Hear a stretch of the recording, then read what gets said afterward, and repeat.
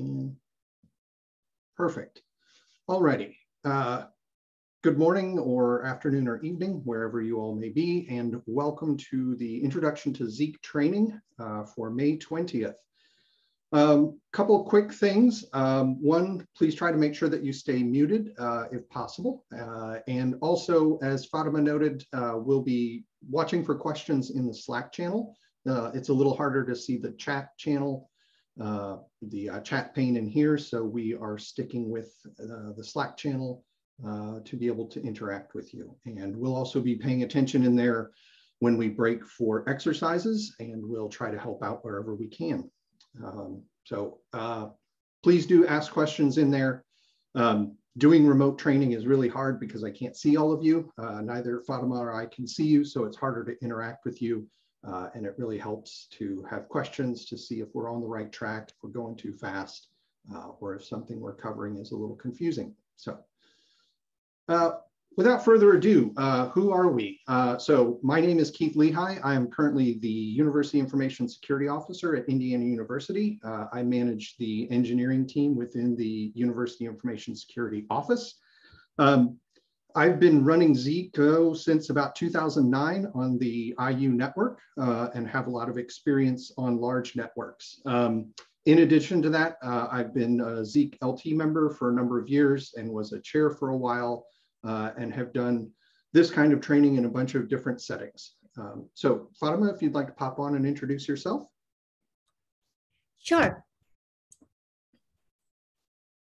All right. Hi, everyone. I am Fatema Bannat Wala, and I, I am a security engineer currently working at ESNet, which is Energy Sciences Network. And I have been working with Zeek for more than seven years now. And ever since it was Bro, I have been using it. And then it recently had a name change. If you guys have been following it.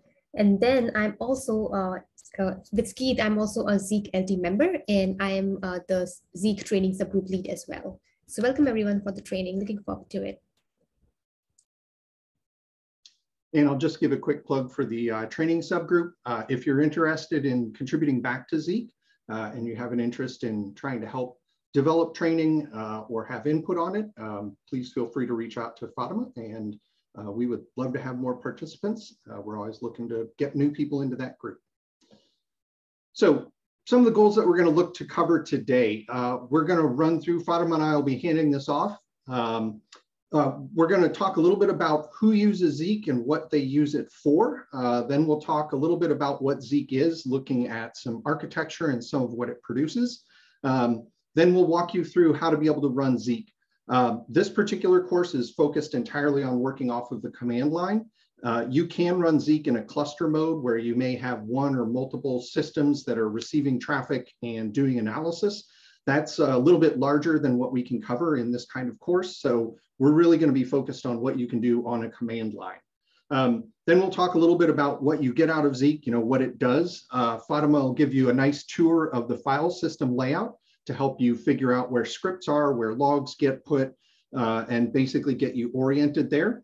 Um, then I will walk you through how to be able to do a little bit of customization of Zeek to start getting you pointed in the right direction. Uh, and then Fatema will introduce you to the Zeek Package Manager, uh, which is an excellent way to be able to extend the capabilities of Zeek based on packages that other people have written and offered up. Um, We'll go through a little bit of log processing, basically some simple approaches to how to be able to do a little bit of log processing on the command line. Um, again, sort of there's a lot you can do with SIEMs, but there are a lot of times where you may find yourself dealing with Zeek just on a command line and having a little bit of familiarity with some basic Unix commands and how to use them uh, to interact with the Zeek logs can be helpful. Uh, and then we will close this out today by looking at a couple common frameworks that we think are particularly useful for people who are new into the Zeek world. Um, couple quick housekeeping notes here. Uh, there's a link to the GitHub. Uh, I believe this is also posted in the uh, is also posted in the Slack channel. It should be pinned there uh, for the training material.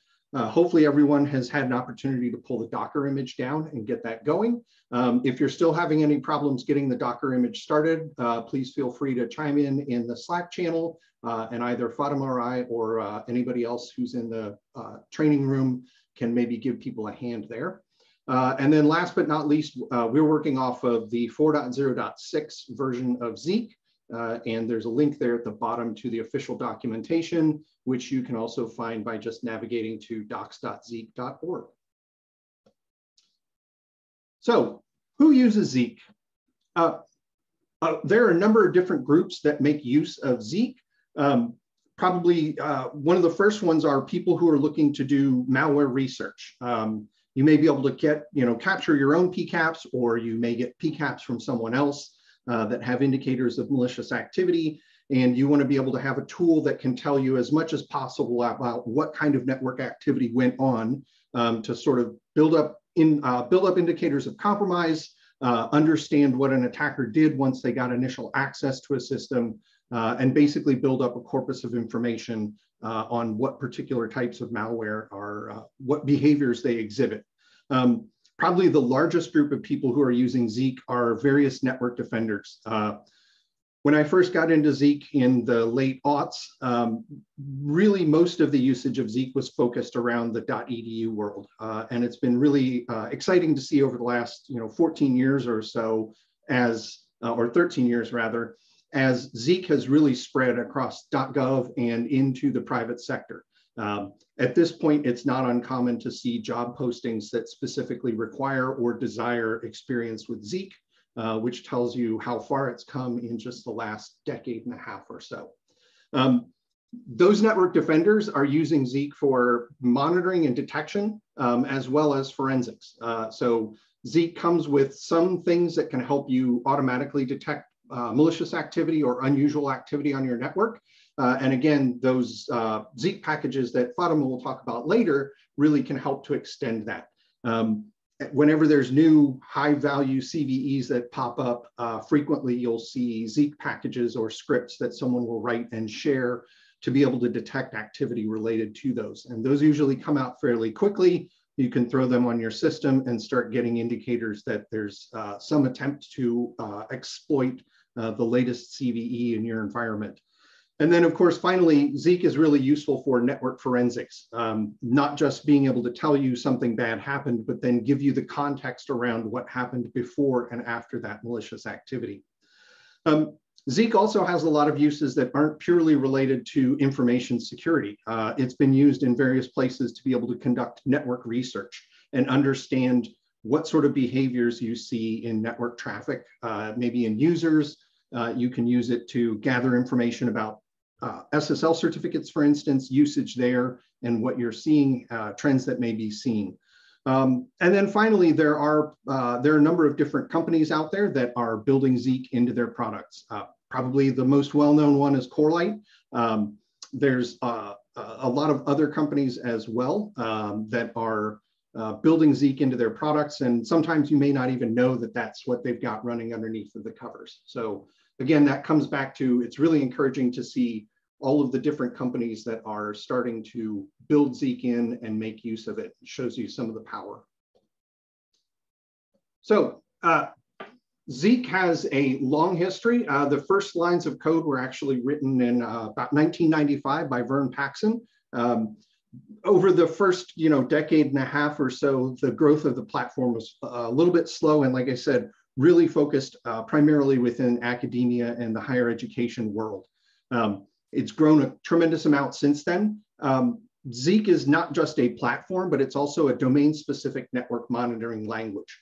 Um, that being said, you don't necessarily have to uh, learn the language to be able to take advantage of, uh, you know, take advantage of the, uh,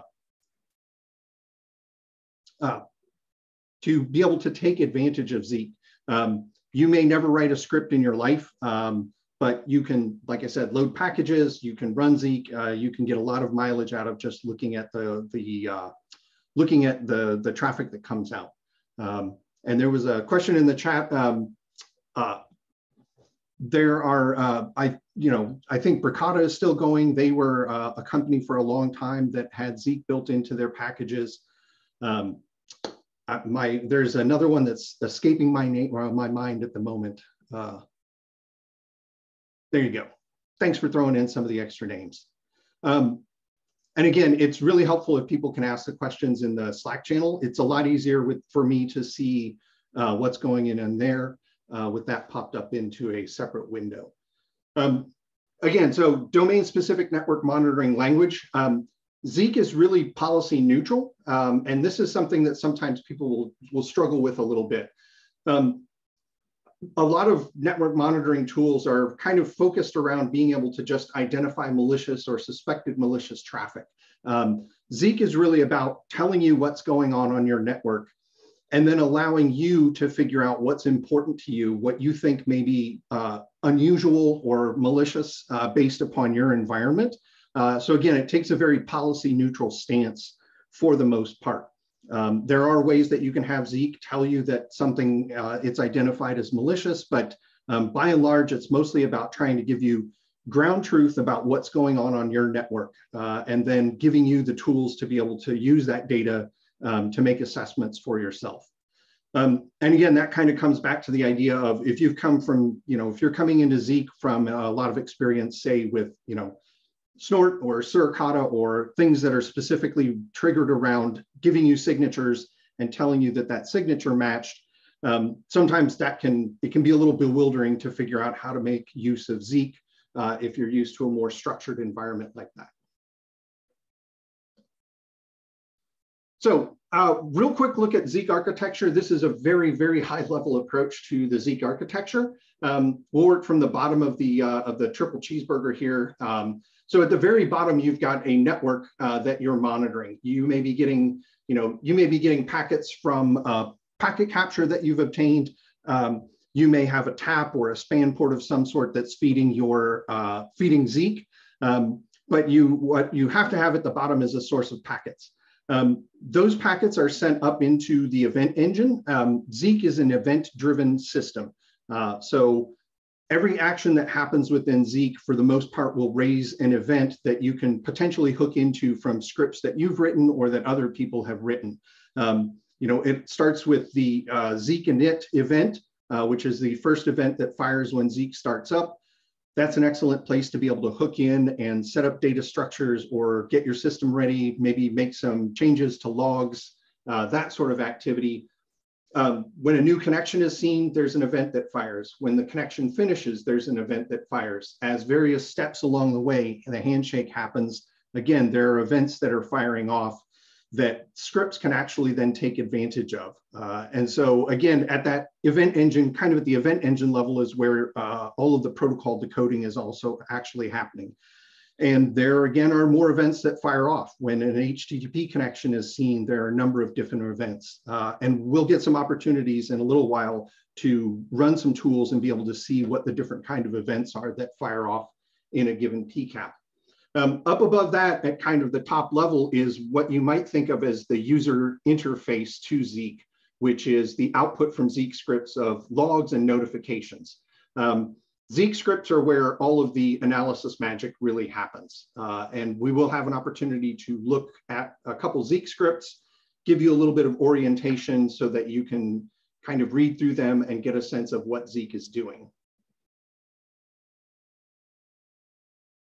So one of the most powerful parts of Zeek are the multitude of analyzers that are available. Um, there are, you know, the common ones that that everybody's pretty much familiar with, uh, and that you can get a pretty fair amount of mileage out of. Um, you know, DNS uh, analyzers, HTTP, which is um, steadily declining in usage, uh, but there is still a little bit of HTTP activity that you may see. Um, SSL that will tell you a lot about certificates that are passed back and forth, uh, and then you can start looking for suspicious indicators in there, or if you're focused on compliance, you know, Zeek will tell you that there are certificates that are self-signed or that are expired passing over your network, uh, and that may be of interest to you. Um, there's also uh, a lot of analyzers built around providing you with information about authentication, um, you know, Microsoft protocols. Uh, there is you know, a lot of data that you can get out of unencrypted SMB connections to tell you about, you know, PowerShell activity that may be happening within your network or people passing files over SMB that are of interest to you. Um, there's also a lot of support for being able to observe tunneling connections. Uh, Zeek can see plain IP tunnels inside of IP and then annotates the connection log to tell you that, hey, this connection was actually part of a tunnel. Um, when I first started out, uh, IRC was probably one of the most useful, uh, uh, you know, kind of one of the most useful and interesting ones because at that time, IRC was really popular as a command and control channel for compromised systems. Uh, so you could simply start watching through your IRC logs and hopefully not too often see, but sometimes see systems on your network that had been compromised and were then connecting into an IRC channel. Um, don't really see that much anymore, but it's a fun blast from the past when you do. Um, the SOCKS tunnel or the SOCKS protocol uh, or proxy log would also be another one to be interested in. Um, you know, if you see a, a, system in your finance office that's suddenly starting to offer up a SOCKS proxy to the world, uh, that's, that might be reason to panic or at least be concerned. Um, in addition to protocol analyzers that are focused on network traffic, there are also a handful of file analyzers that Zeek has. Um, these give you things like hashes of all of the files that fly back and forth over your network. If you think about it, SSL certificates are really just files that are being passed back and forth. So, so Zeek will helpfully hash those SSL certificates for you, generate a log, and then you can use things like the Intel framework to watch for malicious SSL certificate hashes on your network and then take automated action or review at a later point and track down what happened. Um, in addition, there's a file extraction uh, analyzer that will actually allow you to pull files out of the network traffic that's seen. Um, that can be really handy for grabbing those files and then throwing them into malware sandboxes or doing your own research and reversing on it. Um, by default, Zeek does not save a copy of the files that were seen on the network. Uh, it will just give you a hash uh, I think it's still by default uh, MD5 and SHA-1 hash, but you can also do SHA-256 hashes.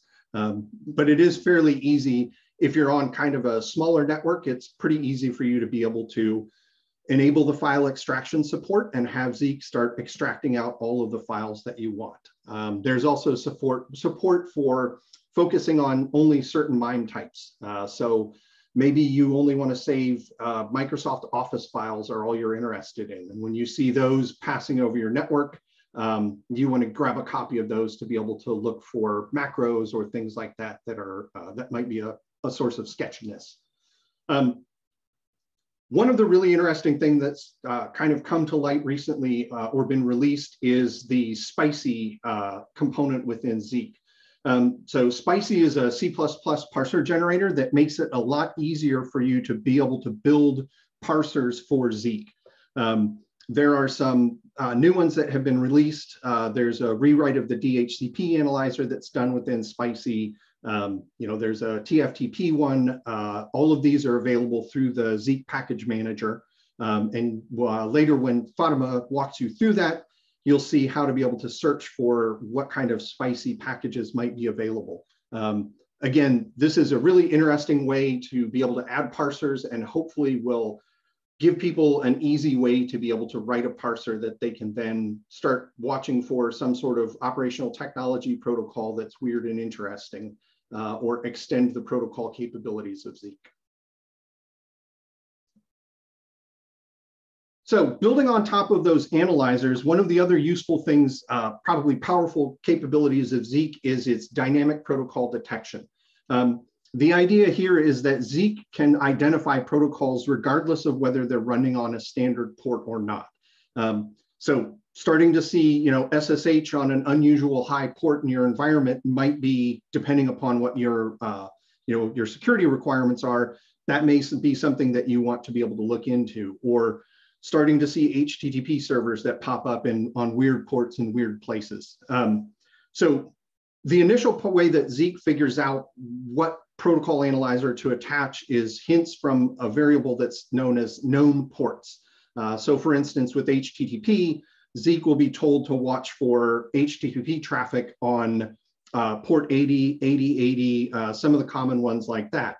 So if Zeek sees traffic on port 80, for instance, it will first try to attach the HTTP analyzer and see if it can start to parse the traffic that's there. Um, should it fail to attach, um, maybe someone is running RDP on port 80, Uh, Zeek will then start to try a combination of signatures for different protocols, as well as trying to attach analyzers to that connection until it's successful. Um, and again, this gives you an opportunity to find things that are running on unusual ports. Um, I'll answer that question once I get to the bottom of the slide. Uh, there's a question about uh, the impact of TLS on network monitoring. Um, so once a protocol has been successfully parsed, um, that'll usually be reflected in a couple of places. Uh, one in the connection log uh, or conn.log, there's a protocol field that will tell you what Zeek was able to parse out. As well, there's a files.log that will show you the analyzers that attached, and that'll be a comma separated list in case there were multiple analyzers that were able to attach. Um, and in a little bit, we will pop out and take a look at a couple of these. Um, so as it notes there, um, non-standard port doesn't always mean that that's necessarily bad. Uh, again, you know, that uh, that SSH server listening on port 443 might be someone who just wants to be able to SSH from a hotel network that is extremely limited in what you can connect outbound for. Um, it could be someone experimenting, um, but it also might be not good. Uh, so part of this is Zeek is useful once you start to understand what your own network is like and what is normal for the network that you're defending. Um, also out of Zeek, there's a, uh, a, log file that's generated called known services. And this is a log that will show you all of the services that Zeek detected on your local network um, as a running track. Uh, I think by default, it'll only log once every 24 hours. Uh, we'd have to poke around and check to verify that. But that's a really great place to be able to quickly search and look for, say, RDP on ports outside of 3389. Um, so to circle back in the Slack channel, there was a question about how much Zeek has impact, TLS usage has impacted uh, the value that you get from network traffic. Um, it has certainly made network monitoring more challenging. Um, that being said, there's still a lot of information that you can get out of the metadata related to a connection. Um, so you might want to start looking at what are the uh, server names that are inside of the SSL certificates that are passing back and forth over your network. Um, getting back to those hashes related to malicious, known malicious SSL certificates, um, you can still tell a fair amount there. Um, you can get a lot of useful insight into how much traffic was passed in a particular connection.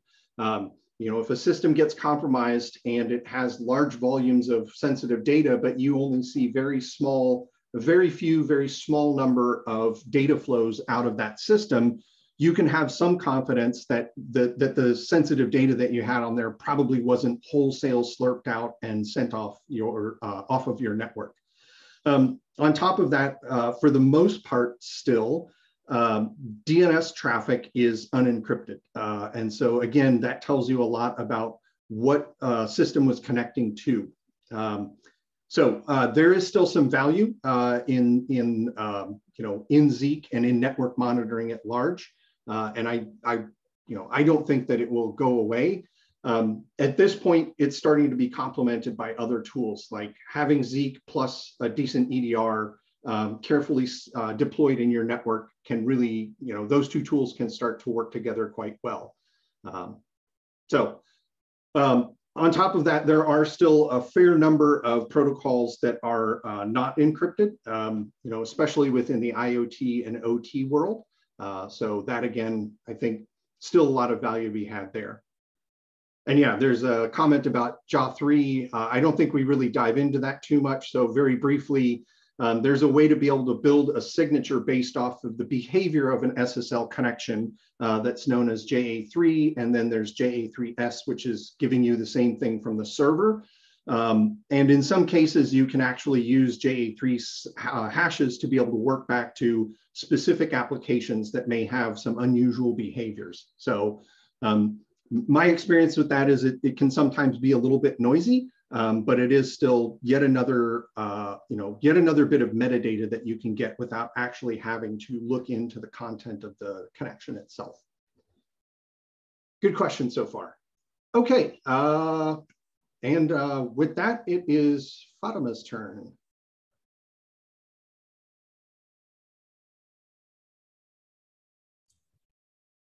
Perfect. Uh, thanks, Keith. Um, can go ahead and share my screen.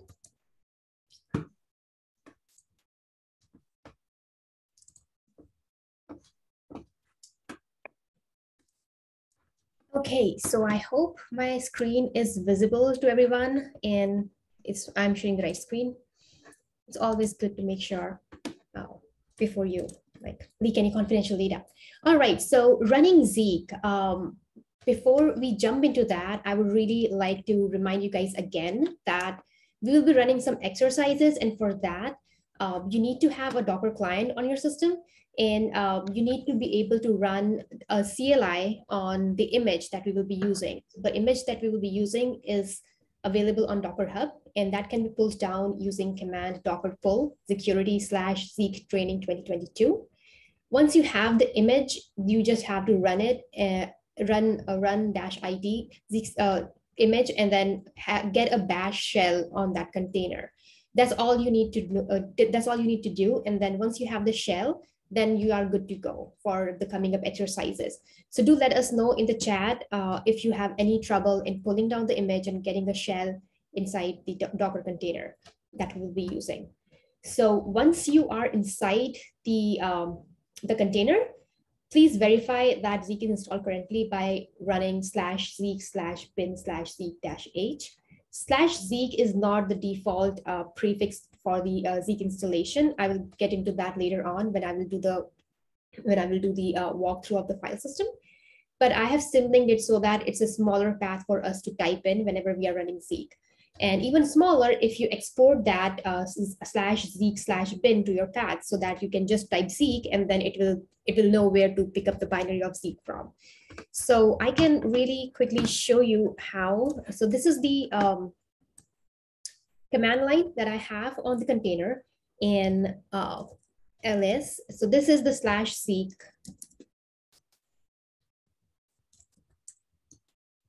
So this is the uh, folder that we'll be using. That's a symlink to the op slash zeek. That's our actual install installation path. And um, to run it real quick, zeek slash bin, and then you can use tab for autocomplete then help. So this should be the help page that should be displayed. That will kind of like verify whether the Zeek is installed correctly. It should be because we all, if we are all using the same image, you can, you are, you should be able to get to the, um, you know, health page of Zeek binary. And then I think I have already exported the path. Yeah, so if you have, if you have export, if you have not exported the uh, slash zeens slash slash zeek slash bin path, if you run Zeek, it should error out saying the binary binary was not found. So that's why this export step is necessary. So if you haven't done that, you are uh, you are recommended to do that so that you can just run Zeek and then it should just pick up the slash Zeek slash bin binary path.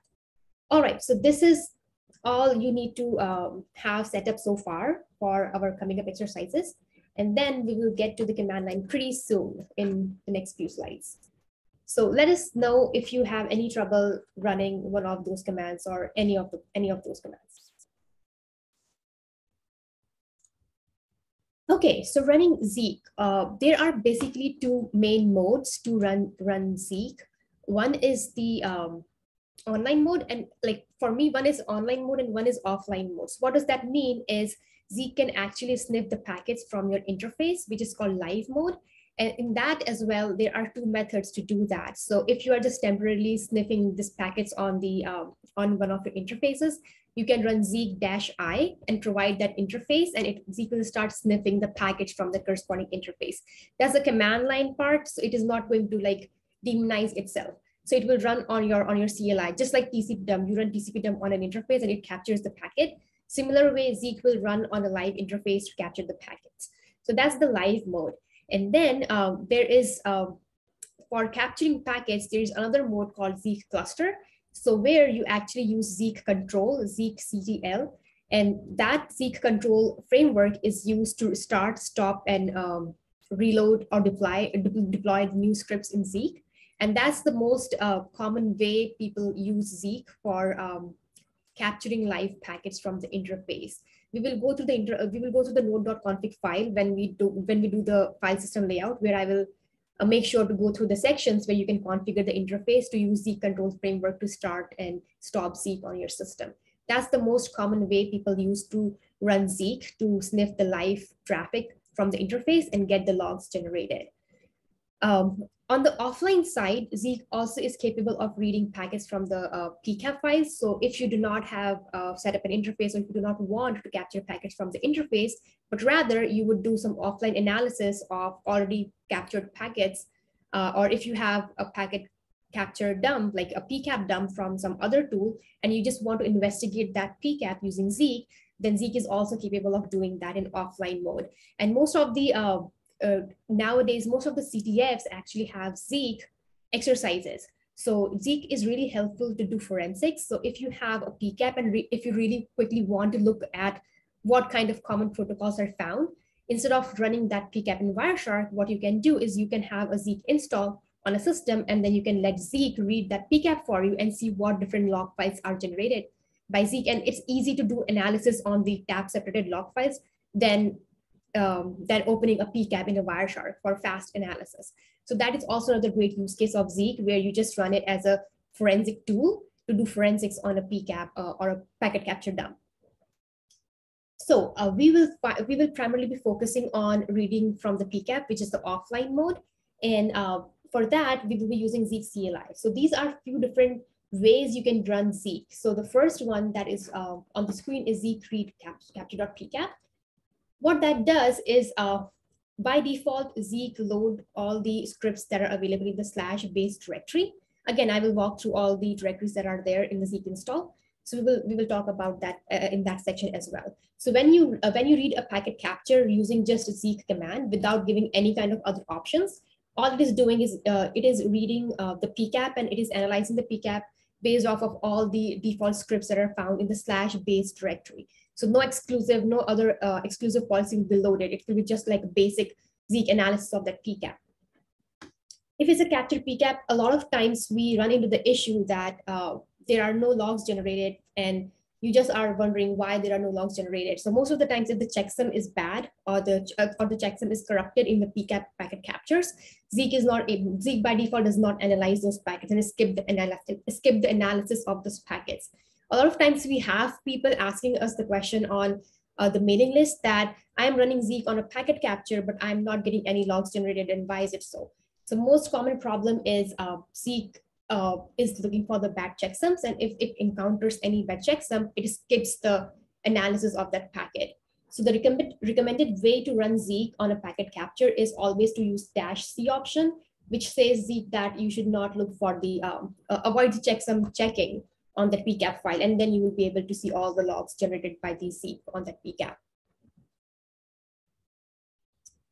Okay, so the third command here is you're reading a PCAP, and then if you have a script that you have written, it's a custom script that you have written, and you want to test a PCAP against that script, or if it's a script that is available in Zeek policies, but it is not loaded by default uh, on in Zeek, what you can do is you can actually run that PCAP and exclusively load that script that is by default not loaded by Zeek, and then you can have uh, whatever whatever the script uh, logic is to run on that PCAP. So if you have a packet captured that has some malicious um, packets in it, and you have written a signature to detect that, and if you want to add that script for the um, analysis part of the PCAP, then you can run that command and you can just provide the script on the command line and then that script will be auto automatically loaded when Zeek is reading that PCAP and doing the analysis.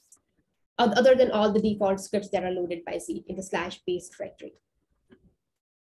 Fourth command here, it says at the end, it says local. So Zeek has a Zeek path by default that it looks for, for checking what all scripts are loaded for Zeek to do analysis. So by default, local, if you run Zeek read cap packet capture, it will not load any kind of policies by default for you.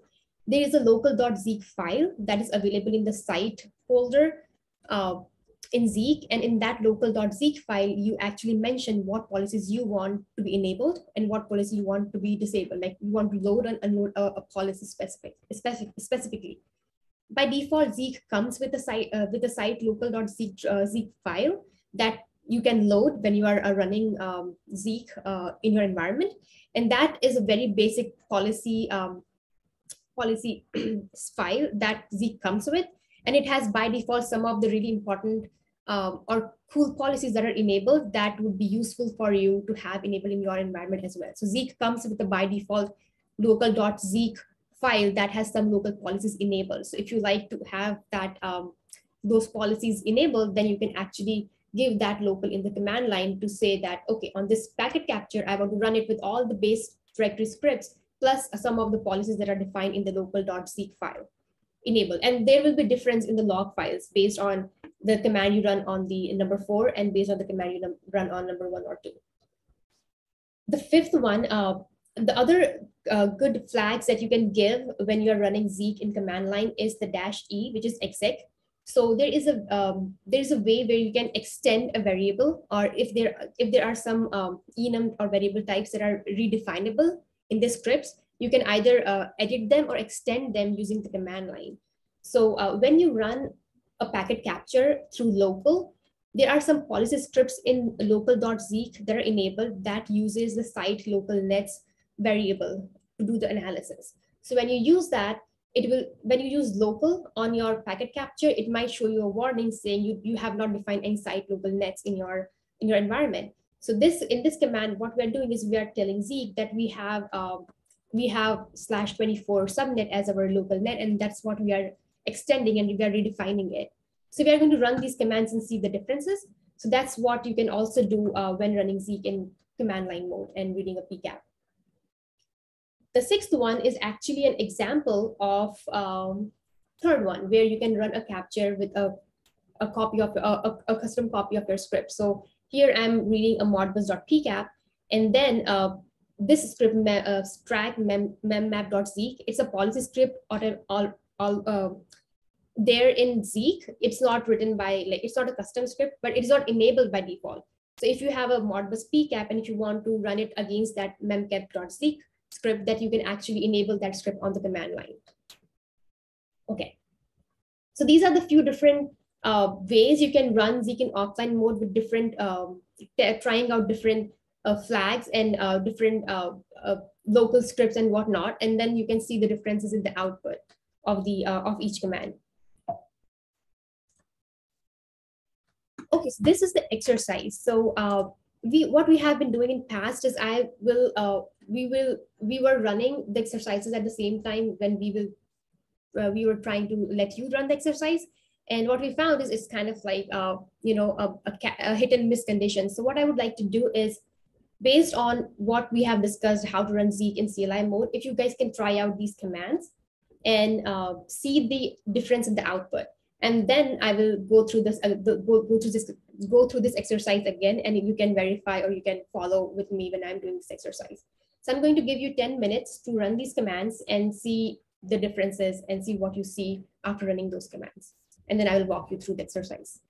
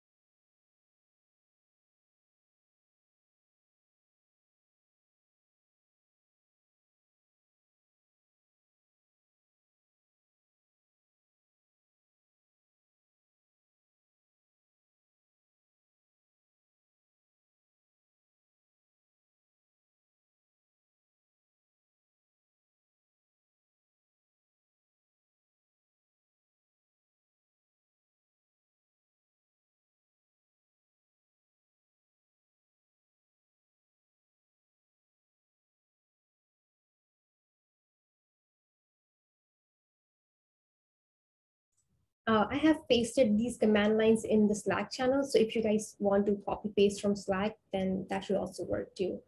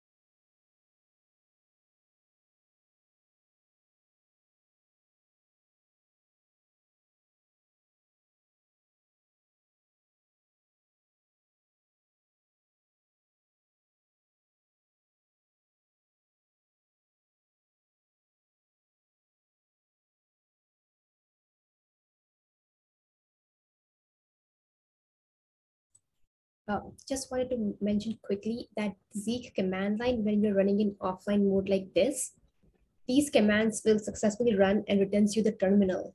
So if you're not getting any output, just try to try to run ls command and see if you get the log files generated. That's the output we are looking for, that if Zeek is able to generate the log files um, based on what Zeek has seen in the packet capture.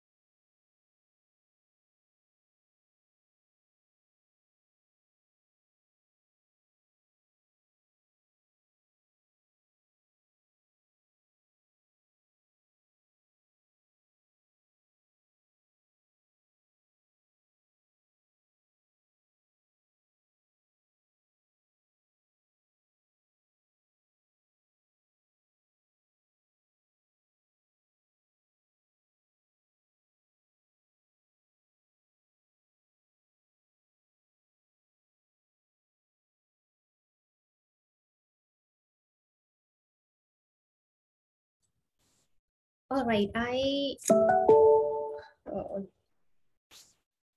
um, I can now run you through the um, command lines and see if you guys got the same output.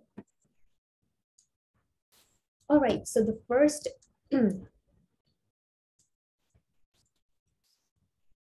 I usually, so when you run Zeek on the command line, it dumps the logs in the current current directory that you're working in.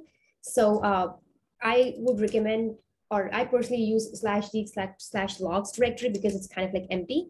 So whenever you run zeek in command line, uh, it, you can easily see the output that if it is it has generated any output in the current directory.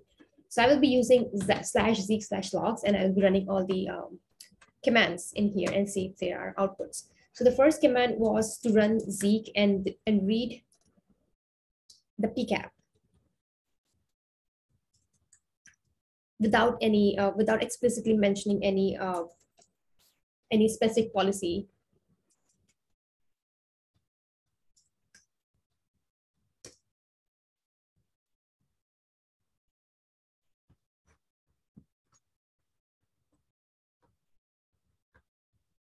Okay, so it ran it ran fast. Um, so if you now do ls, before ls was not returning anything because the log, logs directory was empty. So when you read the file, uh, which is capture.pcap, and then uh, Zeek does the uh, analysis of the pcap, it generates some of the log files based on what traffic is captured in that capture.pcap file.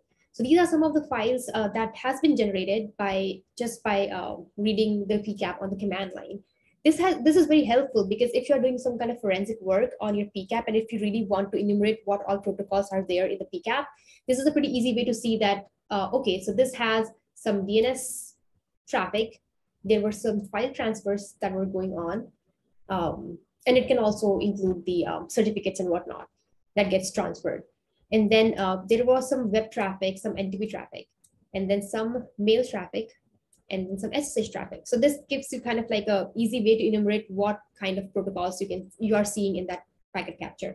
And you can go over these um, log file to see exactly what has been recorded if you're not familiar with these logs. So the first field is the um, the header field. Uh, so the first row is the header header field uh, field row that has all the um, column name, and then um, and then it has the data and it's a tab separated file. So you can easily do any kind of like statistical analysis of how many unique IPs, how many destination unique IPs were there, how many destination, uh, how many unique source IPs are there, what are the ports involved, and what kind of um, service you saw in that in that um, conn.log file. Um, yeah, you can just go through these log files and see what has been captured. This is just the HTML um, text slash HTML page from the um, web traffic, most of the web traffic. Okay, and then there is some SSH log. There are only two SSH um, attempts seen in the capture file. So, um, so yeah, you can go through these log files and analyze them. But for now, I'm just going to remove them before running the next command because if you don't remove them, when you rerun the Zeek uh, again, the second time, these files will be overwritten. So, and if there are new files, they will get regenerated. So um, I'll just remove the log files and make sure the log, make, make sure the uh, logs directory is empty. And then I can run the same command again. Except now I will load the log, some of the local policies that Zeek comes with, comes with. But before that, let me show you what local.zeek is so that you know what exactly we are loading. So usually uh, local.zeek policy um, file is located under the site directory. So if we go to um, slash share slash slash site, and then it has local right there, it has local.zeek. So I can show you real quick what local.zeek looks like. So this is the local site policy, and uh, you can customize it as appropriate. It has some of the policies by enabled, enabled by default. So um, this is the policy that uh, shows you what scripts are loaded uh, when you run Zeek on uh, either a PCAP or when you're running Zeek on an interface. Uh, this actually generates the um, capture, uh, capture loss uh, log file that records if you are running into the issue of um, capture loss seen by Zeek. So uh, there's a scan script that is by default disabled because it can be pretty intense when you have like heavy, when you run the script on a heavy network, when you run the script on the network that has heavy traffic, there is like traceroute. Um, there are like soft, soft, there's a software framework that records the software versions and whatnot. And then um, these are all by default uh, uh, scripts that record the um, software detected and they uh, in the various protocols. So these will allow uh, us another new log file get the, another new log file generated in Zeek called software.log file. And these policies will dump whatever software is seeing on those protocols in software.log files. That is also pretty neat um, log file to do analysis. So you can see that these are the, the default policies that are enabled in the local.zeek. Um, which were not like if you don't load if you don't load local these policies these policies will not be loaded by default for your analysis so that's why we want to um, run the run the capture again enabling those uh, local site policies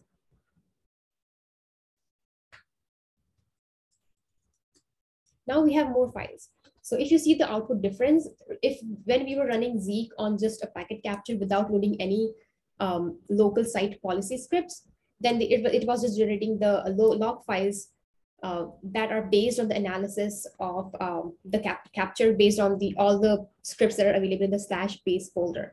But since now we have loaded some additional scripts via the local.c, it has seen um, it has some more log files that are getting generated like capture loss.log is one of the file loaded scripts.log is another log file that is new and then stats.log is another log file that is new. So um, other log files are the pretty much same log files that were generated before. So this is the advantage of loading um, local.zeek and you can add your customizations however, however you want uh, in your environment. So that was another um, another way of running Zeek using custom site local policies. All right, um, so let me remove, oh, so another thing I wanted to mention is uh, the warning. So some of the policies that were loaded by the local.z were actually looking for um, site local net um, variable to be defined. But since we haven't configured Zeek yet uh, or I haven't customized it to our environment, it is, it is just throwing a warning that the uh, analysis might not be efficient because you don't have local nets defined. There are a lot of policies in Zeek that if you have local nets defined, you can do analysis like whether this traffic is inbound or outbound, uh, for scan detection, if uh, if you have local nets defined, then it knows that somebody is scanning your environment because it knows about your local environment. So now next what we are going to do is I'm going to remove the log files again from the current directory. And now we are going to define some of our um, local nets and see what happens.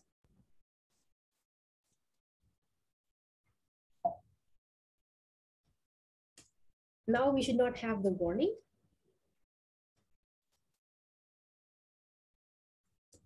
And then we have more logs. So now see the, um, we are running the exact same command with some more additions to it. So the first time we ran was just like this command to do just, just the bare minimum um, analysis of the PCAP. Then we added local policies to it and it generated some more log files, which were interesting. Then we added the site local um, uh, exec on the uh, on the command line, and now we have more log files. So known services.log, that was one of the log files that Keith was mentioning that if you have uh, that's that can be a land, that log file can be a landmine of services that you want to know what services you are running on your network. It is pretty helpful because if you if you have your Z deployment on north south, like if you are only looking for the um, inbound and outbound traffic from and to your uh, environment. And if you know that the SSH is not open on your network to the world, and but you are seeing the SSH service here, that means there are some um, SSH, SSH services that is in your network that is exposed to the internet. So that can be really helpful log file to, to just to do just the um, troubleshooting and analysis of your network that what services are open to the world and what um, services are not. So we have used known services.log file in past in a lot of different ways to um, to harden our network and see what services are available and uh, what services are visible outside our network to the internet. So, um, and then there is software.log file that records the versioning of different kind of software has seen on different kind of protocols. So um, there's an HTTP server Apache running uh, version 2.4.29 and then there's an SSH server, there's an SSH client, it has the OpenSSH version 7.6. And then um, they, there are not, there's not much of information right now in software.log file because our PCAP is pretty small. But if you have like large PCAPs and you're doing analysis, then that also is a pretty handy file to look into. So these are some additional log files that are not related to any kind of protocol analysis, but it's just like um, some of the policies that are available in Zeek to do additional metadata analysis of your PCAP. So these are some of the log files that are pretty interesting to look at, and they, they, they are really helpful when, when you're doing um, the log analysis uh, of Zeek logs. So that's uh, another way to run Zeek. I'm just going to remove the log files now. And then we should not have any other log files. And the last one was just to show you if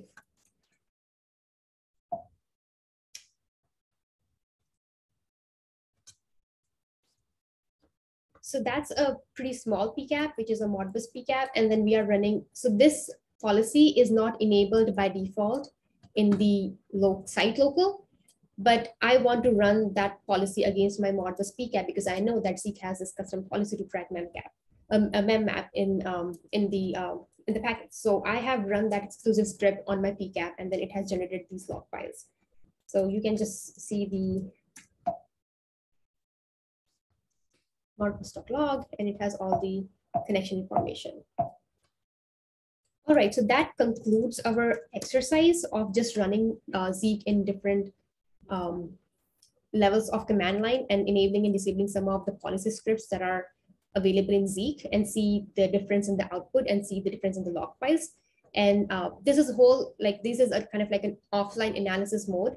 And you can actually run Zeek on online live traffic on interface eth0, but we are not seeing any traffic right now. So it will just listen it, listen on it, and if we like do a control C, it is just saying zero packets. So it's just like pretty, pretty much similar to what you run um, using tcpdump. So that's another way of like capturing live traffic to do some analysis of live traffic. So, all right.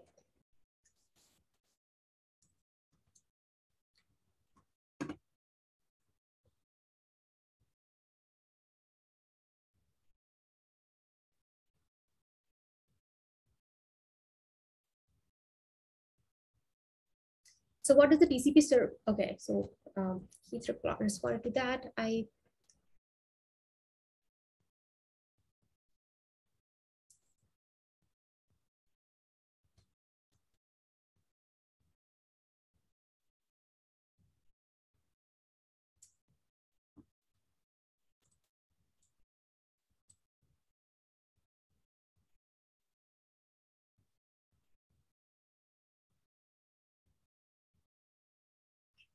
All right. Um, so that brings me to our next section, which is running Zeek online. So the other great tool that I highly recommend to check out is the um, try.zeek.org. That's the uh, that's that, that that's the online version of the tool. So you don't have to have Zeek installed on your system. So if you just want to do a quick analysis, or if you have written a script, and if you if you want to check whether that script has any errors or any problems, you can try that out on try.zeek.org, and it will tell you uh, it will it will show you a scenario if you were running Zeek on your local system and if you were trying out a, a PCAP or um, or a script on your local system. So that is a pretty easy and handy way to get Zeek up and running, or if you want to try out Zeek without having it installed on your system. So it's it's it's a, it's a pretty standard web portal, and uh, here you can see that it has um, some different interesting um, sections. So there is a basic uh, playbook of all the examples that are available, or most of the examples that you can play around with. And it has like different uh, uh, exercises in it. So if, for example, if you want to know how you can define variables in Zeek, this is how you can define some of the variables. Of course, these are very basic examples. You can customize it as you want, and they are highly advanced examples as well. Aashish might be able to um, show you more advanced version of the Zeek scripting, but this is a very handy um, way to try out some of this basic simple Zeek script. And if you're new to Zeek scripting, I would, I would highly recommend you to check out Zeek, try.zeek.org. Uh, and it is also a great way to test your script, as I said, that if you have written a script, and if you don't want the trouble of going through um, running that script on your system with Zeek and seeing what errors it is showing, you can just copy paste your script here. And then you just um, choose a PCAP. There are some sample PCAPs available, and then you can just run it and then it will just show you in a second all the log files it is going to generate based on what is available in the PCAP and based on what your script is doing. But right now the script is just printing the two um, strings. So this is the output of the script. That means the script is working, but it's not it is not doing anything else. So the analysis of this PCAP is just like the very basic analysis that Zeek does on any other PCAP. So these are the some of the log files that Zeek will generate. If you would have run um, this, P, this PCAP on your system with Zeek version 4.2.0. So it's kind of like pretty handy um, interface where you can run Zeek without going through the trouble of installing it by yourself. And then you can just go through the different log files. They are, they are exactly the log, same log files that you would see on your command line. And then you can try out like different ways. Like if you want to, if you're writing a custom script and if you don't, don't know how to use a switch statement, so this gives you this gives you an example of this is how you can use a switch statement in Zeek, and then you can, you know, um, use that in in your script. So this is basically a very basic uh, interface to show you the different uh, things that you can do with Zeek, different uh, different modules that you can uh, use, and how to write a module, and how to write a variable, how to use a loop, how to use a function, uh, and so on and so forth. So it, it, it is like a very um, again, I said it's very basic. It's like a step one. If you want to take step one in the Zeek scripting, you can go through these uh, some of the basic examples and see how different things can be done. So this is like an example of a for loop um, and, and different kind of composite type, composite types. And it has like a, small uh, kind of like uh, description as well that what it is trying to explain in this uh, in this Zeek script. So this is a pretty handy tool again, uh, and you can try it out by just going to try.zeek.org and then uh, browse through it. Again, another good thing about that is if I have written a custom script and if I want to share that, so for example, if this is my custom script and I'm just uh,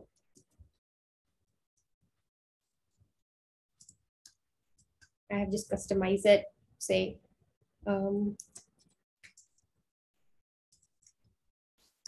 again, it's, it's, a very stupid example, but still. And then I want to share that um, script. Um,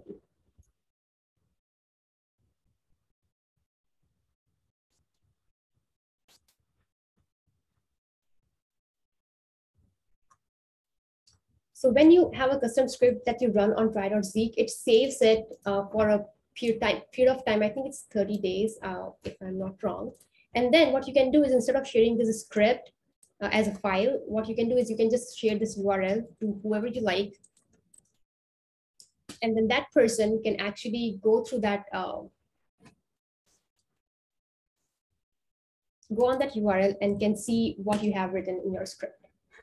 So this is another handy way of sharing your scripts if you have written it and verifying whether they're working fine or if there are any errors.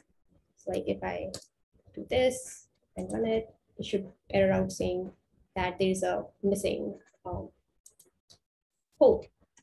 So this is a pretty handy way of, again, testing out your scripts. All right, um, running Zeek only with scripts. The other thing is uh, if you do not have a PCAP and if you are just testing out a script, the other way to test out a script is, to, is just to run this script with Zeek and see if it is erroring out on anything. Um, and this is like a pretty basic uh, example. It's a hello world example and I can quickly run it.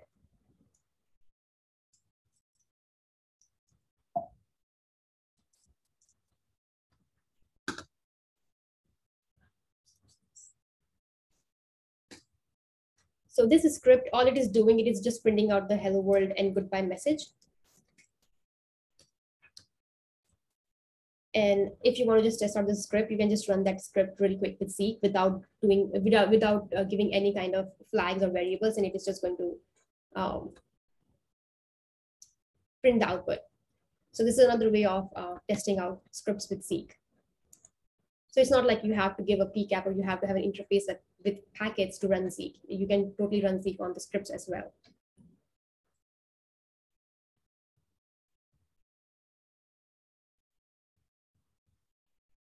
So um, can you build and test filtering on try.zeek?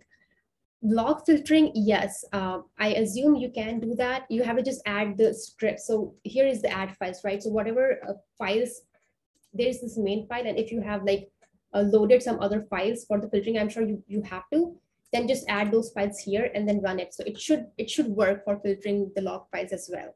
If you mean filtering some of the log streams in Zeek. Uh, but yeah, it should work. Try.zeek.org should work for the filtering of log files as well. Okay, so the one last thing before we jump for our break is dump events. So um, Keith was mentioning before the, the engine, the event engine that how Zeek performs the analysis and how it starts the analysis.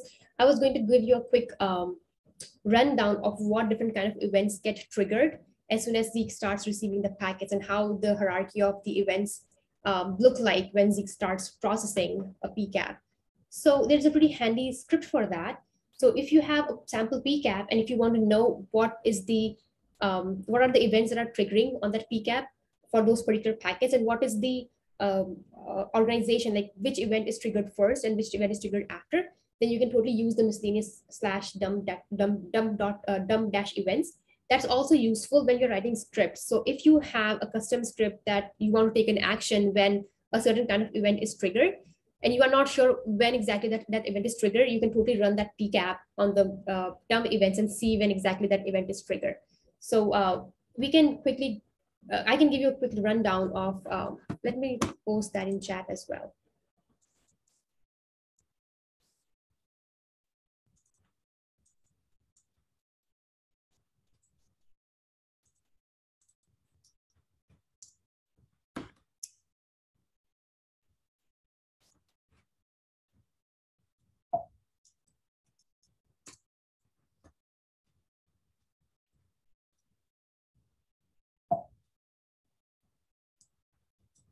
I'm just going to run it with the more command so that it doesn't uh, keep uh, spitting out the output. All right, so this is what is happening. So the, the very first event that triggers whenever you read a PCAP is Zeek init event. And then it actually starts um, initializing all different events on the based on the PCAP. And then there is a new connection event that gets triggered whenever Zeek sees a new connection with this um, origin, like with this um, port tuple.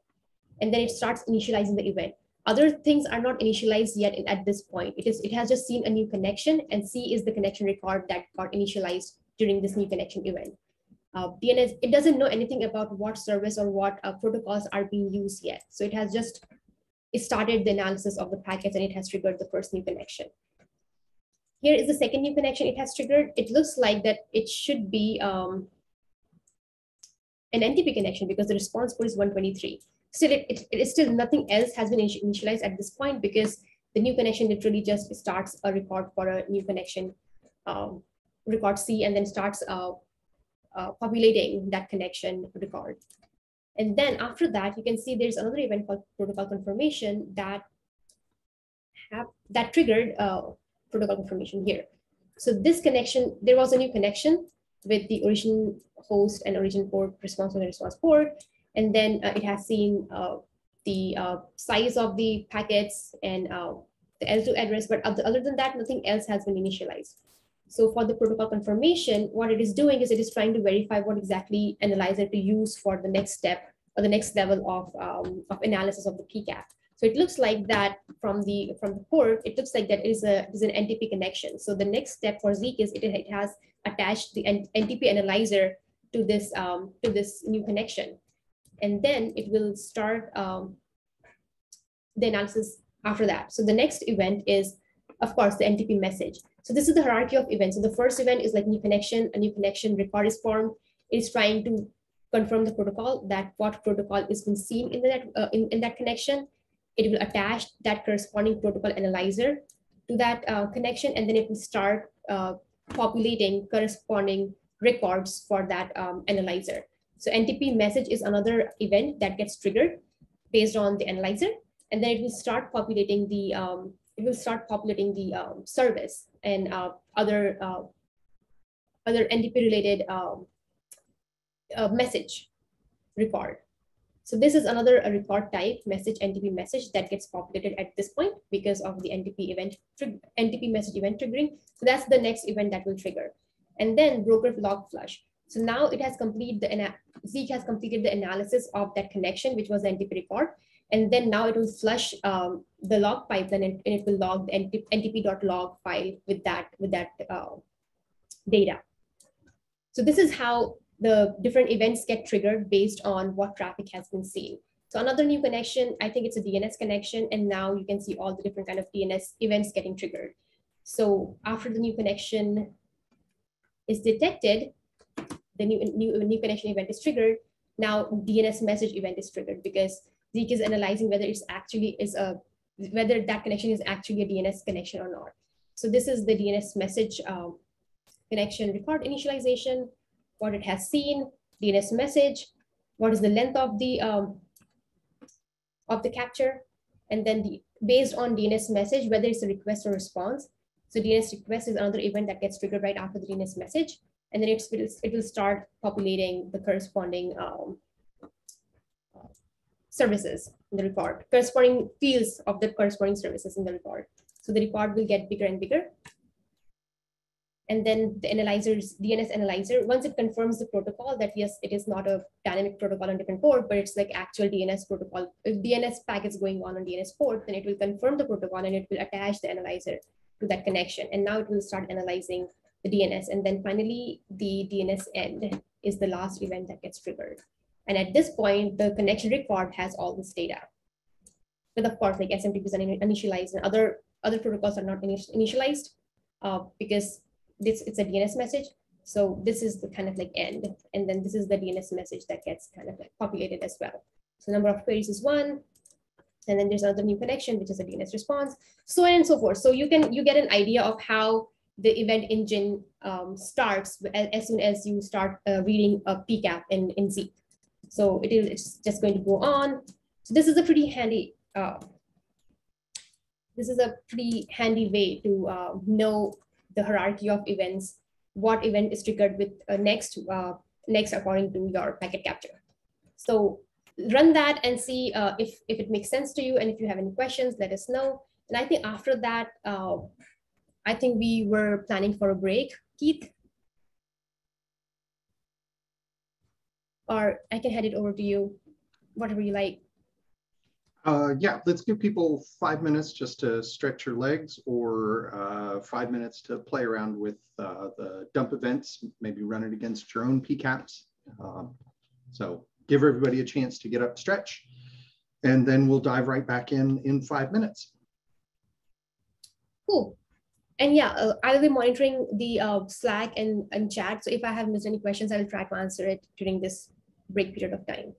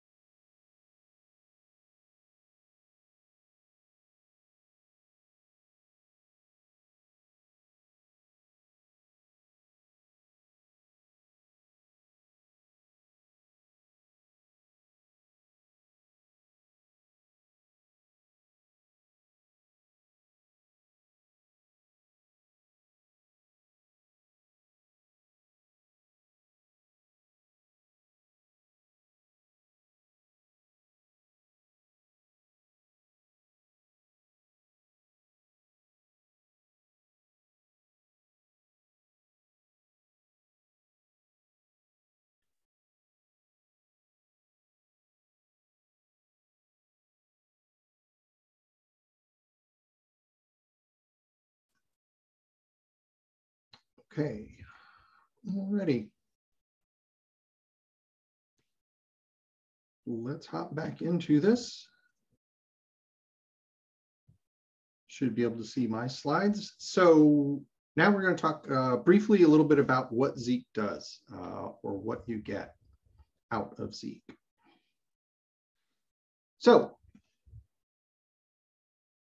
the most important thing, uh, by far the most useful thing out of Zeek is the rich set of logs. Uh, you've had a little bit of an opportunity to look at a few of these as you ran Zeek earlier, but we're going to dive a little bit more into some specific parts of the logs that are output. So by default, uh, Zeek logs are always written in ASCII format uh, in uh, as ASCII logs with a tab separated value format.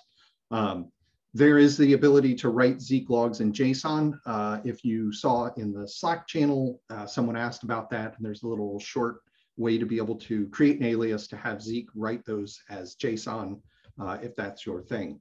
Um, Zeek will generate uh, log files for the protocols it sees. Um, there are also some other logs that are related to uh, the behavior of a connection, uh, or rather of a cluster.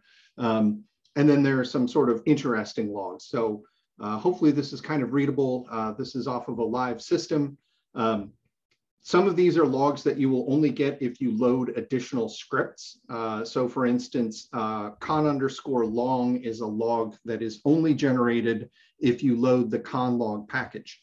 Um, what that script does, or rather that package, is creates a special conn log that starts logging uh, after a connection has been running for a certain period of time. So um, that is for the situation where maybe you've got a connection that lasts for hours. Uh, so if the connection doesn't end, if it runs for hours or for days, you won't see an entry in conn.log because the entry will only show up in there once the connection is completed and Zeek can tell you everything it saw for that connection.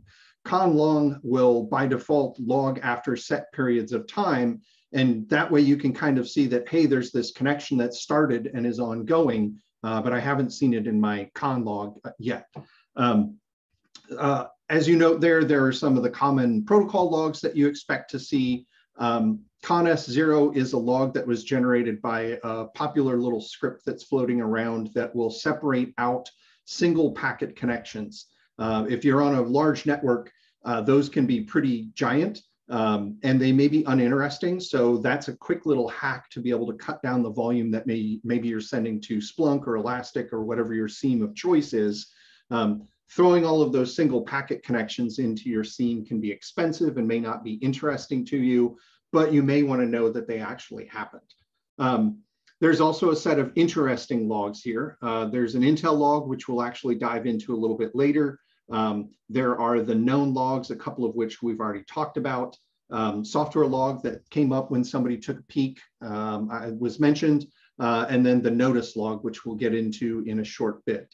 Um, there's also the weird log, which will tell you that things like uh, Zeek saw a connection that appears to violate expected behavior of a protocol. Um, Fatema's actually done a couple of talks at Zeek Weeks, diving into the weird log and finding some of the interesting things that you can get out of that log when you dive in. Um, you'll note there's also a log here called reporter.log. Uh, that's where errors that are non-fatal will show up. Uh, so maybe you've got a script that has a value that's undefined and you're trying to look at that value, uh, that will generate a log in there as well. Um, so again, some of these logs are ones that uh, that you um, that you get from loading other scripts uh, or from loading other packages, uh, but a number of them should be familiar to you uh, from what we've already seen today. So uh, let's go ahead and pop out to the shell real quick.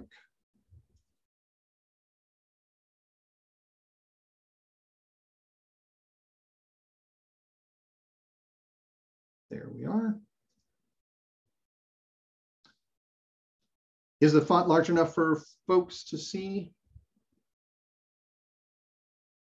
Yes. Perfect. On here. Okay. Great. Let's get rid of the logs from the previous run. And we're gonna do the old Zeek-C.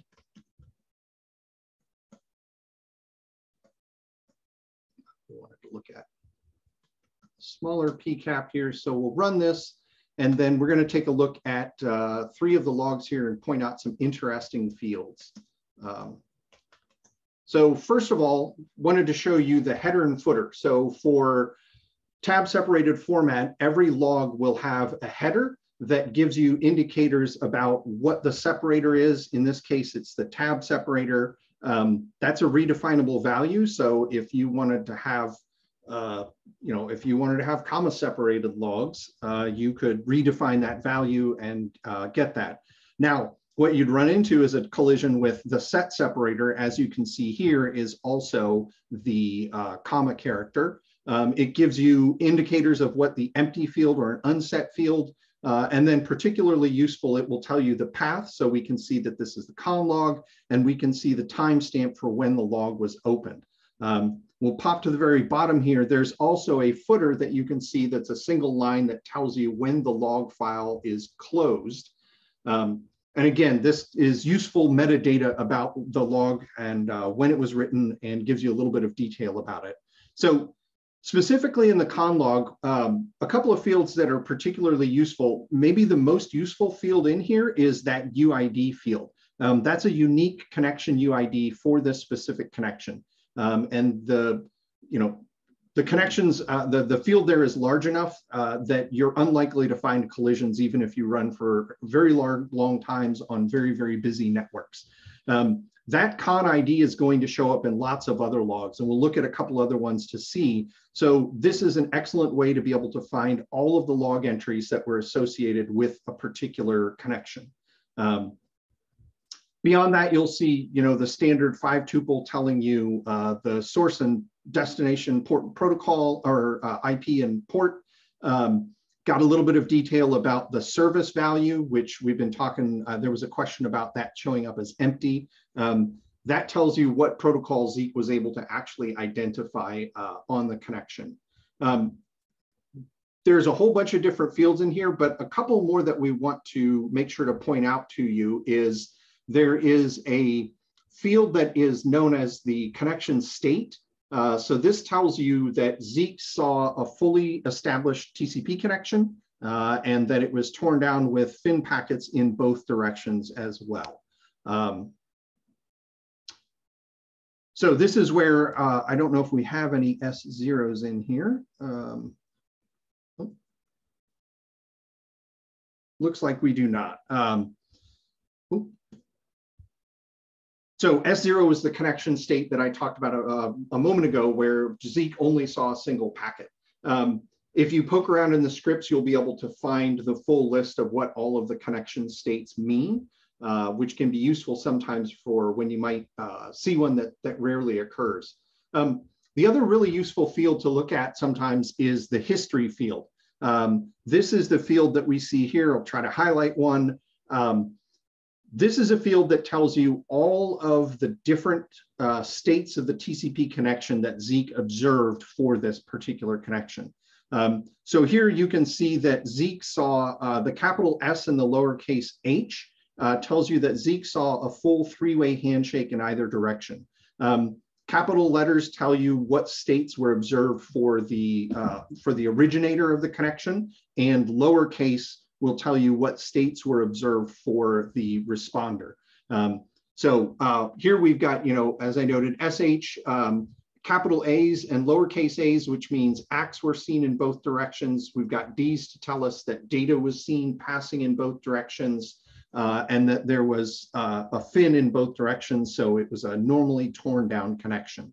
Um, you'll note up above, uh, there are a couple connections that don't have that SH, uh, and you'll also note that the service field is undefined. Um, what you can usually infer from that is Zeek picked up these connections probably in the middle of the connection.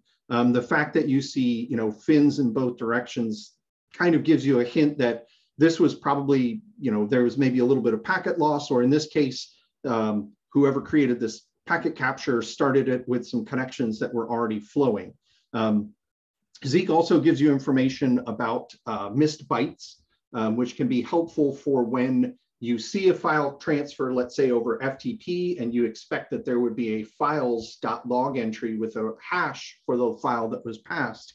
Um, if Zeek misses bytes in the connection, it's not going to attempt to write a hash for that file uh, because it would be invalid since there are some missing bytes. Um, so that's a quick place to go and look for that.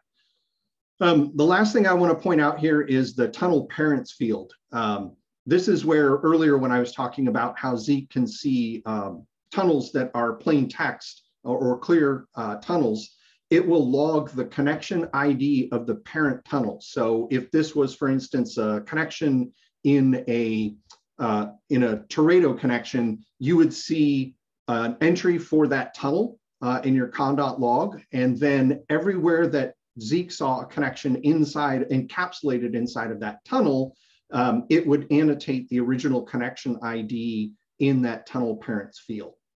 Uh, so there's a question about orig bytes versus IP bytes. Um, that's essentially the full orig bytes is all, all bytes in the packet. Uh, and uh, the IP bytes is just the IP portion of the of the packet itself. And yeah, that's a really useful um, having that conn.log uh, uh, docs uh, HTML page available to you is really useful when you're trying to dig through these. Um, as I noted, that breaks down all of the different fields that you could possibly see in the history. Um, another one that we may, uh, that I don't think shows up in this PCAP is for the history field, there's a caret flag that will tell you Zeek saw the connection, but inferred maybe it missed the first packet of the connection. And based on Zeek's behavior, whenever it sees the, fir the first observed packet, Zeek assumes that is the originator of the connection. And then all packets go in the, the other direction are the responder. Well, if Zeek for some reason misses the very first packet uh, of a connection, it could get confused about which, which side is the originator and which side is the responder.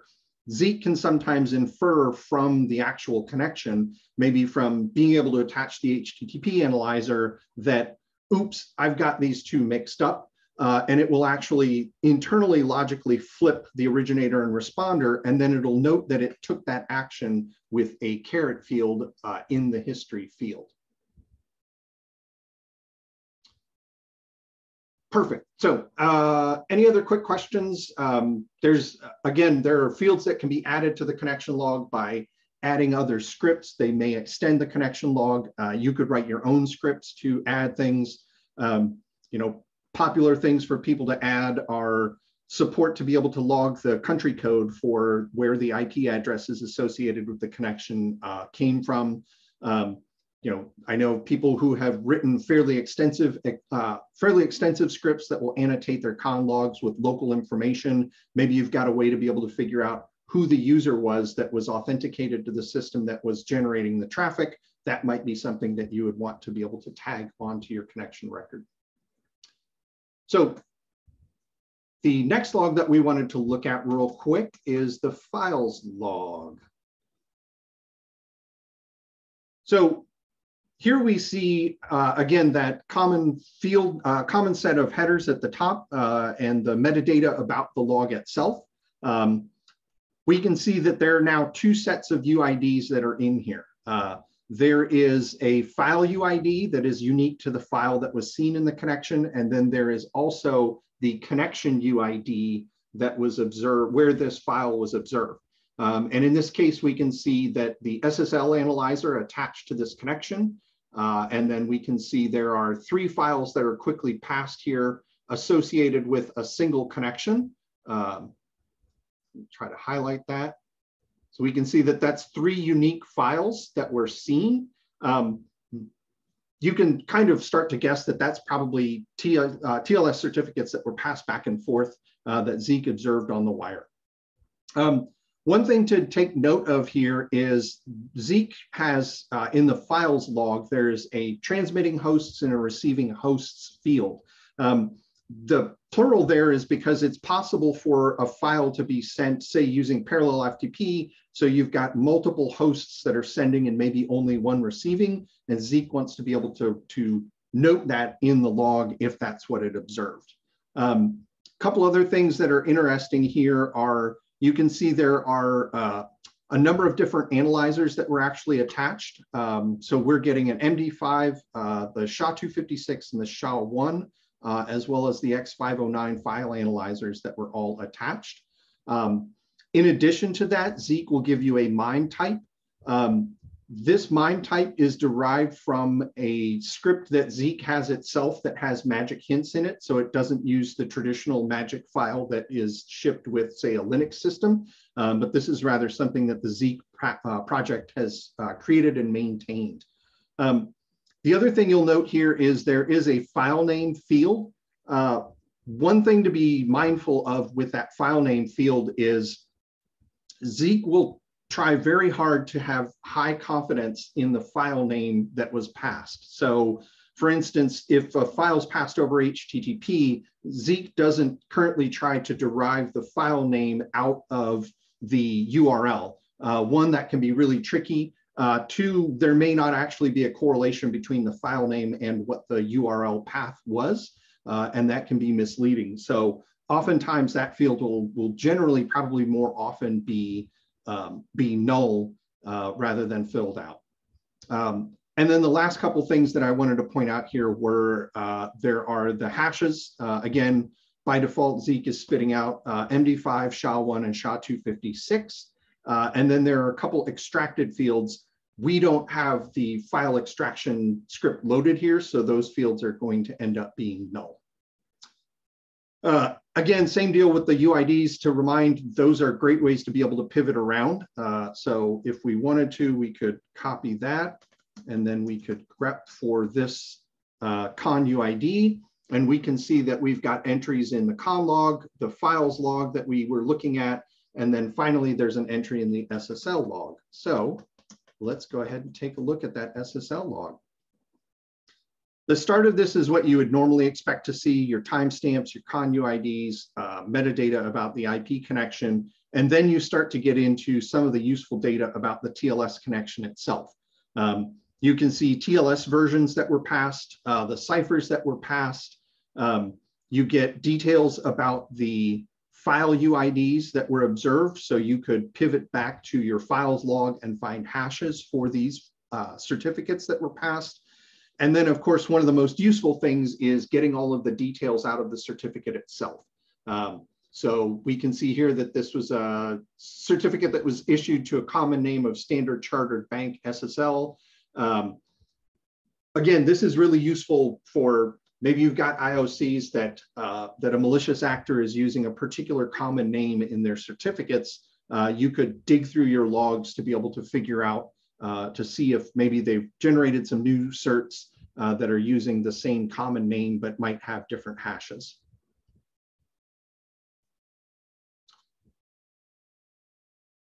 All righty, so uh, any questions about the couple logs here or about logging in general?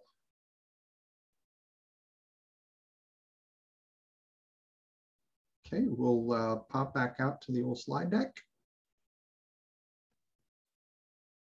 Keep moving along.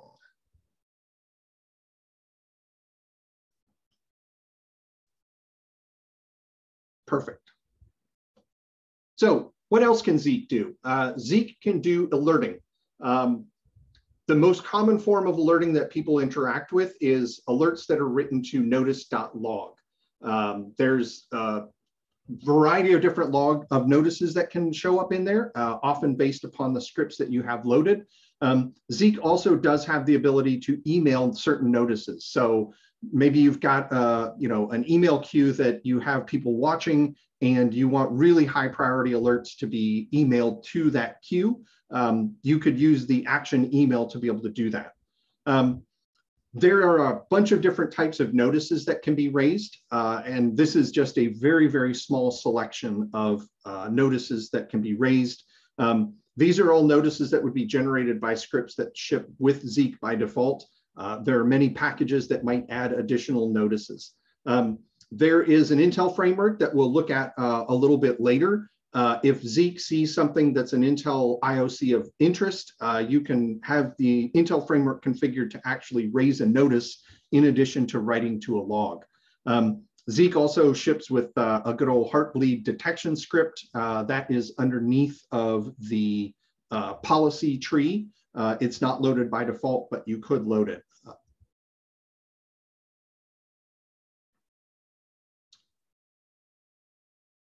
Uh, got a question in Slack. Is there a Zeek command to get all logs in correlation to a connection ID in the order it has seen them? Not a Zeek command per se, that would probably be more something you could do from say the command line using Unix tools to be able to sort by timestamps potentially. Um, but I think you, yeah, you probably need to have the right timestamp, which you get with JSON. Um, yeah, that'd be the quick, easy way. Uh, and Aashish probably has a brilliant idea on how to get that. So uh, um, as you'll note here, a couple other types of notices that you can generate. Uh, there is an address scan. There's a scanning script that Zeek ships with um, that will try to detect people scanning a single port uh, across uh, your network or scanning a bunch of ports on a particular host. Uh, and that's what the address scan and the port scan is. Um, generally, you'll want to be a little bit careful if you try to run that scan detection script on a large network. Uh, it can impact performance on Zeek. Um, but if you run it, say, on a command line tool um, or on a smaller network, uh, you, you may be successful. But that's one to just be a little careful with loading um, without doing some testing or some careful observing. Um, there's that SSL certificate expired notice that I had mentioned earlier. Um, you know, you may be in a high compliance environment where you want to make sure that your local users are not using uh, expired certificates. Um, and then finally, there's a couple of interesting uh, notices uh, listed here that come out of the SSH script. Uh, so uh, the SSH script will watch for things like interesting host names. Um, so if it sees, you know, a host name outside of your network that's maybe mail.somewhere.com, uh, which you might infer is a mail server, it would be unusual to see someone SSHing from a mail server into your environment. Um, and maybe that's an indicator that someone has compromised a mail server somewhere and they're using that to uh, then move into your network. Um, now, it also might be that there that one of your users is at a uh, you know at a at a cafe somewhere that has a weirdly set up network. Uh, and so that is not, again, this comes back to the idea that Zeek tells you that it saw something interesting, and then you have to apply your own local context and knowledge to figure out if it's actually truly malicious uh, or if it's just another weird day on the network. Um, there's also a set you can define to watch for uh, logins from particular countries. Um, you know, if you're uh, if you're monitoring a network where only people from the United States should ever be logging in, uh, you could load other countries that might be of interest to you, country codes, and then Zeek, if it sees a successful SSH connection, will raise a notice to tell you, hey, I saw some successful connection uh, to, you know, into your network from a country you were interested in. Um, and uh, we'll actually talk a little bit about how to be able to define uh, in the Zeek customization section. Um, I'll try to remember to come back to the question that was asked about where to define the country codes. Um, so maybe when we look at the script uh, and talk about customization, I can point out where you find that and how you redefine those. Um, and then last but not least, the SSH script will try to observe password guessing uh, based on number of repeated attempts um, and looking at uh, analyzing the lengths of the connection to try to infer whether a connection was successful or not. Um, one thing to note with that password guessing and with Zeek's uh, SSH, successful SSH connection heuristic is if you're in an environment that has an overly long banner, pre-auth banner on SSH, that can actually trick Zeek into thinking connections were successful because part of what it looks for is certain number of bytes passed. Um, so just something to keep in mind for your local environment. Uh, and then last but not least is uh, Zeek can, can provide you with custom logic. Um, it's obligatory to have an XKCD uh, cartoon anytime you can. Um, this is the custom scripting and custom logic that you can build into Zeek. Um, again, I would emphasize what I noted earlier. You don't necessarily have to learn to write Zeek scripts. You can really extend the power of Zeek. Um, but uh, but there are lots and lots of scripts that other people have written that you can take advantage of. Uh, and if you've got a little bit of programming knowledge, you can generally speaking read through a Zeek script and get a sense of what it's doing uh, without knowing how to be able to write your own. And And next, uh, Fatema will give you a nice tour through the Zeek file system.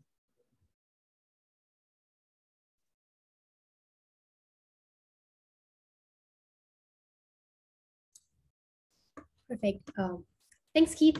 So let's now jump into the file system layout. So why I what why I would like you to know the file system layout is when I first started with Zeek, I wanted to know where can I find the config files? Where are the binary binaries are located? Where are the uh, custom scripts are located? Where are the policies located? Where are the base policies located? So all these things that Zeek bundles up and comes with, I wanted to know exactly where they are so that in case if I'm investigating something or in case I'm in case I'm interested in looking in a, in a particular script, I should know the exact paths. So this is how like my personal brain works that I need to know the the um, file system layout and the, the hierarchy of like the tree hierarchy of the software to know exactly where can I find the different kind of like log files and script files and binaries and whatnot corresponding to that um, to that too. So that's why we think that it would be useful to uh, for you guys to know exactly the file system layout and where to file where to find some of the important um, scripts and uh, files and whatnot that comes with Zeek. So we have been talking a lot about, so when we ran Zeek on the command line, remember I was talking, you, talking to you about if you run Zeek with dash R and pcap and do not give anything, Zeek will run that uh, pcap against all the policies by default enabled in this base directory. So what does that mean is I will go through this file system and I'll tell you exactly which scripts are loaded when you run that particular kind of command. So uh, this is not an exhaustive tour. I'm only going to uh, look into some of the directories that are really useful and important as a as an investigator or as a security user of Zeek. So really include and lib, they, they too are the uh, directories that we do not touch much because they all, they, include slash directory includes the header files, which hardly we touch uh, anyways. And then the lib slash directory includes the libraries uh, that are that Zeek links with when it starts analyzing the packets. So these two are the least useful folders to look at as in a user perspective, not as a developer, but as a user perspective when you're investigating or analyzing your log files. But other than that, all the other directories, they are kind of like pretty important to know, at least to know about that, okay, these are the things that are useful and that comes with Zeek when we install Zeek. So back to the default path. So there are two ways uh, of installation of Zeek. One, you can install Zeek from binary pre-built packages. When you do that, um, when you're using the uh, pre-built uh, repos for Zeek, it installs by default Zeek into opt slash Zeek folder. Uh, that's the prefix that they use. But if you are running Zeek and if you are one of those persons who likes to compile your own code and who, li who likes to customize the build, then uh, you can compile Zeek from source and install Zeek from source. When you do that, Zeek gives you an option of defining a prefix or the location where your basic Zeek installation will reside with its, with its file system. So usually when we uh, uh, compile Zeek from source, we usually give the prefix of slash user slash local slash Zeek. That is pretty common prefix to use. And uh, those are the two, and you can you can customize it however you would like to, and whatever the um, Zeek uh, Zeek home uh, environment variable looks like in in your in your network. So these are the two default paths. Most likely you will find Zeek installations in, and some of the directory, like most of the directories that those two install paths have, will be uh, will have our uh, bin etc include lib logs share and spool and we will go through each of them and find out what exactly is, is inside uh, inside them so first, let's talk about bin. That's an important um, directory uh, with the Zeek installation because all the binaries related to Zeek are in that in that directory. So some of the important ones I have, there are a lot in the slash, bin slash directory, but some of the important ones that I would like to highlight that as a user you should use very often are uh, these six, uh, these five binaries that comes with Zeek installation. So Zeek cut is a pretty handy tool that you can use um, to filter down uh, the log files when you're analyzing them. So you can easily extract the columns based on the column names. And, uh, and then you can uh, do the statistical analysis or whatever you would like to, uh, if you like, if you like to do command line kung fu on some of the flat files that flat log files that Zeek generate, then Zeek cut is a pretty handy tool you would want to use. Again, it is used on the TSV files, which is like tab separated where you give the Zeek columns. For JSON logs, if you have JSON um, logging, like the logs enabled in JSON format and not the TSV format, then we use uh, jQuery. That is a pretty uh, uh, pretty, pretty handy tool that comes while you are dealing with the JSON log files. So um, Zeekcut also converts the Unix um, Unix uh, epoch time so to the human read human readable time. So when you look into the log files of Z, it is very um, inconvenient to see the Unix timestamp because it's like a pretty like long string of numbers. So if you want to convert that to human readable form, then you can also use zcut and it comes very handy in doing that. Another one is Zeek wrapper usually you should not be using that unless you want to get rid of the deprecation warnings. So if you are using some of the scripts that are right now still backward compatible to Bro, but now if they are no longer uh, uh, supported in Zeek, then you will get all sorts of warning or even the error message saying that now you have to, you know, upgrade to Zeek you know Zeek version because these bro old bro scripts and old bro functions are no longer supported. So when we were doing the transition from bro to Zeek, we were still uh, backward compatible to some of those functions and scripts so that people who are still on bro should not uh, like um, it does not have a breakage.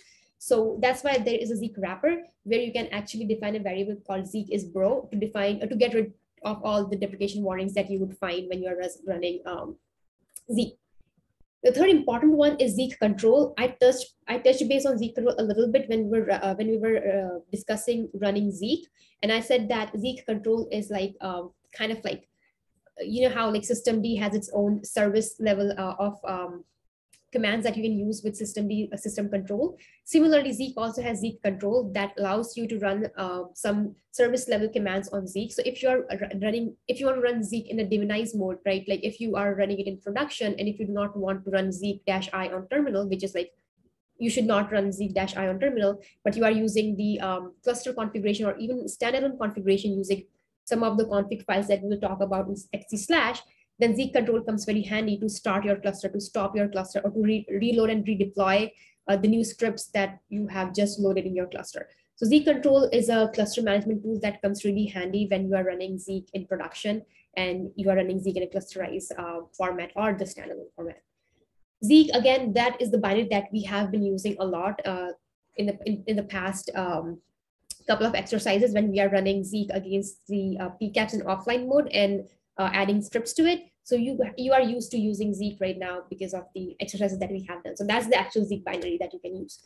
Uh, one important thing I would, would like to note is if you have Zeek running, you do not, if you have Zeek running in production and it's a clusterized environment, right? Like you are running Zeek control cluster management tool to start your Zeek cluster and it's still running, but you still have a script that you want to test against Zeek then uh, you don't need a additional Zeek installation on some other test system or environment to just test it out. So what you can do is you can still use Zeek binary to test that script without touching your cluster. So cluster will run just fine, but you can still use that Zeek binary to just test out that script on the same system usually, like if you want to. And if you do not want to go through the pain of doing just like Zeek read the script and have Zeek installation on some other system. ZKG is Zeek Package Manager, and we will be talking more about ZKG in the upcoming um, slides, where uh, just like any other package package management um, tool, Zeek also comes with Zeek Package uh, Zeek Package Manager that manages all the custom scripts and plugins and packages that are available that you would want to install in your Zeek installation or your Zeek productionized environment. So these are some important binaries that you will find really useful when you have Zeek installed and running etc that's one of the important um, uh, directories that you should be aware of when you are running zeek in production. Because so far we have run zeek on command line so that's why we were not touching those scripts. But when you run zeek in production you you most likely will be running it on a network interface right? So because you are sniffing the traffic. So these are the three important the first three are the three important uh, config files that you would want to customize before running zeek in the production. The first one is network.cfg so remember, we were getting the warning that there are no site local network uh, defined when we were running Zeek-R on the PCAP.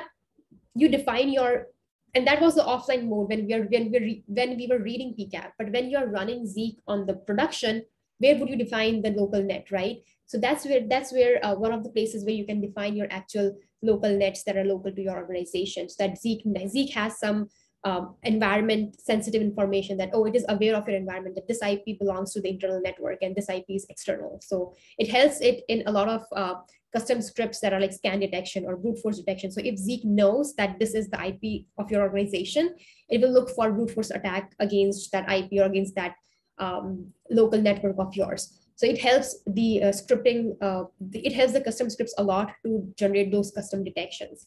So network.cfg is where you uh, define the local net.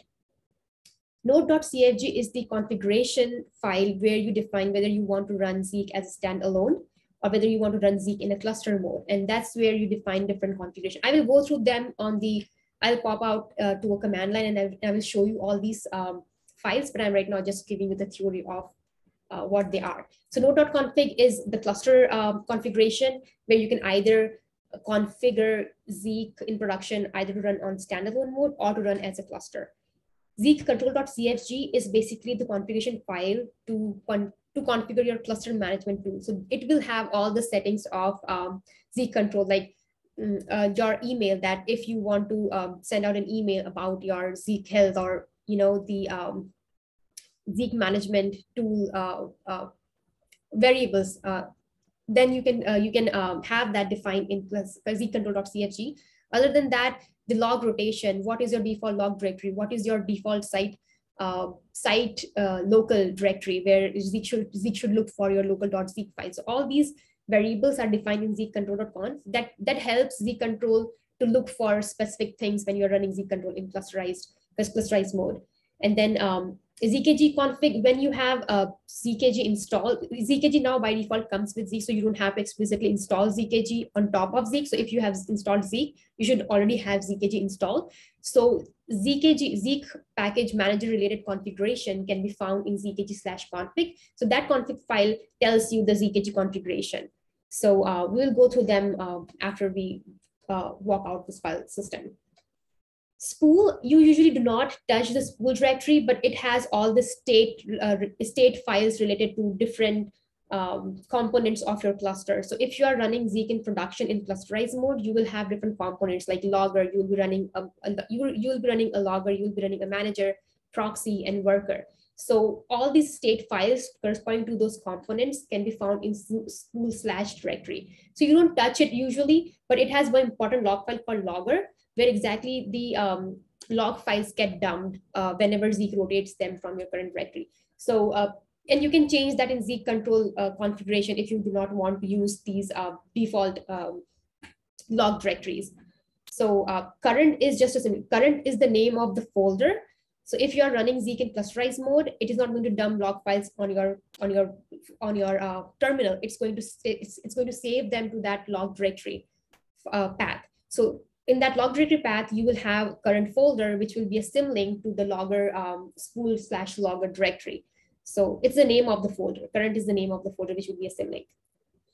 All right, so one of the most important uh, folder that you should know about is share because that's that's all that's where all the juicy stuff lives. So we have been talking a lot about base scripts that Zeek runs by default, enabling all the base scripts it has. So all the base scripts that Zeek comes with is in uh, is residing in um, is uh, resides in share slash zeek slash base folder. So all the base scripts, and we will go through them. Um, yeah, so did we have a question? So it, it will have the it will have as many workers as you are running in that spool directory folder. So each worker will have its own state file. So um, so yeah, that's the question. Um, good question. And then uh, so the base folder will have all the base scripts that are by default loaded. You don't have to touch anything in that base folder. But if you want to take a look at what base scripts are enabled, then you can absolutely do so by going to the slash base folder and finding all the Zeek scripts there. The policy script is the policy directory is the directory where all the additional scripts uh, come into the play. So remember we were loading local.zeek when we were running Zeek in offline mode. So all the policy related uh, additional scripts that are either enabled or you can enable comes into the um, comes into the slash policy folder. So you can go and take a look into all different additional uh, policy scripts that Zeek comes with. Some of them are, again, I said, some of them are enabled by default, or I should not use enable. Some of them are loaded by default in local.zeek, while others are disabled. So depending on your um, on your resources and appetite of how much traffic Zeek is consuming, you can either enable those additional scripts or disable based, based on what kind of policy scripts you want to run in your production environment. So those policy scripts reside in Zeek slash policy folder. Zeek slash site is the Zeek slash site is the local site folder where your site specific configuration lives. So if you have a custom script that you have written, or if you have a custom uh, package that you have pulled down using a ZKG, uh, and if you have all the like um, local additions to your um, to your Zeek cluster apart from what Zeek already comes with inside policy folder, you dump that usually in Zeek slash site folder. And that's the folder where you will find your local.zeek file. One important, one important thing to note is whenever you upgrade Zeek from like say 4.1 to 4.2 or 4.1 to 5.0, the local.zeek where you have added your additions will not get overwritten. So it's not like you just kind of like scraped it when you upgraded and you, you lost all your local customization. So that's important thing to note that site slash local dot local.zeek will not be overwritten whenever you will do an upgrade on your Zeek uh, cluster. Okay, so coming to the log directory. So we have seen binary, we have seen configs where the config resides, we have seen the scripts directory where the scripts reside, and now where exactly the logs will reside. So when you're running Zeek in uh, production, which is clustered environment, the uh, there is a directory called current, which is inside the slash uh, log slash directory. That's the default path when you are running in cluster mode, where Zeek dumps all the log files. And that's the path where Zeek control picks up for the log rotation. So the logs will be rotated every hour, and then they will be dumped into a folder, which is named by the timestamp of that day and hour. And then all the archive logs will reside there. And the policy of how long you want to retain those archive logs depend on what you have configured in Zeek control config file.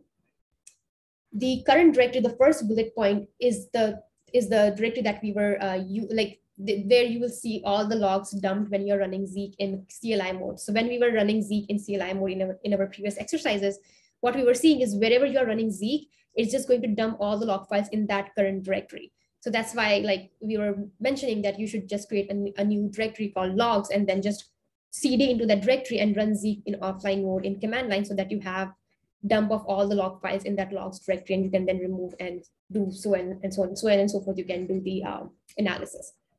So that so not to clutter up the your current uh, directory, whatever it is in your current directory with the log files that are generated in um, offline mode when you when you run Zeek. So this is the um, log files where the log files reside. Before jumping to the Zeek script, I would really, really quickly want, want to jump into the, um, pop out into the shell to show you guys the different folders that we have talked about. So I have installed Zeek on this Docker image using the um, packages. So I have not compiled it from source. So that's why it should reside in opt slash Zeek. And this is my installation path. So all the folders that comes with the Zeek installation resides in opt slash Zeek on our Docker image that you guys are running. So here, let's take a look into the um, bin.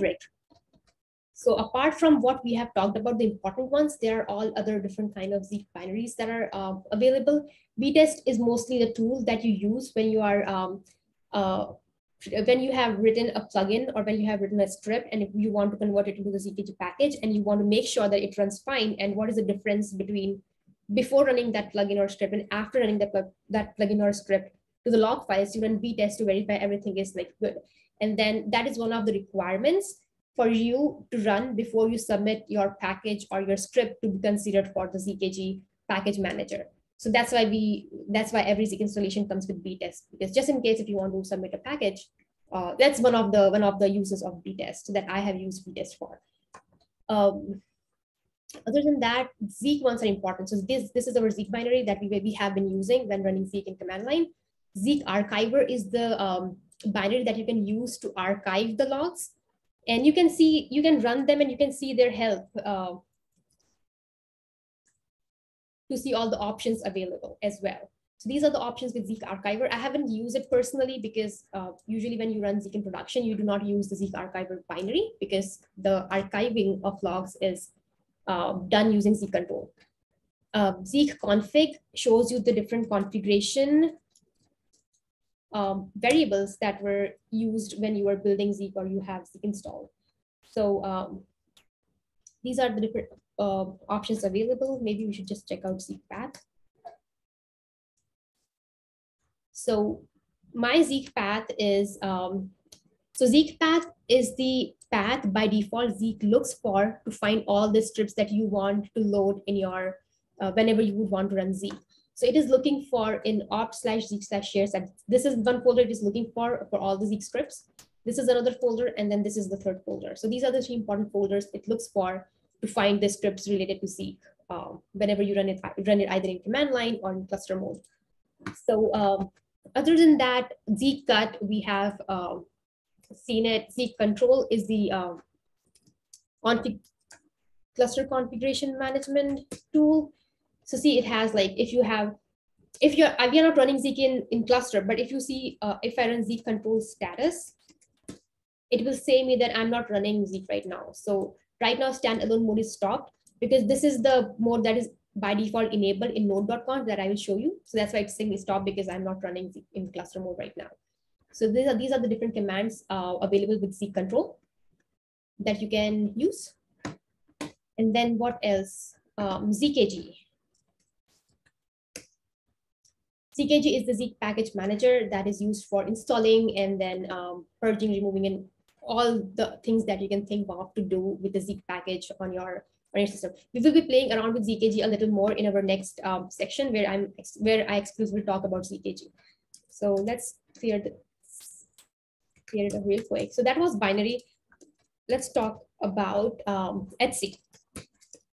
So these are the four important, um, these are the three files and the folder that I talked about. So in networks, you can see if I can quickly walk you through networks. You can see you can define your local site networks here, and then Zeek will pick it up from here, this file. Node.conf is where you define the um, uh, Zeek control and uh, cluster configuration.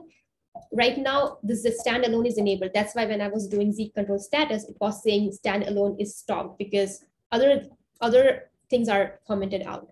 So this is the standalone mode where you can run Zeek on an interface and then do a Zeek control start and it will start sniffing the interface and start dumping the logs into the um, op slash um, Zeek slash logs folder. And but if you want to run it in production in a cluster environment, then you have you have options of enabling it um, in like a cluster mode where you can run logger, manager, proxy workers, how, however many workers you want to uh, want to run. It has more options, like it has more customized options when you are running it as worker. And if you want to use multi-threading, you can use, depending on if you have the plugin installed, like for AF packet, you need to install an AF packet plugin. And then you can add here how many number of cores you want to use for that worker, so on and so forth. All the documentation regarding that should be available on zeek.org's documentation site that how to run Zeek in a cluster mode. And you will have more detailed information about how you can configure the um, different components of the cluster in that in that documentation. So that was node.conf, which is really important log file. And now this is the zeekcontrol.conf. I was talking about that you can have like recipient mail address to send out emails to, um, although we don't use that much. Logging option, so the log rotation interval, you can uh, set, by default it's one hour, but you can set to however long you want to. And then um, log status, expiration interval, and then other options includes uh, you can customize the policy script. If you do not want to call it local.zeek, you can call it something else. And then this is the path it looks for. Whatever prefix you have uh, defined, if it's if you build it from source, it should be the prefix that you use when building with source. If you have installed it via packages, it should be opt slash opt slash zeek. So that's the zeek path. And then um, the log directory, that's the default log directory, that's spool directory where the current logs file are current log files are written is op slash z slash spool slash current. And then there's this broker store. And then this is the config directory. So these are the default enabled, like you don't change them unless you really want to and you really want to be very specific with the uh, where the config file should reside and where the log files should reside. But these are the pretty standard um, configurations that comes already enabled with Zeek in control. And then I can show you real quick the ZKG config. It's a pretty small and straightforward file where it says that where ZKG should look for the libraries, where ZKG should look for the scripts, the script directory, or where ZKG should put the scripts when it is uh, installing the scripts and plugins, and then where ZKG should put the plugins when it's installing the plugins. So that was etc directory. Um, include is like it has all the header files if you want to go over it. I mean, we usually don't touch it. So include a library, we don't touch it. Logs is the directory where logs will be residing if you are using um, uh, if you are using Zeek in a in a uh, in uh, in a sniffing mode in an interface sniffing mode. Uh, spool does not have much right now because we are not running it in the cluster mode, so it doesn't have much many state files. And then var is just like it has library, and then and it has zkg uh, related logs log files. All right, so that was I think I covered the important yeah. Oh, share share was the important one that was remaining. So share is where all the juicy stuff lives in terms of scripts. So it has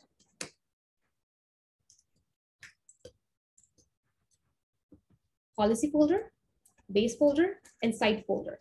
So if you go into the base folder, you see the frameworks and then the uh, miscellaneous and the protocols. So if you look into the protocols, it has all these different protocol uh, protocol folders that should have their base uh, scripts. So if I look into say DHCP, it has the main.zeek, it has the load, and so basically all the base scripts that we were talking about that Zeek loads by default reside in the slash base directory. So you can go through the scripts if you want to and see how they are written. So if you want to like get customized to writing Zeek scripts, that's a really useful way to learn how Zeek scripting, Zeek scripting works because they are very well written Zeek scripts with all the um, uh, useful information in the comment section. So that's base. And then policy has um, additional scripts that are available for you to um, load.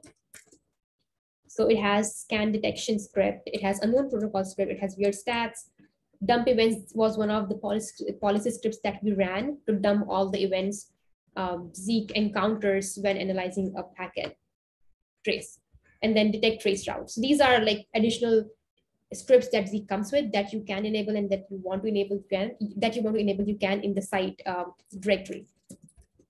So that's policy.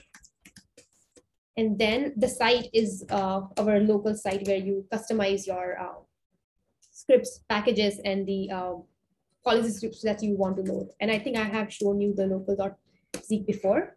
So this is the um, your site local script, your site local file where you add or where you load the scripts you want to in Zeek.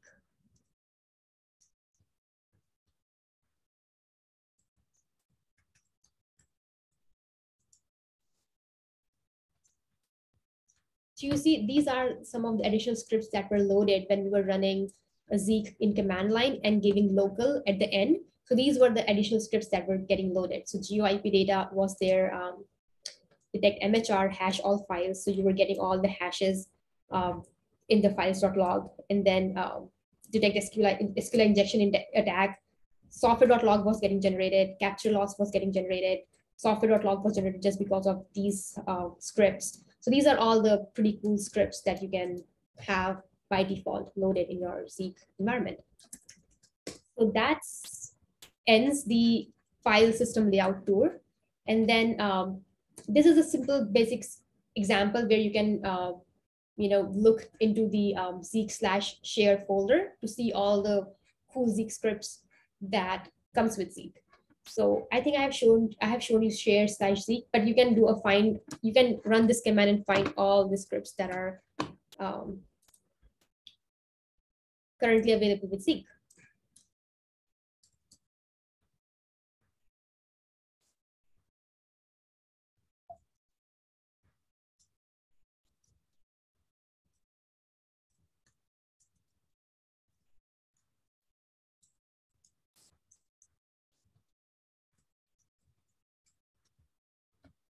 So it will even tell you which folder it is in inside the share slash C.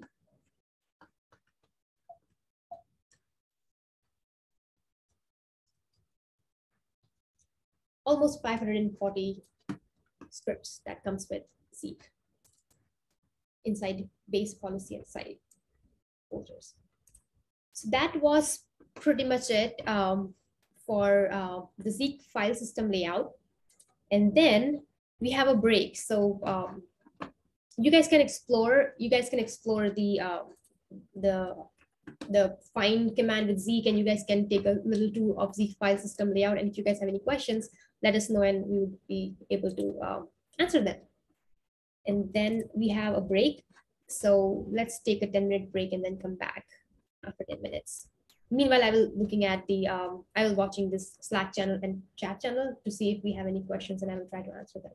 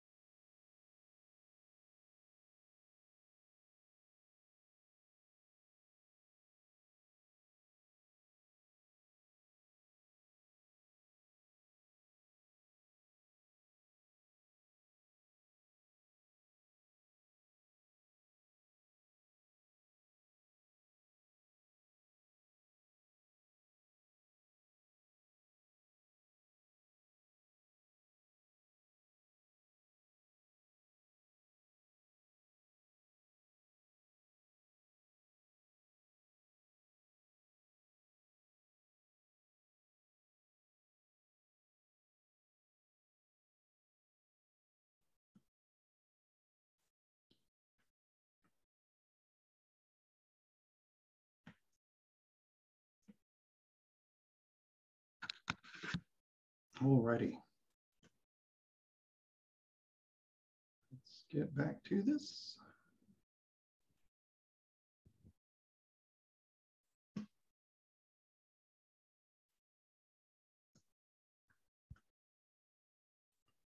So uh, we're going to start out here. Uh, so this section will be looking at how you can customize the behavior of Zeek. And we are going to start by taking a quick look at the script uh, to give you a sense of where to look for values that you want to change. So uh, there's that muscle memory.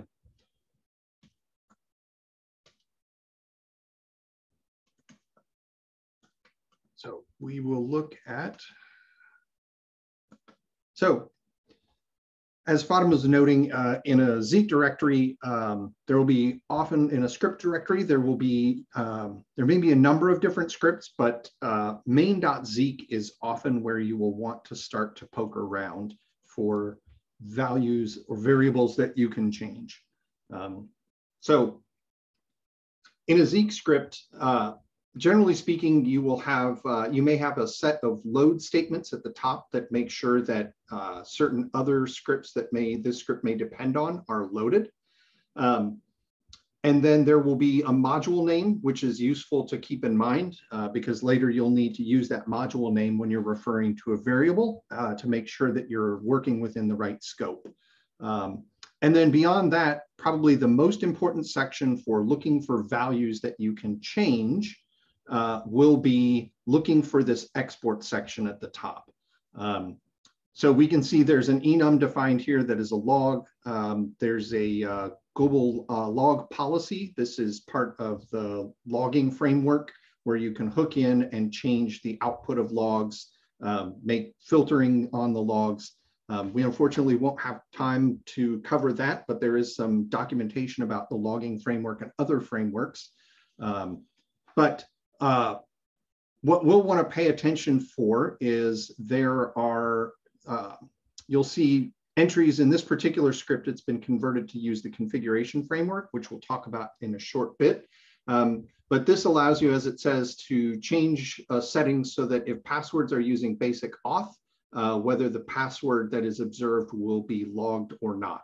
Um, so we've got an option value that's defined and then the name of the option and the default value is set to false. So by default, Zeek will not log the password of uh, basic auth requests that are observed on the network.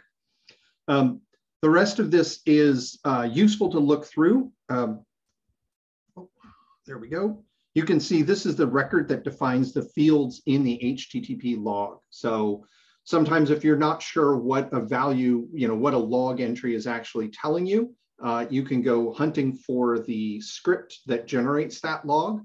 And uh, in pretty much all cases, you'll find at least some useful definition or comment that tells you, you know, what the value, you know, what they're expecting to see there. And you can see some of these are decorated with a log uh, argument. Uh, some of them are decorated with an additional optional to tell you that this doesn't always have to be present. For instance, method or host may not always be visible or available um, in a connection. Uh, and then some, again, state record, you know, a uh, some values to set uh, the uh, use records uh, to keep track of state. And then we've got another set of some options here that define things like um, HTTP headers that typically indicate proxied requests. Um, maybe you've got some weird custom proxy tool that you're seeing in your environment um, that has a different header field to indicate a proxy connection, you could in theory append to this set uh, and then it would recognize that there's a proxy connection uh, and log that. Um, and then again, HTTP methods, uh, there are, you know, probably all of us have experience with weird custom software that uses strange HTTP methods. And again, this is an option that you could uh, modify. Uh, and then you'll note that uh, there's a closing brace here that closes out the export section. That's pretty much the section that is most important for uh, for a user who's not, you know, who just wants to understand what they can, you know, what knobs they can tweak and turn. Um, we will quickly take a look down through here to point out a couple of other things that we've mentioned today. Um, one thing I want to note is this ports field. Uh, so this is kind of the ports hint field that tells Zeek when it sees a connection, if it sees it on 631 TCP, it should try to use the uh, use the HTTP analyzer because HTTP is commonly seen over this port. Um, the next thing you'll note here is the Zeek init event. Uh, so when we mentioned earlier, this is the very first event that fires when you start Zeek, uh, as you may have observed when we ran the dump events. Um, what we're doing here is creating an actual log stream. So this is where we want to log uh, the HTTP log. Uh, and then you'll note that there's a path value here that tells you that it's HTTP. Um, if you wanted to, you could, through the logging framework, redefine that path to be something else like web traffic or foo or whatever works for you. Um, so uh, beyond that, you've got a bunch of functions that do things like, uh, you know, setting HTTP state, uh, creating new sessions, and then there are a series of events that are handled uh, within here. Um, the HTTP request and reply header events. Um, if you're trying to learn the language, one way, one approach is to just read through some of the scripts that ship with Zeek to get a sense of what the conventions are. Um, and again, if you're trying to do something with a header, sometimes you know it might be useful to look at a script that's doing something similar uh, to get a sense of how to approach a problem.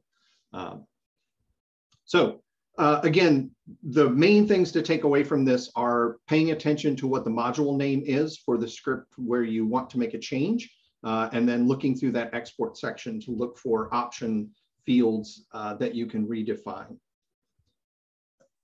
So there was a question earlier. Um, we don't actually have, oh, let me get to the right Slack channel.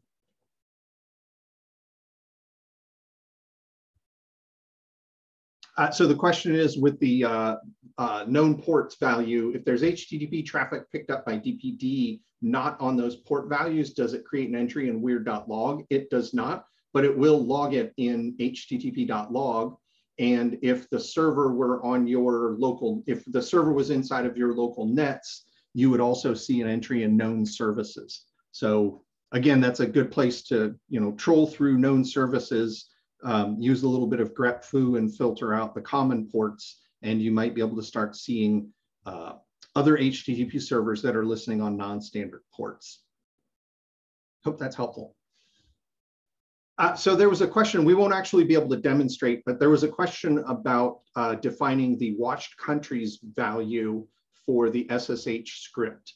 Um, Unfortunately, in the Docker, uh, in this Docker container, we don't have the GeoIP libraries installed, so uh, this wouldn't actually work. But I thought I'd show you how I go about finding, you know, I see a notice uh, or I see something mentioned and think, hmm, that's an interesting knob I might want to tweak.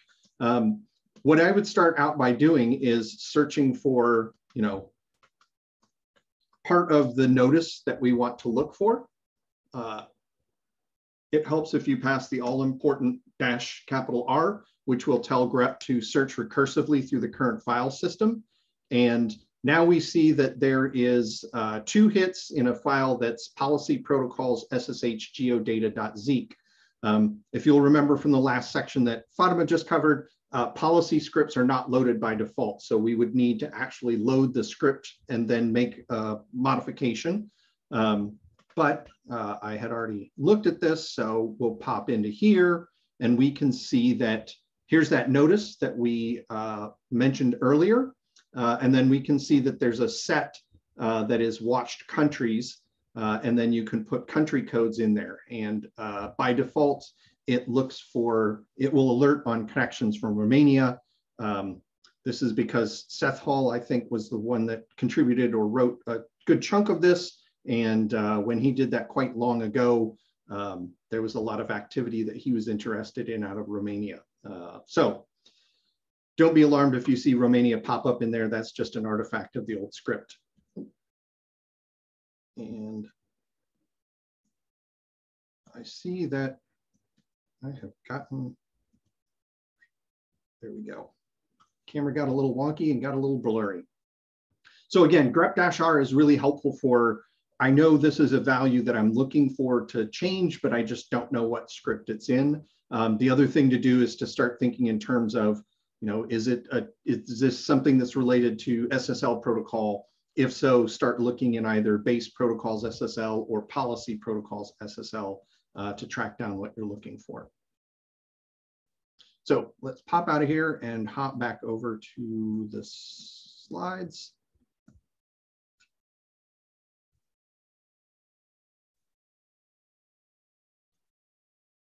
So we took a look at the script. Uh, so customizing Zeek, um, as has been noted, uh, local.zeek is the place to do that.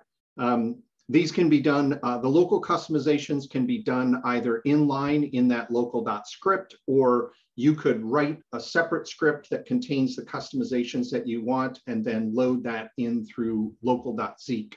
Um, and through here, you can enable or disable scripts. Uh, maybe there's one that's creating some issues for you and you want to disable it, that's possible, uh, though I think that's a pretty rare thing for folks to do. Um, or you can enable scripts, which is probably one of the most common things to do, uh, and then change variables. So let's look at a couple examples of how to be able to do that.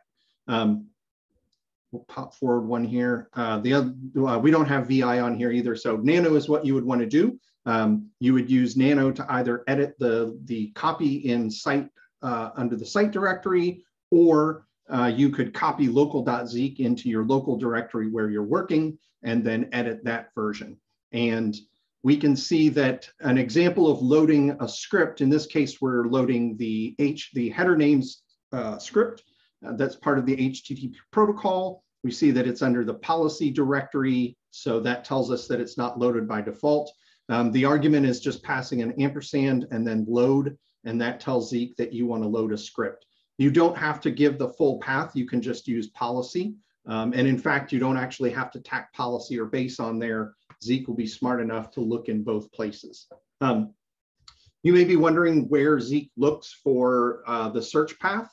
Um, so you could look either at the output of the help command, uh, which will show you the Zeek path, and the file order for the currently configured uh, or compiled version that we're working with will by default look in the current directory. Uh, and then it looks under uh, share Zeek uh, policy and site. So again, we're looking here at uh, the example from the main, uh, the HTTP main script, and we've got that capture default password uh, or default capture password value. Um, if we want to change that, we would just add an entry to local.zeek um, that does a redefinition using the redef argument. Uh, then we need to pass the module name to make sure we're operating in the right scope. Uh, and then the name of the option that we want to change. Uh, and in this case, we're changing it from false to true. Um, the other examples here are changing a, a value. So uh, if the SSH password guess field is too low or too high for you, you could redefine that, um, adding an entry into your local.zeek, um, changing it to 15. Um, another example here is Zeek has, the SSH script has an option in there, a set, uh, which is denoted by these uh, curly braces to be able to say, I want to ignore password guessers. Um, maybe you've got you know some pair of hosts on your network that are super chatty and they regularly cause a password guessing error uh, or notice that you've determined is a false positive. Um, you could add an entry to the set um, by using the plus equals and then the curly brace open and you're saying we want to ignore any alerts that involve uh, 192.168.1.2 uh, as the source and 1.20 as the responder. So again, if you've got a little bit of programming knowledge or experience, a lot of this is probably kind of, some of the concepts are um, a bit familiar to you. Um, one thing I wanted to touch on very briefly here is the config framework. Uh, so Zeek now has a config framework that allows you to change values on the fly. Uh, so for example, in when we looked at the HTTP script, we saw that option tag. Um, in this fake example here, we've got a module called test. We've got an option that's called enable feature, and it's defined as false um, by default. Um, we can use the trusty old redef argument uh, in our local.zeek and just say test module enable feature. We want to turn this feature on and then magic will undoubtedly happen. Um, the other option that's available to you is to have an actual config file that you can define. Um, so, oops, sorry, script, the, uh, the uh, slide here is a little sloppy. Uh, ignore the 192168, little copy pasta mistake. Um, we're redefining the config file location here to say we want to have, uh, want Zeek to look for config options in a path that is at path to config.dat. Um, maybe you put that under site dot your site directory or maybe somewhere else where you'd have it under some sort of uh, configuration management control. Um, but basically this is a file where you can have single lines to tell Zeek what features you want to make changes to. Uh, and so in this case, we are, the format of the file is just the option name. Uh, so again, remember that module name and then the option you wanna change separated by a tab or a space and then the new value that you want to change. Uh, and you could have a file with dozens or hundreds of configs, uh, config options that you want to tweak. And Zeek will watch this file for changes. And if it sees a change um, to the file, it will then change that option on the workers for you. Uh, so again, this is a way to change the behavior of Zeek as it's running. Um, this is most interesting when you're running in a clustered environment. Uh, it's not really something that people would probably generally use when they're running on the command line, um, but I wanted to make sure that you were aware of, uh, of the config, config framework. So um, if we want to take, uh, this one might be just a five minute exercise. It should be pretty quick, but if you want to pop out to your, uh, you know, to your Docker instance, uh, and go ahead and play around with this. You can, um, like it, as it notes there, you want to copy the local.zeek into your local directory uh, and then add those couple names, uh, those values that are there, uh, and then run that against the HTTP auth PCAP that is under the training resource directory. Uh, and then take a gander at the HTTP script, uh, the HTTP log output. Um, and if you want, what you might want to do is just run that uh, PCAP without changing local.zeek, take a look at the http.log, maybe even make a backup copy of it, and then change your local.zeek and be able to compare the two files. So um, we'll give folks about five minutes here. Uh, I just wanna make sure we've got time to get through the rest of the material uh, and we've taken a couple breaks and whatnot. So five minutes and then uh, we will answer any questions that you might run into in the training Slack channel. Oops. And Fatema helpfully copy pasted those into the Slack channel uh, for people who want to do the old copy pasta trick.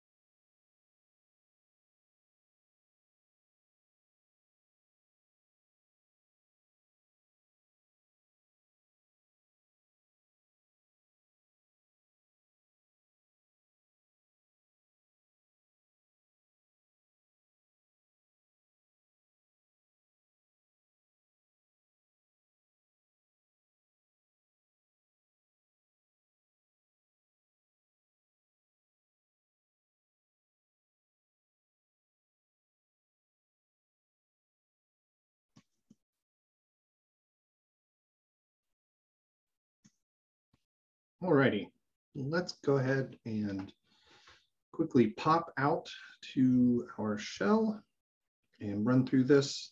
Uh, I think this one's a pretty simple example.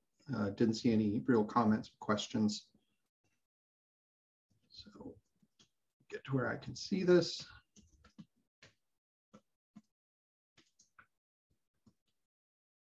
So as we noted, uh, we can dash C dash R. Got the HTTP auth. Uh, and if we look at our HTTP log, got two entries in there. This should make it pretty easy. Now, we will copy over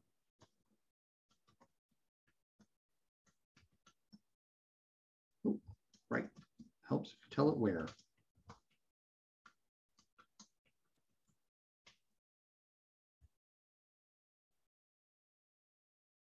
So generally speaking, when you're adding these entries, um, didn't mention this earlier, but uh, most of the time you can generally place them in anywhere if it's say a base script that you know is loaded.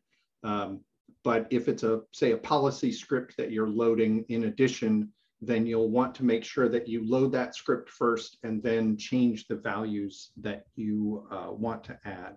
So uh, as we note here, um, we're wanting to do that. So we do the load. Uh, wow.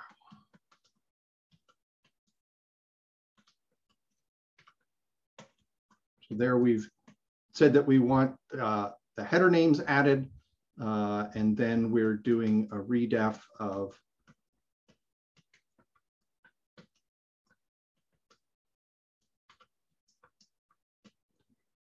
those are the two that we wanted to change. And so now we save out.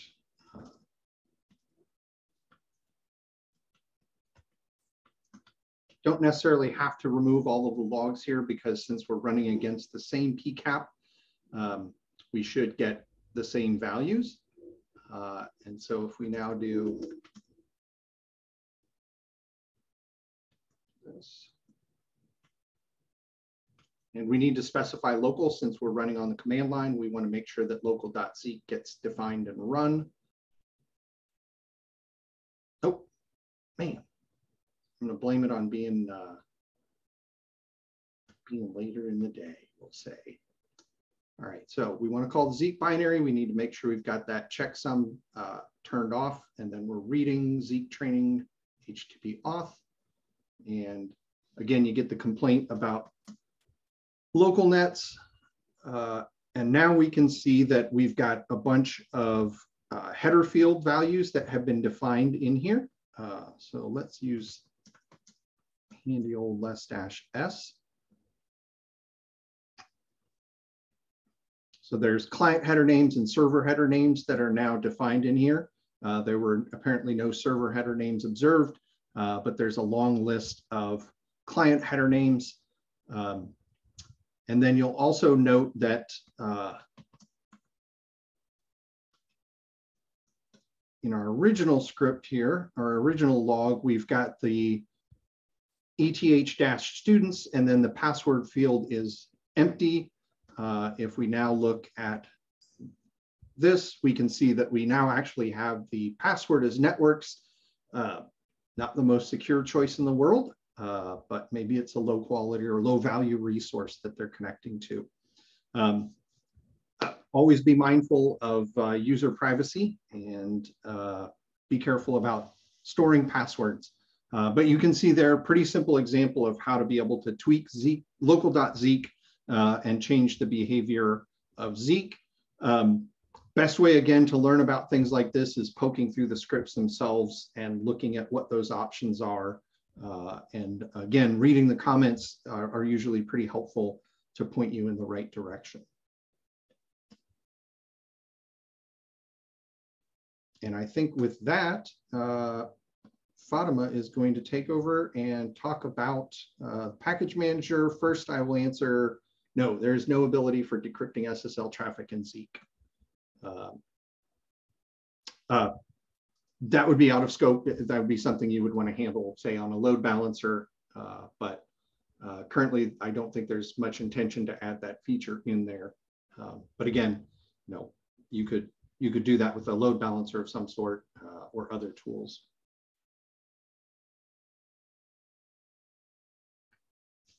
Perfect. All right. Let me stop sharing here. Oh, I, uh, I think you stopped, Keith. I'm sharing the screen. Perfect. All right, so I will really quickly talk about ZKG stuff. So Zeek Package Manager.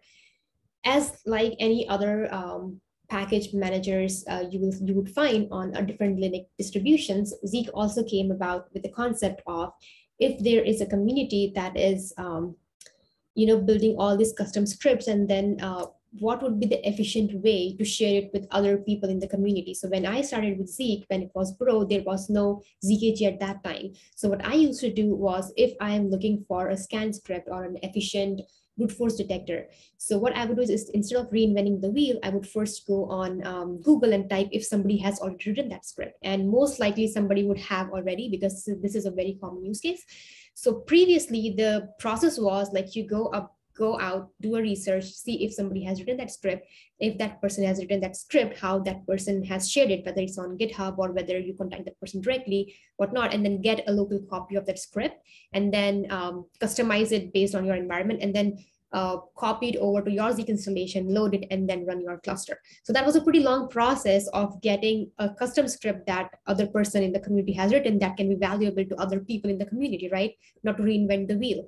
So Zeek uh, developers then came up with the concept that why don't we use a package manager where people who are a part of community who have written really useful and um, valuable scripts and plugins that can be useful for other people in community why not we why not we have a common repository where we share all of that stuff and then that make that available as a, a repository of the um, packages for people who have Zeek installed on their system. So it should be just like then one click that ZKG install that package name and it should automatically install and save the person the trouble of pulling down a copy and make it customizable customizable uh, to your environment and then loading it manually to your uh, to your installation. So that saved a lot of effort. So that was kind of like a background of why zkg came about and what was it what it used for. And now it's very valuable because now it's just like one command away. There are uh, vetted uh, plugins and scripts that community people have already um, shared with the uh, with the Zeek package manager um, uh, a web page where they where you can install those packages and that's the uh, that's the link of the packages.zeek.org so if you want to go to the packages.zeek.org you will see that there are like more than 100 packages available on that uh, on that um, package repo that are easily installable using zkg so um, there is a whole process that if you are a developer and if you want to uh, publish your script or a plugin as a zkg ZKG package, then you need to follow some of this, uh, some of those steps. We will not go through those steps, but this it is available in the Zeek documentation. So if you want to contribute a Zeek package, uh, then feel free to do so using all these, uh, all that steps, uh, and you, it's easily uh, you can easily find them on Zeek documentation. So we will be using ZKG to install some of the important uh, or cool packages that you would like, you know, to have played around with. And before doing that, there are like what what all things you can do with ZKG. We will just go uh, through that list real quickly so that you know the basic commands that are available with ZKG so that uh, you can play around with ZKG easily. So uh, analyzer examples, there are uh, really great analyzer examples that are available out there that are now available to install using ZKG, which is like QUIC and PerfSonar. So if you are seeing a whole bunch of UDP traffic on 443 and you don't know what's going on, then there's a QUIC analyzer available. So most likely that traffic is QUIC traffic. So if your Zeek is not able to detect the traffic or parse that traffic correctly, then you might need you might want to give a try uh, to install Zeek uh, QUIC uh, analyzer using ZKG uh, manager. And the same with PerfSonar. Uh, there are some scripts. These are DSCP. There are a lot. Like there are more than 100 uh, packages, which are like plugins, analyzers, plus scripts that are available with ZKG. So you can again go to that website, and then you will see the whole bunch of like top watch packages. You can search for a package here and whatnot. Alrighty, out of scope. So let's use Zeek. I will go through really quickly some of the very basic uh, ZKG. I mean, there are not a whole lot of like 100 different commands already available with Zeek, but these are some of the important commands that you might find useful when you are dealing with ZKG on, in your environment. So uh, ZKG refresh. So anytime somebody uh, adds a new package to be considered uh, towards ZKG, and then if it, if it gets approved and if it gets added to the package repo of ZKG, then you you kind of like do a Zeek, a Zeek refresh on your um, installation, and then it will refresh and it will pull down the latest um, refreshed list of uh, packages available out there. Zeek, uh, ZKG list all, of course, will um, list down all the packages right now available in the Zeek, ZKG repo. Pretty simple command ZKG, just like you do yum install and other um, package uh, manager tools installation command, similar to with similar with ZKG, you, you just do ZKG install and the package name and then uh, it will install that package. Now, where do you get this package name? So before, like, you don't have to guess. You just do a ZKG list all, and you will see all the packages that are available out there. And if there is a package that you are interested in to install, then just take that name and then give that name uh, in the install command, and ZKG will be happily uh, installing that on your uh, on your on your environment. Check if it get it got installed. There's a um, another command called zkg list install. So list all will list all the packages available out there. List installed will list only the packages that you have pulled down and installed on your system. By default, when zkg installs a package, it loads it or it's auto it auto loads it in your local dot um, local dot zeek uh, zeek file in the site. So unless you want to unload, we will find, uh, we will we will go through the load and unload commands separately. But when you do Zeek install, it is by default loading that package. So uh, make sure that you know that install loads, auto loads the package and it's not like it's just install it and now you have to load it manually. Um, it, uh, so all the installed packages again resides in the slash site directory that we have gone through in our um, file system layout. And then one, just one important thing you need to uh, remember is uh, add the add the rate load packages line in your site slash local.z so that anytime any package that is maintained and managed by ZKG is available uh, in the local.z and then you can either load and unload and do whatever commands you or whatever actions you want to on that package. So we will be adding that line uh, when we are doing exercises in the ZKG realm load and unload. So as I mentioned that by default, when you by default, when you do ZKG install package name, it will install, it will pull down the package, it will install it on your system, and it will by default load it in your uh, ZKG installation. So whenever you would do a Zeek restart again, it will be loaded. So if you not, if you just want to install the package, but just do not want to load it, then you have to explicitly tell ZKG not to load that package by using command unload. And similarly, if you have unloaded the package, but now you are like, hey, I want to load it again, you can you can load that package. You can load that package again using zkg load and the package name. zkg info will tell you what uh, whether what is the um, metadata version and who is the author and whatever information the Zeek, uh, the developer of that package has provided in the metadata fields of that package. So Zeek info will just tell you that, and it will have some more um, options whether, where it will show you whether it's loaded, whether it's installed, or whether it's unloaded on your system. Remove and install all the packages. So ZKG purge will remove all the packages installed on your system. There is an explicit command remove. So if you do not want to purge all the packages, but you just want to remove one package from your system, then you can just remove, you can just use ZKG remove and the package name and it will, that package will get removed from your system. And then after doing a purge, if you list ZKG list, if you do ZKG list install, it will not show anything because everything will be purged. There are specific commands to pin, unpin, upgrade, and refresh some packages.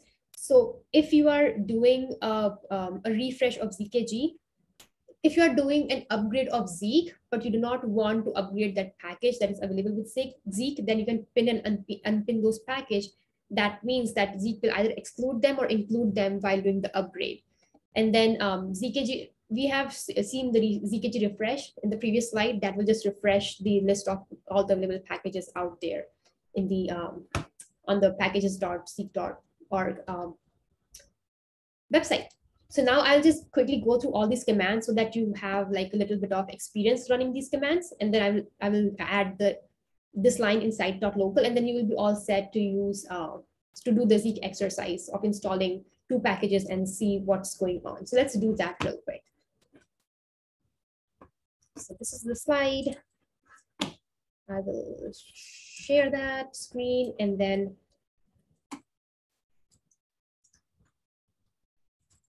if you do ZKG list all, it will show all the packages that are available out there. I mean, these are the packages. Some of the spicy packages and whatnot. And then um,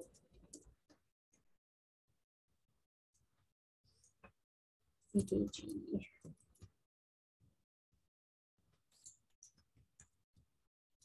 So to install a packet, you just need to give the name of the packet.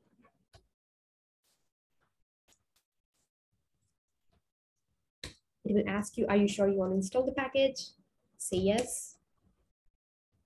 And then it is going to run the unit test. These are the B tests it's running on that package, making sure it's ready to go.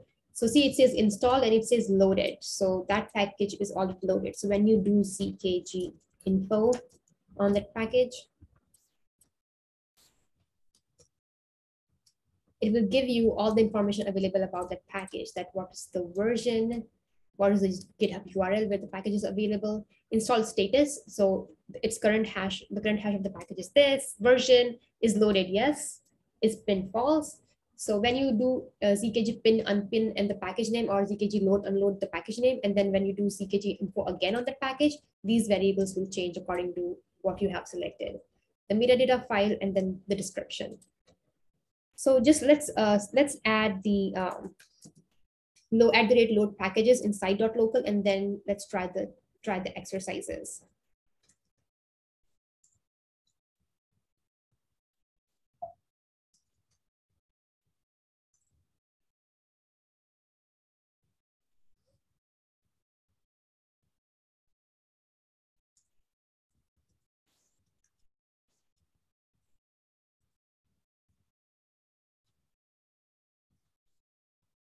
So now the packages are loaded and now you should all be set to use the, um, to do the exercise. So in this exercise, you will be installing JA3, which is the um, TLS fingerprinting, TLS fingerprinting package that fingerprints the TLS connections from client to server and then creates a hash and logs it in the SSL.log. So if you don't have that package installed, you will not see the JA3 hash, but if you have it installed and then rerun Zeek on Zeek on a ssl.pcap, then you should be able to see that log file in here.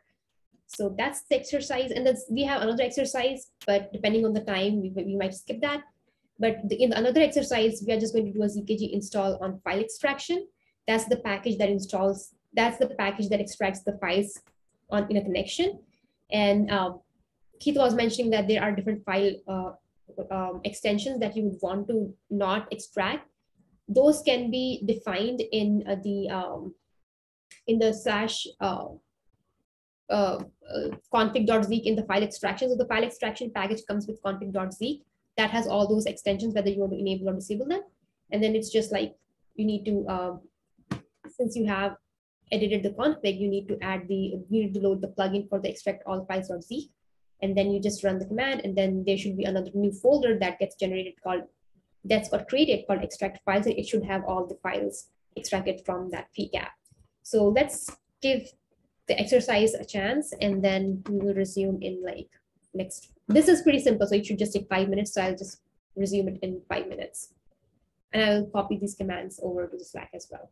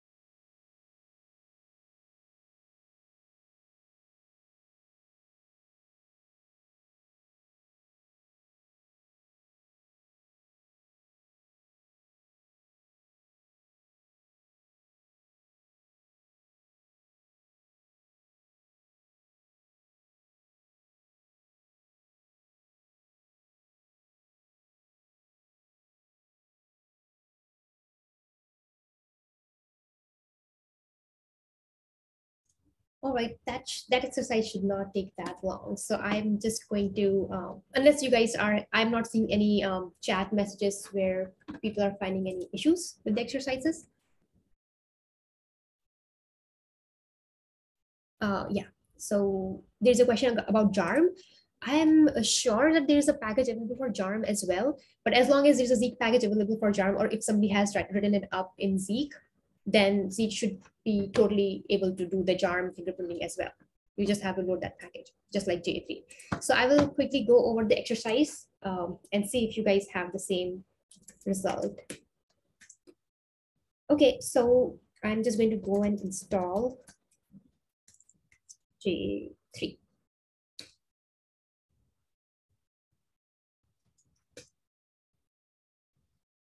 Okay, it should be loaded. So let's see.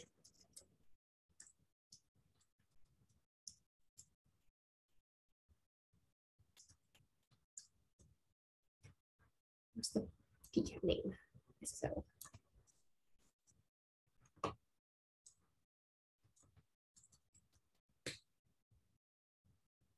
Okay, it is just complaining about some legacy extension in the CVE package. So I should just unload it and then rerun it and it should not have any problem. The other third warning here is about the no site local addresses. Again, we are using local at the end. So it is expecting us to um, define the site local addresses. So those warnings, those two warnings, I should be the only one who, who would be getting those warnings because I have that CVE package installed. You guys should not be able to see those. You guys should not be seeing those warnings, but you guys might run across this warning that again, we have gone through that before.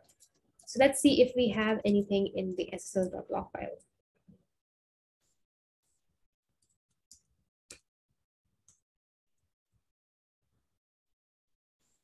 Okay, so we have, I think, new columns. So now we have two additional columns called JA3 and JA3S. And this is how plugin works. It adds two new um, columns to the SSL.log log screen, and then it logs the uh, TLS fingerprintings in that in that columns. So um, it should be second last and last. Okay, so these are the two columns of the JA3 fingerprinting and JA, JA3S fingerprinting. So S I think stands for server, and JA3 is for client. So the client TLS fingerprinting is this, and then the server fingerprint is this. So that was a pretty straightforward. So see, it's, it was just like one click away and you have the JA3 installed and ready to go. So that is very beneficial if you have ZKG um, installed and ZKG by default comes installed, but if you want to use ZKG to install different packages. I'm going to skip that exercise because we are almost uh, running um, against time here and we have other cool sections to cover. But if you guys want to hang around, we have a lunch break from 12 to 1 PST. And if you guys want to hang around during that uh, period of time, I will be running this exercise just to just out of kicks. So if you want, if you guys are like hanging around that time, I can go through this exercise and then you guys can uh, also follow and ask questions. With that, I'm going to hand it over to Keith now.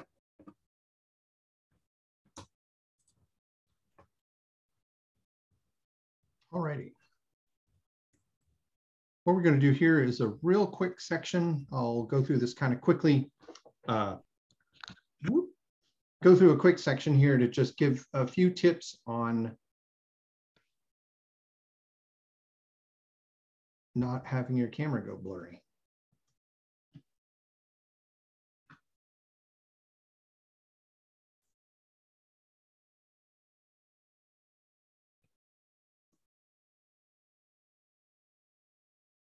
That's better. All righty, so.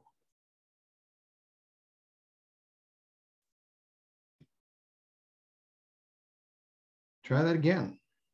So we're going to do a quick run through of just some tips on being able to do log processing from the command line. Um, a couple of these are Unix commands, maybe uh, hopefully not too boring for all of the audience. A um, couple things to note when you're uh, some general approaches. Um, we'll be working on building up some command pipelines uh, to be able to look at uh, text logs. Um, it's generally good to try to scope your searches as much as possible. So focus on a single log at a time if you can, makes it uh, much less confusing for you. Um, it's also a way to be able to respect your user's privacy. Um, depending upon you know, what the source of your packets are. Um, that may be something you want to keep in mind. Um, it's always good to baseline your the network you're operating on if it's at all possible for you uh, to help you understand what's normal so that abnormalities stand out a little bit more. Um, using an iterative process, uh, sticking one command at a time on and then trying to run against a short snippet of your logs will help you, especially if you're dealing with larger log volumes. Uh, and then the last thing is that reminder that the uh, conn UID and the file UIDs are extremely useful for pivoting around uh, and finding logs. Um, if you were all paying, uh, watching through the Slack channel, there was earlier a question about how to be able to see all of the entries for a particular conn ID uh, in the order that it, they appear in the log, and there was a handy little sort command. Um, so um, the first tool that we want to introduce is one that ships with Zeek itself, and this is the Zeek cut script. Um, what this does is allows you to extract only specific columns from the ASCII Zeek logs. Uh, Zeek cut doesn't understand JSON. Um, you might want to use a tool like JQ to be able to parse those out. Um, but Zeek cut is very handy. Um, maybe you're looking at some HTTP logs and all you really care about is the timestamp uh, you want to see the host, uh, you know, the uh, ID, the uh, ID orig H or the originator of the connection, um, the host name, and then the URI that was uh, accessed um, instead of that big long stretch of all of the fields. Uh, so you can pass the arguments to Zeek, the fields that you want to see, you pass as space separated list. Uh, and then we use a redirector to read in the HTTP log, and you can see the output that we get here. Um, one of the other thing that's handy about Zeekcut is you can convert that Unix epoch into a human readable time. Um, you can also do that with the date command one at a time, um, but uh, I think most people probably can't track Unix epoch time and having it in human readable format is, uh, is quite handy. Um, so just a couple other commands that we wanted, that I wanted to introduce very quickly. Um, we can use the sort command. Uh, this allows us to sort by value. Um, we are actually, so again, we're using the Zeek cut command to be able to pull out just a couple of fields. We're only interested in the originator IP and then the responder bytes. Uh, and then we basically want to sort the commands, the connections in the conn log um, by the uh, responder bytes, starting with the largest value first. So we pass sort, uh, we're reversing the order we're doing a numeric search uh, or sort rather. So that's what the N does.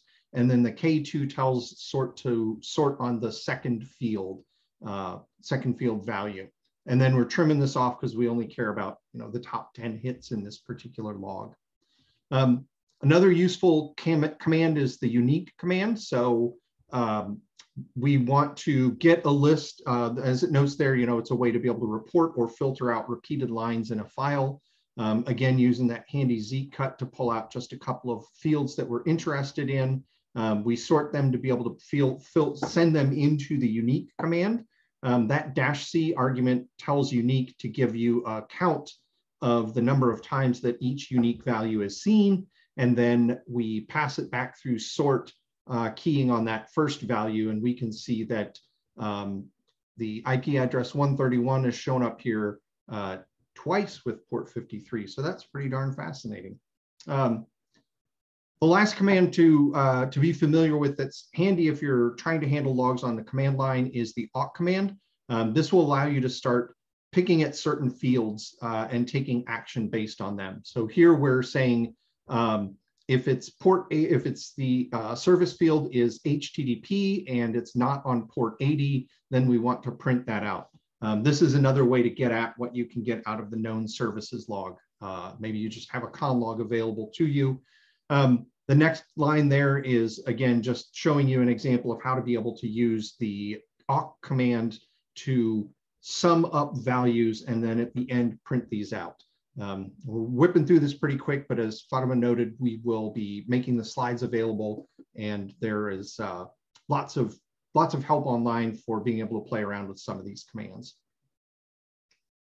So last but not least, just real quick, show uh, a few examples of uh, being able to use this. We will pop back out. Normally we do this as a exercise for all of you, uh, but again, we're a little time crunched. Uh,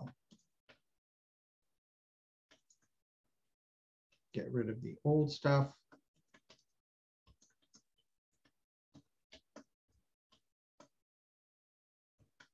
We'll go against that capture file so that we've got a pretty decent corpus to work with. Uh, and then the first thing we want to look at is the top five destination ports in descending order. Um, so again, we're going to use zcut. Uh, we're going to look for uh, the responder port, um, read that out of conn.log, and we can just pipe that through sort and unique. Uh, and then again, similar to what we were showing in that uh, in the example in the slide. So since we only want to know the top five, we can use head to filter those out. And we can see that in this particular script, uh, port 80 has the highest number of ports that show up, uh, followed by 53 uh, NTP, something on port 5000. And then the zero is probably some ICMP entries that show up in there uh, because Zeek overloads the source and destination ports to be the ICMP type and code uh, when it wants to log an ICMP packet. A um, couple other ones to look at here. Again, playing with, uh, uh, this time we'll play very, very quickly with awk to show you an example. Um, and so with awk, we can define the field separator that we want to use. Uh, and so we're saying we want to separate on a tab. Um, and for this particular one, we're wanting to see all connections that are longer than five seconds. So field nine is the duration field. Um, so equal than, we do five, and then we pass a print argument uh, because we want to print out that line. Uh, and we want to read out of conn.log. And then we'll do the old less dash s. And we can see in the duration field here, these are all of the connections that were five seconds or longer in, in, in length. Um, so there's a couple other uh, examples in there uh, or uh, other items in the exercise. Uh, as Fatema noted, uh, she'll be hanging around uh, for a little bit after this ends.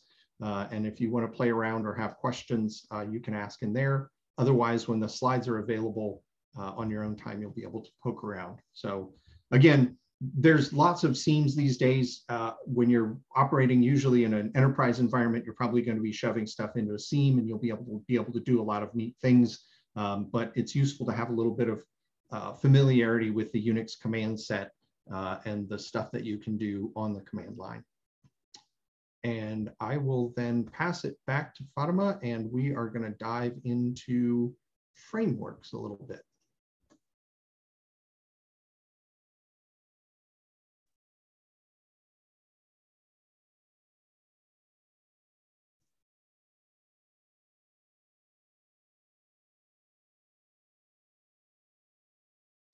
Alrighty, I'm just going to share my screen, uh, screen real quick. Um,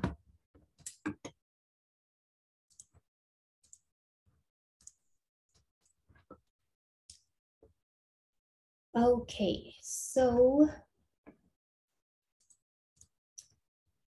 notice framework. So one of the important frameworks that you should know about when you are uh, like starting with Zeek and you know diving into what else you can do with Zeek is the notice framework because that is uh, where you can um, customize your scripts to generate some interesting notices for you to take a look at. So we have been seeing different log files that Zeek generates, right? So notice.log is one of the log files that Zeek generates if you have any uh, custom policy scripts enabled. So if you have like local um, .zeek. And if you have uh, some default scripts enabled for detecting the brute forcing or for detecting password guessing, for detecting SQL injection, all those notices gets triggered and logged in notice.log file. So that is one of the log files that you really need to uh, keep an eye on. So uh, yeah, one of the easiest way to customize your uh, Zeek scripts is writing a local notice policy. And you know, whenever you see any interesting event, interesting event, then just raise a notice and let Zeek let Zeek uh, log it into the notice.log file. So uh, notices have built-in suppression. So if a, if a person is keeping um, uh, keep brute forcing your your servers, it's not like for every attempt Zeek is going to uh, create a notice for you. So if uh, Zeek is seeing um, the same same connections over and over again and the same events that are triggering the notice um, that are raising the notice. It is intelligent enough to suppress it by looking at two important fields. One is the um, the the the, mess the node so notice.log has different fields in it. So one of the fields that zeek looks for uh, notice suppression or duplicate notice is the note right? A note note field that has uh, an identity that has the notice uh, name that identifies the notice. So for example, if it's a brute force, it will be uh, SSH colon colon SSH underscore brute force. So that's the field. And the other field, it's called identifier. So what identifier is, is it's nothing but a four tuple uh, by default. And then you can, you, you can write your own custom identifier to tell Zeek that if you see the source IP destination IP source port destination port same, for that same note, then don't raise the uh, don't raise the notice. And Zeek by default does that. It looks at the uh, four tuple and it looks at the note and it suppresses the notices so that you don't get bombarded with like thousands of notices in the notice or log file for a brute force attack or for a password guessing. So that's pretty intelligent. And um, yeah, it's it said that it can be controlled and defined by the script writer as well. So if your script doesn't look for the four tuple, like if you have the same four tuple, but uh, you you want it to you want it to be logged every time you see it you can write your own custom identifier to say that uh, you whatever string you want Zeek to tell apart two duplicate notices. Hooks allow modification of notices. So another important thing um, to talk about is different actions. So when when uh, keith was going over the first section of the alerting um, and the custom logic uh, for alerting part, there are four important actions that notice framework can take for you. The, the default notice action is a notice log, which whenever there's a notice that is raised from one of the custom scripts, it auto logs it into the um, notice.log file. So that's the default action that, that Zeek takes, uh, Zeek takes on the um, on the notices that gets risen when whenever there's uh, corresponding traffic. The other three important actions are action alarm, action email, and action page. So what action alarm does, it, it actually logs the notices into the alarm underscore um, uh, notice.log file. Plus it actually emails, um, it sends out the, it sends out an email to the uh, addresses and the destination addresses that you mentioned in the notice info record. The other action you can take is action email. That action email will uh, actually do not log anything, but it will just send the notice via email to whoever the recipient is for the um, for that notice. And then action page. So it also sends an email to the email addresses uh, which are defined in the email destination field in the notice info record. So these are some of the actions. And what hooks does it, you can actually um, like hooks provide the mechanism for applying those actions and generally modifying the notice before it gets sent over to the other action plugins. So if you have if you have a notice um, SSH brute forcing, for example, and it only Zeek equally logs it into the notice.log file, but you want another action to be taken before it logs it. Like say you need to be notified via email, then you can totally use the um, hooks notice policy hooks that can uh, modify the actions um, of that notice before it gets logged into the notice.log file as well. So that's where the hooks come into the picture. And then you can um, you can do all sorts of different uh, actions, whatever you want to take corresponding of corresponding to whatever notice is getting triggered. Okay, so that was, um, yeah, that was a pretty fast uh, overview of Notice Framework. But uh, all you need to know about Notice Framework is uh, if you're writing custom script and if you are writing your own detections, the easiest possible way for you to get notified is raise the notice in the notice.log file. Like if you are planning on, okay, where I should log, I have a custom script and now it is creating some, some log, interesting logs. So should I create a new log file or should I just raise a notice and then add it to the notice.log file that automatically, automatically gets created by Zeek. So it's like a, a call that if you need actions to be taken on some of the notices, then then let's write that to the notice.log file. But if you just want a log file, then just write the uh, dump that log logs that are getting generated from your custom script to a log to a log file. So this is a notice exercise. It's it's a pretty straightforward.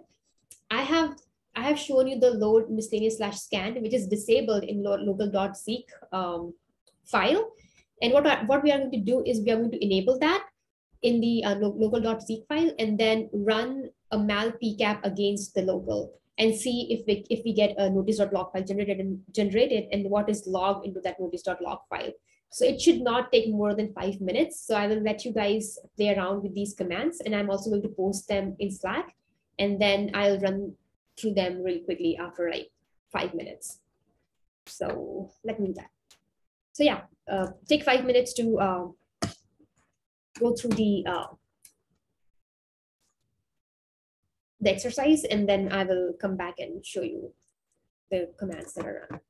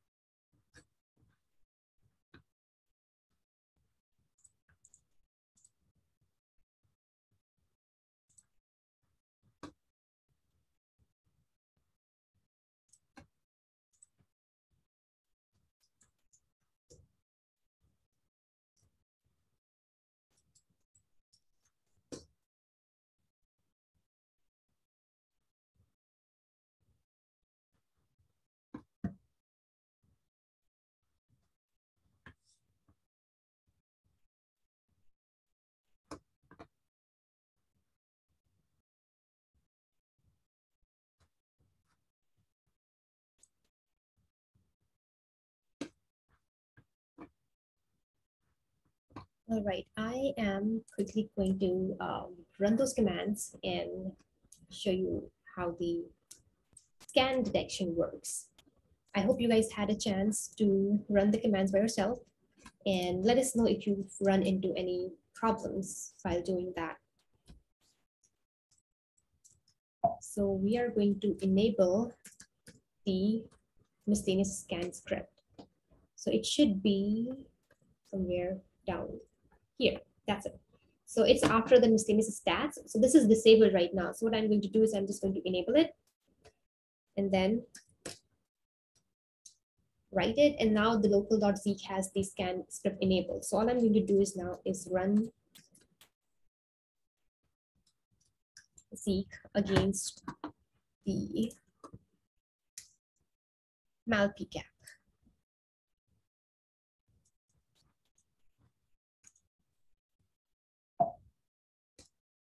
Hmm. All right, so we have some log files and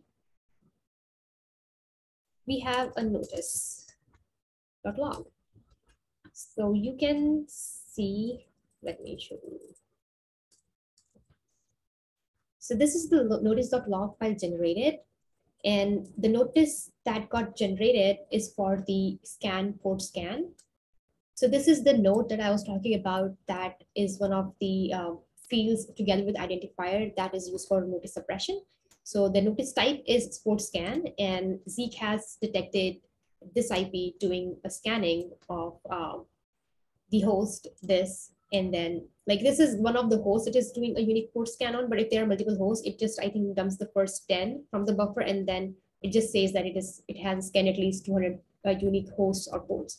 So it has at least um, scanned 15 unique ports on this host in zero, zero milliseconds, zero milliseconds and uh, 0.1 milliseconds.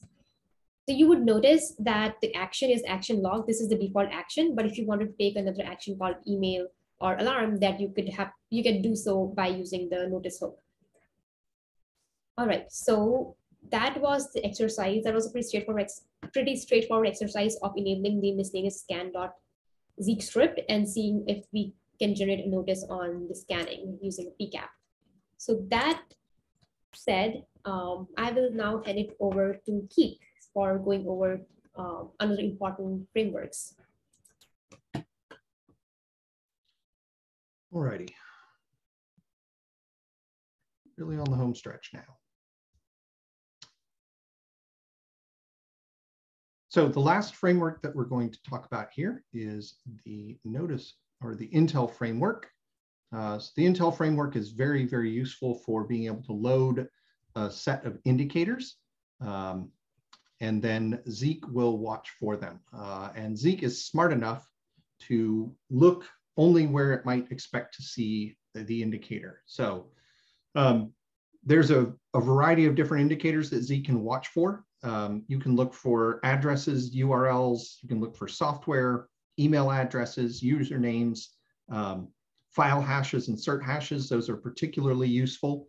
Um, and again, Zeek is only going to look where it would make sense to look for an IP address, for instance. Uh, it's not going to run a regular expression across the content of an HTTP page because you may not care if a malicious IP address shows up in a public web page, um, but you definitely might care if you see it as you know the responder of a connection from one of your domain controllers.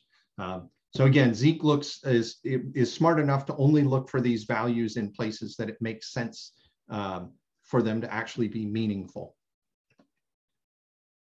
And again, where does it look? Um, for SMTP, for instance, uh, it will look in places like the receipt from, uh, the receipt to, the uh, in from, uh, into, looking in headers and reply tos.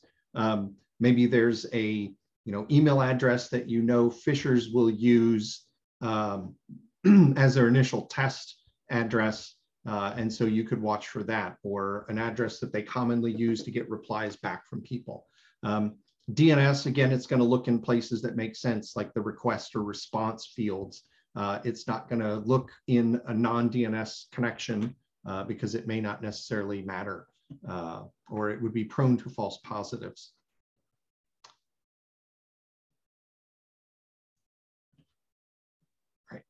Fatema's on that one.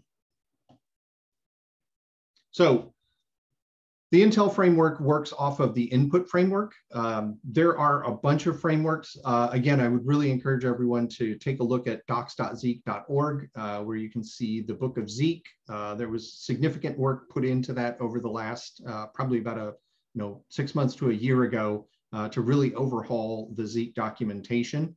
Um, and there's good documentation on all of the frameworks if you want to get familiar with them or just see a short list of them. Um, the Intel frame or the input framework rather that the Intel framework builds on allows you to watch files for changes. Um, so with the Intel framework, uh, what it will do is watch for a file to change. It has to be, uh, you know, it has to be an atomic change. So you have to do a move into the new file name and then Zeek will realize that this file has changed and it will automatically reload the Intel file uh, and then distribute it across the workers if you're in a clustered environment. Um, it notes there, by default, old entries are not removed without a restart, uh, but there is a policy script uh, that you can use to remove entries on update. Um, so you have to use that script. You can't just, as it notes there, just deleting them out of the file won't actually make the change that you want. Um, and then last uh, note here is there is another policy script that is a do notice script um, that will raise notices when uh, an Intel value is seen. By default, the Intel framework will simply log to a file called intel.log, uh, but there may be some entries that you think are of high value to you, and you could have notices raised in addition. So in order to enable this, um, first of all, you have to, uh, you wanna make sure that the Intel scene values are loaded. Um, so we do an at load statement for that, and we may want to have notices raised as well. So we make sure that we've loaded the do notice policy script. Um, then we need to define the actual Intel values that we want to look for. Uh, and so we, the format of that log file or that source file rather, um, again, the tricky part here is the values need to be tab separated. Uh, that's probably the number one thing, and it needs to be a literal tab character, not a series of spaces. Um, that's probably the most common mistake uh, or trip up that we see when people are working with the Intel file. Uh, so here we have the fields defined. We've got an indicator value. We're looking for zeek.org in this example. Uh, we have an indicator type. So we're telling Zeek that this is a domain. Uh, again, that triggers that knowledge to say only look for this in places that it would make sense for a domain name to be. Um, there's a meta source field that you can define. So, uh, you know, maybe you're pulling files from a bunch of different open source Intel sources, uh, and you want to know, did this come from, you know, malware domains or did it come from the abuse CH uh, SSL blacklist? Uh, and so you could tag the Intel entry to tell you where that came from. Uh, here we're just using a, a dumb mockup of source one. And then the last part that we're doing here is we're defining true for the do notice value uh, to tell us that whenever someone visits zeek.org, uh, we want to get a notice raised. Uh, so then the next thing that we need to do is tell Zeek about the Intel file itself. Um, you'll note here this is a set, so we could have a whole bunch of different Intel files. Maybe we create an Intel file per source, uh, or you can merge all of your values together into one big file. And it's reasonably efficient. I mean, people run, you know, hundreds of thousands of Intel hits uh, and, and really don't suffer much in the way of performance. Uh, and the memory usage should be reasonably low uh, unless you're getting to obscene uh, Intel file sizes.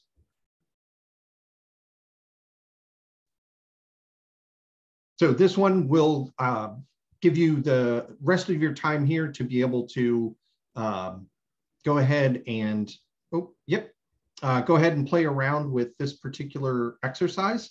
Uh, we'll give, let's actually say about five minutes, then we'll pop back on here, uh, run through it uh, to show you how it works. And then the last couple remaining minutes, uh, if there are any other questions or comments that you all have, we would appreciate hear from so take about five minutes here on this, and then we'll run through it, and then we'll wrap up.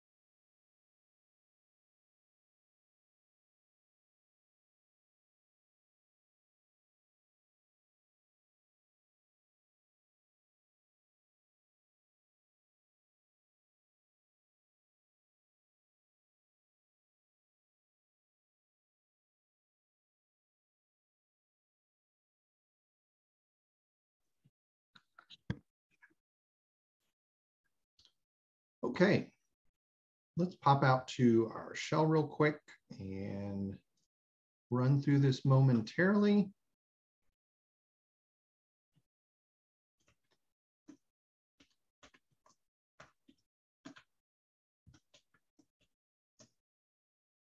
So we've copied, uh, for this, I copied local Zeek into our uh, local home directory uh, or working directory. Uh, you can see here we're doing the at load to make sure that the Intel scene values are loaded. And then we're redefining the Intel read files set to include the path to a already helpfully created uh, intel.dat file. Uh, and then if we run Zeek, We'll run against, we're gonna run against that same mal pcap that we used in the last exercise. And we wanna make sure we pass local argument so that the local.zeek file gets read in. And then we get that local nets complaint, uh, but that won't cause a problem for what we're doing here. Uh, and now we can see that we've got an intel.log uh, and And we can see we've got uh, a lot of hits for the address that we're interested in. Uh, again, this is our scanner from the previous example. Um, you can see that it tells you the indicator type that we were looking for an address. That's what was seen. Um, you can see the scene indicator. So it was this address. Uh, it was uh, of the type Intel adder. Uh, it was observed in the ORG, uh, ORG H field. Um, the node where it was seen, um, and then you've got malware IOCs uh, is the source that we have defined. So if we actually look in the file here, we can see there's the meta source, uh, meta description. So that was a field that we could potentially add as well.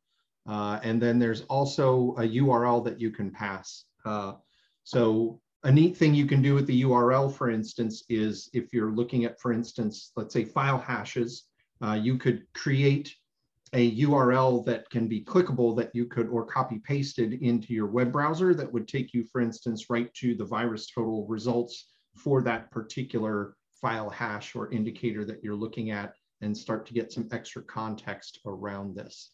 Uh, see, we've got an error in there requested field indicator. Hmm. See, Fatema's answering, so I'm gonna go ahead and stop sharing here. Alrighty, we are one minute over, but we started one minute late, so we uh, we landed this plane right on time. Um, uh, Fatima will hang out for a little bit. I'll make her a host. Uh, I need to drop off uh, very shortly. Um, Really appreciate everybody hanging in here with us. Uh, hopefully this was useful. Um, I hope everybody here picks up at least a couple interesting things and we've sparked your interest in Zeek. Uh, there's the Slack channel uh, for general, for packages, a lot of different sub channels, uh, great places to join and uh, see what other people are talking about. Um, there's mailing lists. Uh, those are being moved to Discord as you know currently or very soon. Um, so hopefully that is an active place for you to get engaged. And again, uh, if you're interested in joining the training subgroup, please do reach out. Uh, you can find information on how to reach out about that on zeek.org. Um, we'd love to get more people's views uh, and input into the training subgroup. Uh, and with that, uh, thank you very much again. Um, if you've got comments, please send them along to us, suggestions for how we can improve or things that you'd like to see about. We would be happy to take that input. Fatema?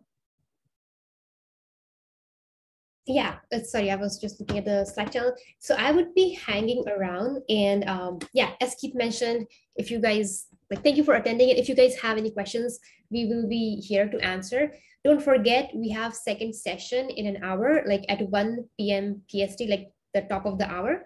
Aashish is going to um, provide the training on advanced Zeek scripting. That is pretty cool. So you will get more insights and hands-on on how you can build a script and how you can customize your script. So that is a really cool, highly recommended training. And it will be like, it will have your uh, feedback uh, in the um, in the Zeek scripting land. So we were having questions that what scripting language Zeek uses and how to write scripts. So that will be a really good training to attend as well if you want to uh, get more insights on the Zeek scripting side of the land. And I am I have uploaded the um, slide deck for the um, introduction to Zeek, and I'm going to post that in the Slack channel real quick, the link of the GitHub. So that is our PDF uh, of the slideshow that we, um, slide deck that we went through in our training. And um, I was just going to hang around. Uh, you guys can feel free to take breaks and uh, come back for the Zeek uh, advanced training uh, at the top of the hour. But I was going to go and um, play around with the ZKG exercise that we the that we skipped during the um, ZKG uh, uh, ZKG um, info session. So I'm going to share my screen. So if you guys would like to follow, you can like more than welcome to follow and ask questions if you are stuck at anything.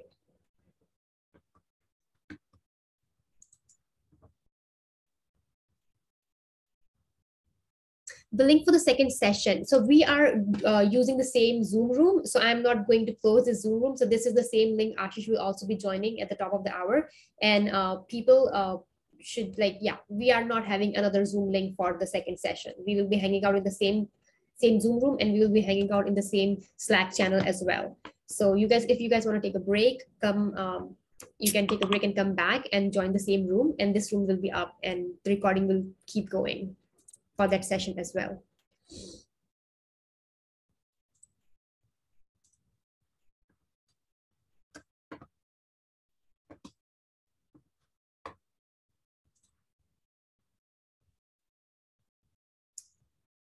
All right, so let's work on that slide. So you guys should have the slide deck that um, I posted right uh, in the Slack channel. So you guys can also follow now um, with the instructions like here that I will be following.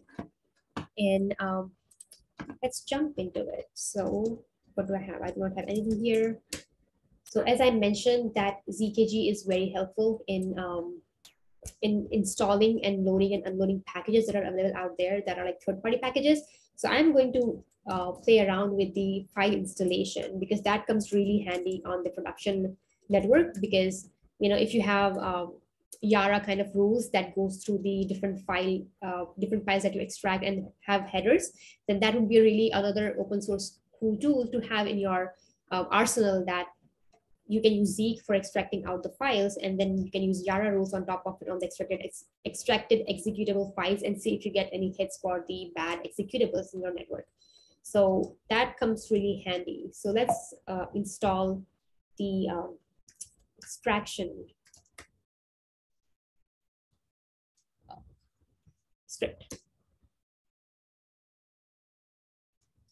Yes. All right, so we should have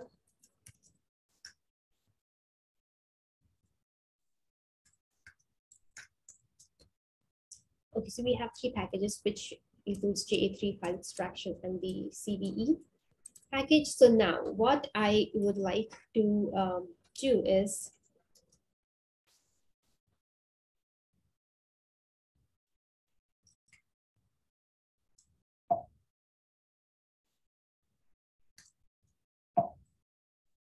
So this is the packages. Uh, so let's let me do let me do this instead of just breaking editing it. Let's go to the site folder and see what is in the um, packages. So this is our site local um, folder that we uh, uh, that we walk through in the file um, layout session. And here you can see that all the packages that we have installed using ZKG are available here. So these are all the symlinks. Unfortunately, I cannot like show you the colors, but these are all the symlinks. So if I do an ls-leh, the packages here are all the symlinks that actually refer to the packages installed inside the packages folder, which is this package. This package is here. So JA3 is inside the packages, file extraction is inside the packages, and CV, this package is inside the packages. So let's go to the packages directory and see our installed packages. So this is all done by Zeek um, ZKG for you, so you don't have to worry about loading them explicitly or unloading them explicitly. So you can take a look into um, load.zeek and see all of them are by default loaded. And it says do not edit this file because this is managed by ZKG. So these three are loaded and um, you can use unload command to unload any one of those, but they are right now loaded. So I'm just leaving them alone like that. And for the file extraction, this is a directory. So let's go to the file extraction directory.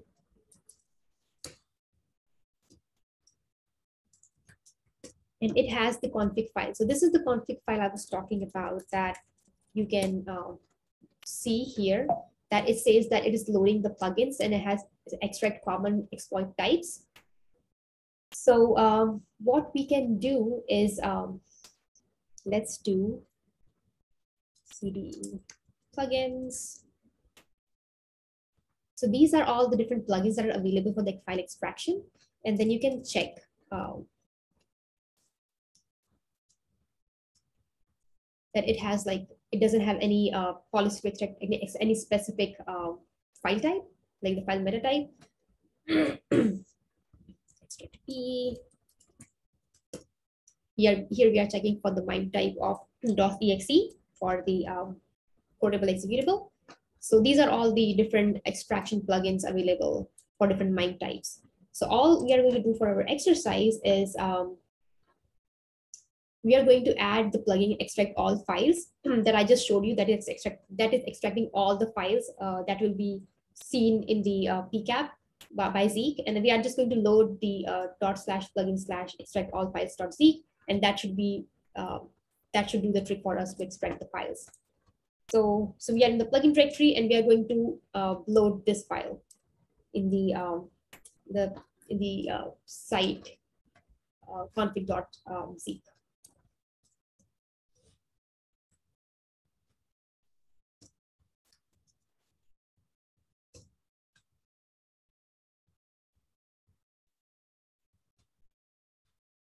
So commenting about that and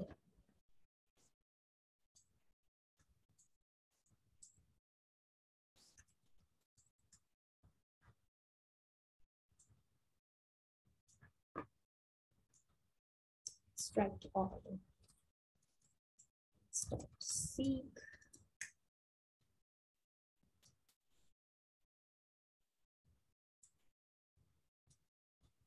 now we now we should be all set. So let me come out of this directory and then run Zeek.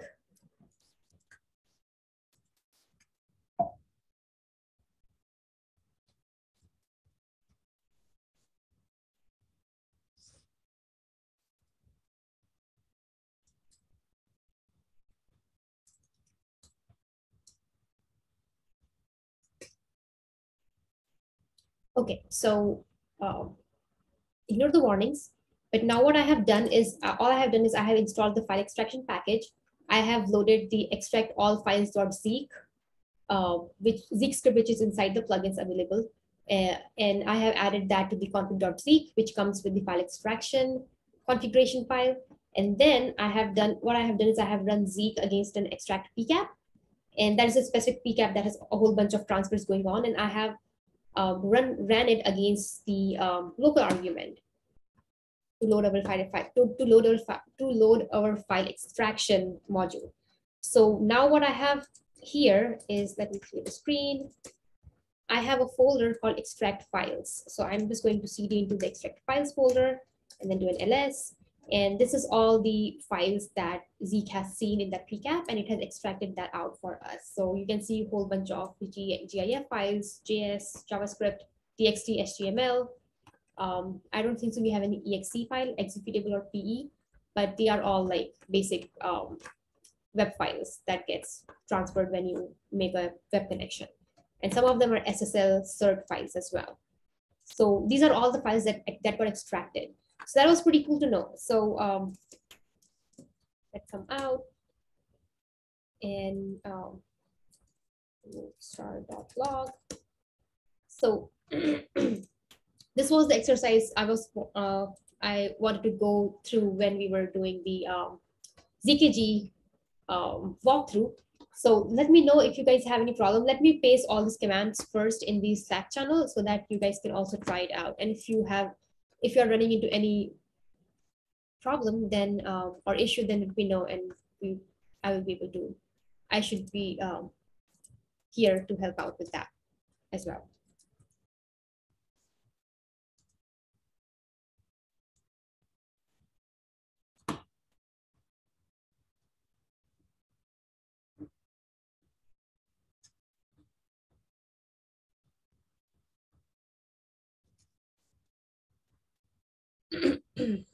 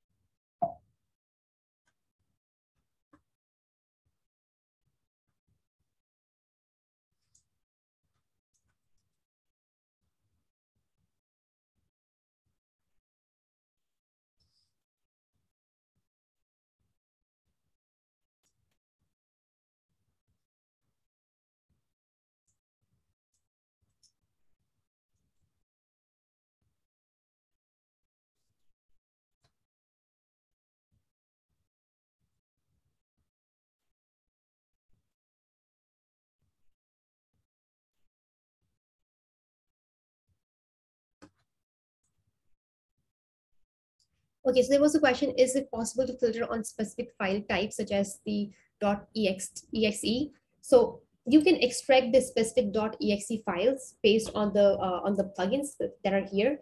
And you can actually, uh, just like I was just looking at the extract p dot um, extract dash p dot zeek. These are the plugins where you just match the MIME type that you are looking for. And then it will it should be able to um, extract that specific MIME type for you. Um,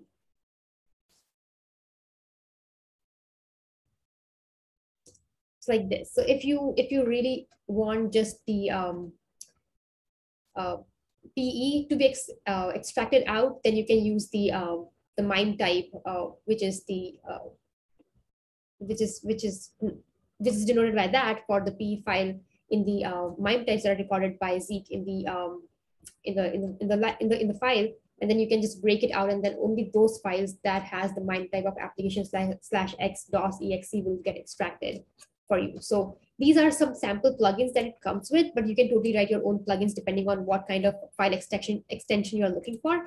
And some of the file extensions are also provided uh, in, in here. So if you look into the file extensions.zeek, here is the map uh, file for the extensions to the uh, MIME uh, file MIME type. So this is the table basically, and it is just like the table of string of string. So this is these are the all MIME types and the uh, corresponding extension that you're looking for um, to match on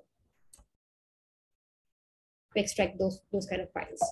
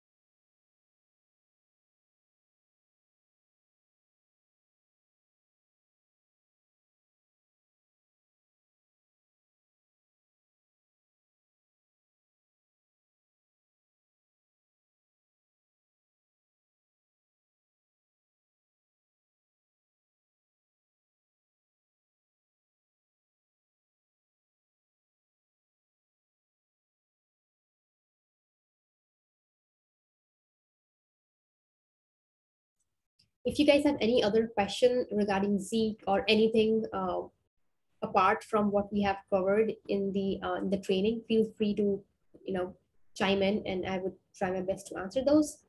And um, yeah, if you are still stuck at some of the previous exercises and we just brush through them, and you are like you want to go through them again, I can I'm happy to do, happy to do so as well to walk you through the exercises again. And also to remind this is just the break time so i'm just hanging in there if you guys are interested in you know um, if you guys have any questions or to answer any to answer any questions you guys have. And aashish aashish's session will be starting in next uh, 39 minutes. So if you want to quickly go grab some lunch or need some quick bio break then please do so.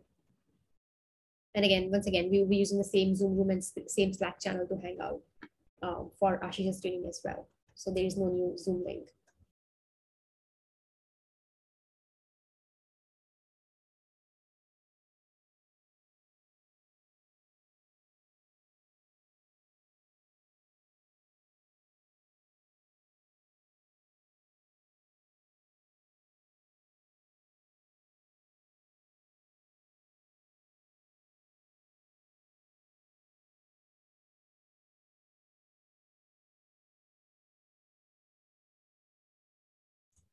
Also, we have a quick feedback form uh, for both the trainings, this one and that, uh, this one and the second one, which is advanced scripting. And I will be sharing the link for the feedback form um, shortly on the Slack channel. So we would really appreciate any kind of feedback that you want to give, like what we can improve on and whether it was fast or was slow.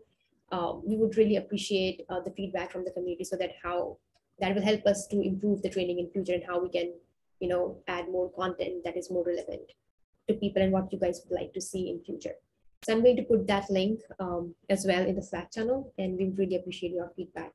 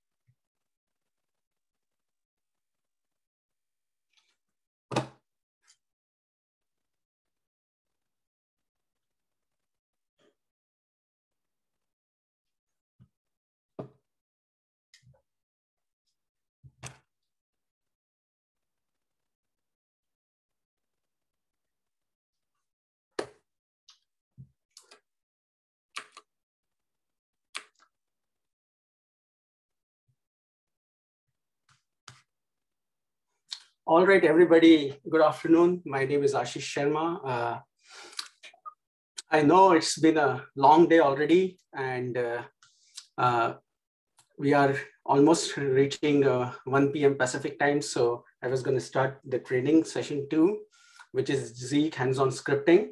Uh, if you can see my screen, uh, you should be able to download exercise from GitHub URL uh, I, I, pasted the commands to do this.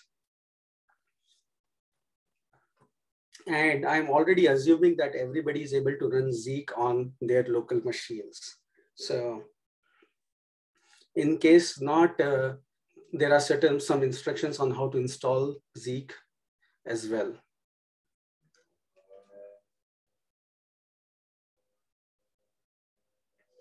All right, so uh, I will be actually conducting the training pretty much alone. There would be some help on the Slack channel. If you have questions, either interrupt me on Zoom, uh, you can unmute yourself or uh, paste questions in Slack. I will keep looking uh, on another screen here and try to answer your questions. Uh, so it's one o'clock. Uh, let's start the hands-on scripting session. So uh, so my name is Aashish Sharma. I work for Lawrence Berkeley National Lab. I run Zeek at LBNL. And uh, uh, my primary job responsibility is pretty much cybersecurity. It involves on-call, uh, pretty much incident, uh, intrusion detection, incident response, or anything related to security which comes in the group. Sometimes it's about new systems getting in the picture and then we have to go and talk about like how to secure them as well. So pretty much anything related to cyber. Uh, a little bit about Berkeley Lab. Uh, uh, there's it's right next to the UC Berkeley campus up on the hill. There's a lot of faculty staff, students who actually come from the UC campus to the lab. There is a whole lot of other scientists, researchers who actually come from all parts of the world to the lab to run their experiments and stuff. Uh, so lab is a pretty open uh, environment and uh, uh we actually feel proud about keeping our networks pretty open. So uh, there's a rich history of discoveries, 14 Nobel Prize winners, and so on and so forth. And uh, yeah, this is one of those uh, bragging walls we have. So, and we know that last two years have been a little difficult is in terms of physical conferences and physical training. I would have personally wanted to even give this one pretty much in-person training. So someday we'll do an in-person training. Meanwhile, uh, bear with me. I know it is very hard, both for the audience as well as me to actually not be able to see reactions, not be able to know who your audience is, and still talk about the training. So uh, a little bit more about the lab. Uh, uh if you folks haven't heard about Cuckoo's Egg, uh, that's a good spy thriller, pretty much a story coming from the lab. Uh, if you haven't heard Cliff Stoll talk. I think it's a worth a YouTube watch. And then there are certain other networking tools which have come from the lab, including tcpdump, uh, libpcap, traceroute. Uh, Zeek has its origins from LBNL as well.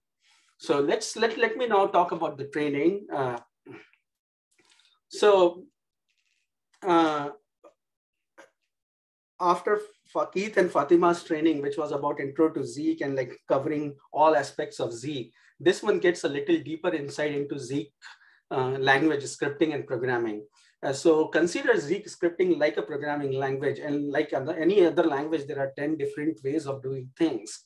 So what I am teaching here today or going through the material is not probably the right way to teach it. There are more better knowledgeable people who will say, you know, do it this way or that way but I'm teaching you a way to do it along with some do's and don'ts on uh, certain experiences like, you know, this is not a good idea, or if you do it this way, uh, you might actually get uh, uh stuck on certain places. And my goal here is that, you know, everybody here should be able to write Zeek scripts eventually and uh, contribute to the Zeek packages. So uh, now, most of this material which I have is pretty much a derivative of uh, the Zeek manual and the literature. So if you cannot keep up with the training, if you find uh, it pretty obfuscated, difficult, certain sections fast or incomplete, uh, I would say go look at Zeek manual. It's very detailed, very comprehensive, and it's very actually illustrative. There are a lot of examples in there. It explains things very well. So uh, make this URL your friend, uh, Zeek manual. And actually now there is a book of Zeek as well. So you should be able to uh, definitely make this your regular reference. And uh, further down, uh, here is try.zeek.org. So you should be able to check this as well. Uh, this is a really good application service which Zeek project has where you can actually try certain Zeek scripts, put your own PCAPs if you want, and uh, you can run the code. You can see what the output is. You can in fact even go and see what kind of versions uh, uh, your heuristics can work for or can, don't work for and so on and so forth. But another advantage here is that, you know, you can actually take a URL and then share it. Uh, so if you're writing a script which has a bug or something, you need help with debugging, you can actually copy the URL. It saves your particular uh, run and you can share it with other people and you can actually debug together. So uh, in this particular session, what we can actually do is that uh, I would prefer that you open command line and run things on command line. If you are unable to do that, I would suggest that you can actually go on try.zeek.org, paste the exercises there, upload the corresponding PCAP, and you should still be able to run pretty much all the exercises we'll be going through. And this, this screenshot is pretty much uh, one such example where uh, if you're running on command line, if you see zeek-r, here is the traces, and then you run the script. So this is the way we would run on the command line, but you should be able to run this on try.zeek.org as well. So both ways should work. Uh, so uh, if you haven't checked it out, check it out. Uh, try command line. If you have still difficulties getting Zeek running, uh, do let me know. So another aspect of this training is that, you know, uh, in any given talk or a training, the the smart way to do is to know your audience. And that is the biggest uh, shortcoming uh, I have. I, I, I actually don't know who my audience is right now. Like, are you solid Zeek background? Are you actually a seasoned Zeek uh, script uh, programmer? Or it's like, oh, this is the first time I want to learn Z. So, uh, so the way this particular training is designed is actually, I actually try to create three different things, pack three different things in one particular training. So uh, there will be like three parallel streams. And uh, if you uh, are a beginner, then you should be able to actually just keep up with me, try to go through this material slowly and uh, ask questions and stuff. I also have something called find the bugs. And I have often learned more by actually creating like introducing bugs in my code and then trying to debug that. So I actually just put some of those scripts too. So if you know, if you think that, oh, I know this elementary stuff, go try find the bugs, see if you can fix those bugs.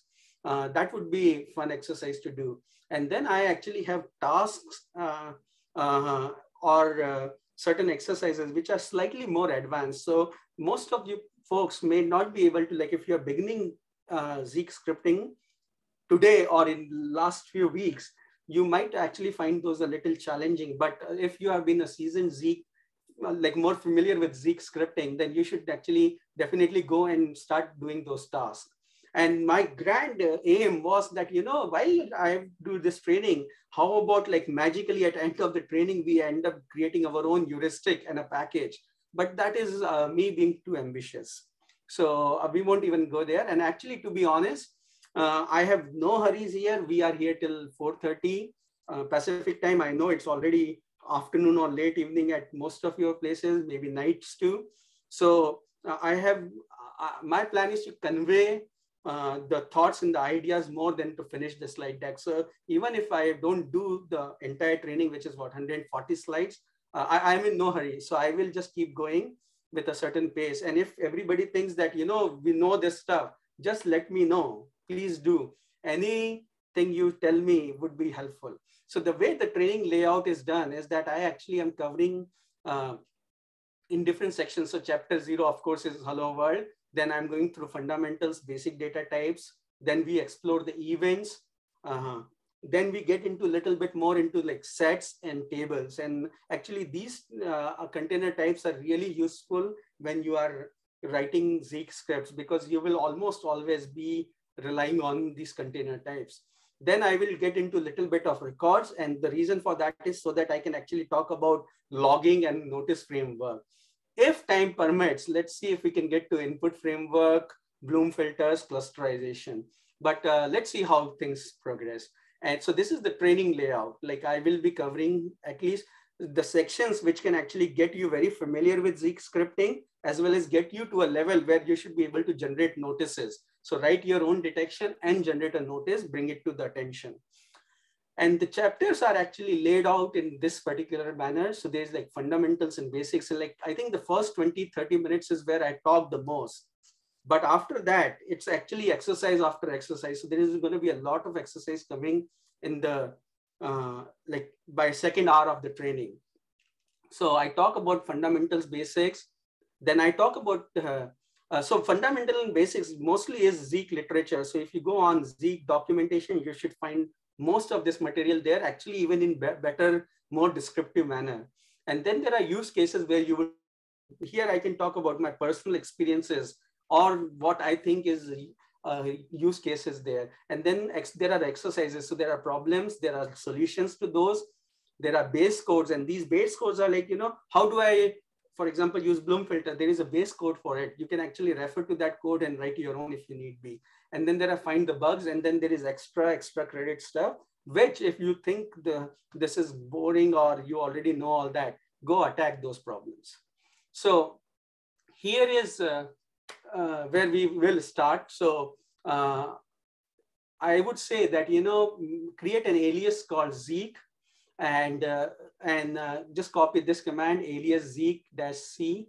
Uh, let me just paste this in Slack as well. Uh, where is Slack? Okay, so here is the Slack. here is the trading. And so you should actually put this as an alias and then make sure that Zeek is in your path. Make sure that you should be able to run Zeek dash H. So let's, okay, I should, I should, uh, uh, yeah, here. So you should be able to do this and you should be able to get a Zeek help uh, screen on your screen. So uh, I'll give a few minutes for folks to do it, as well as I believe Fatema already pasted the clone URL. Uh, yes, let me do this too.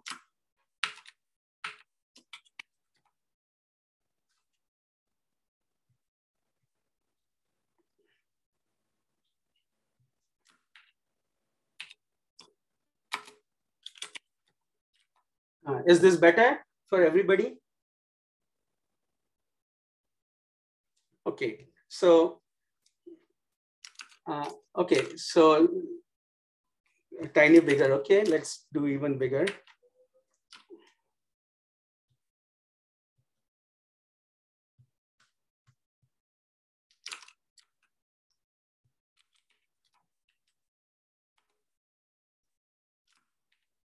Okay.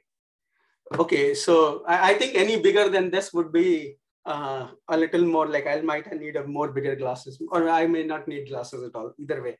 But uh, so uh, let's uh, go back to this here. So get this alias, be able to do this. And now when you're running the exercises, uh, what I have tried to do is that every, uh, like in exercises, you see like hello world, basic type 0, 1, 2, 3, 4. So these are the numbering is the chapters. In each chapter, if you go inside, let's say just go to 04, uh, there will be uh, primarily four things, three things actually. One of them is traces. All the PCAPs will be here. There is scripts where the Zeek scripts are there. That's where you'll see the find the bug.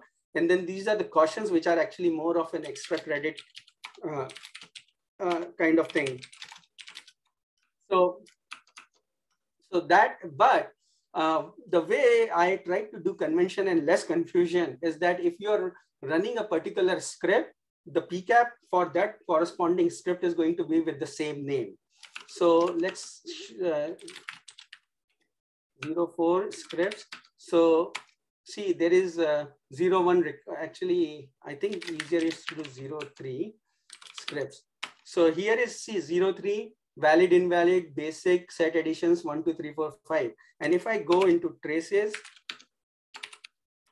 you should also see, uh, so the PCAPs for corresponding scripts is going to be the same name.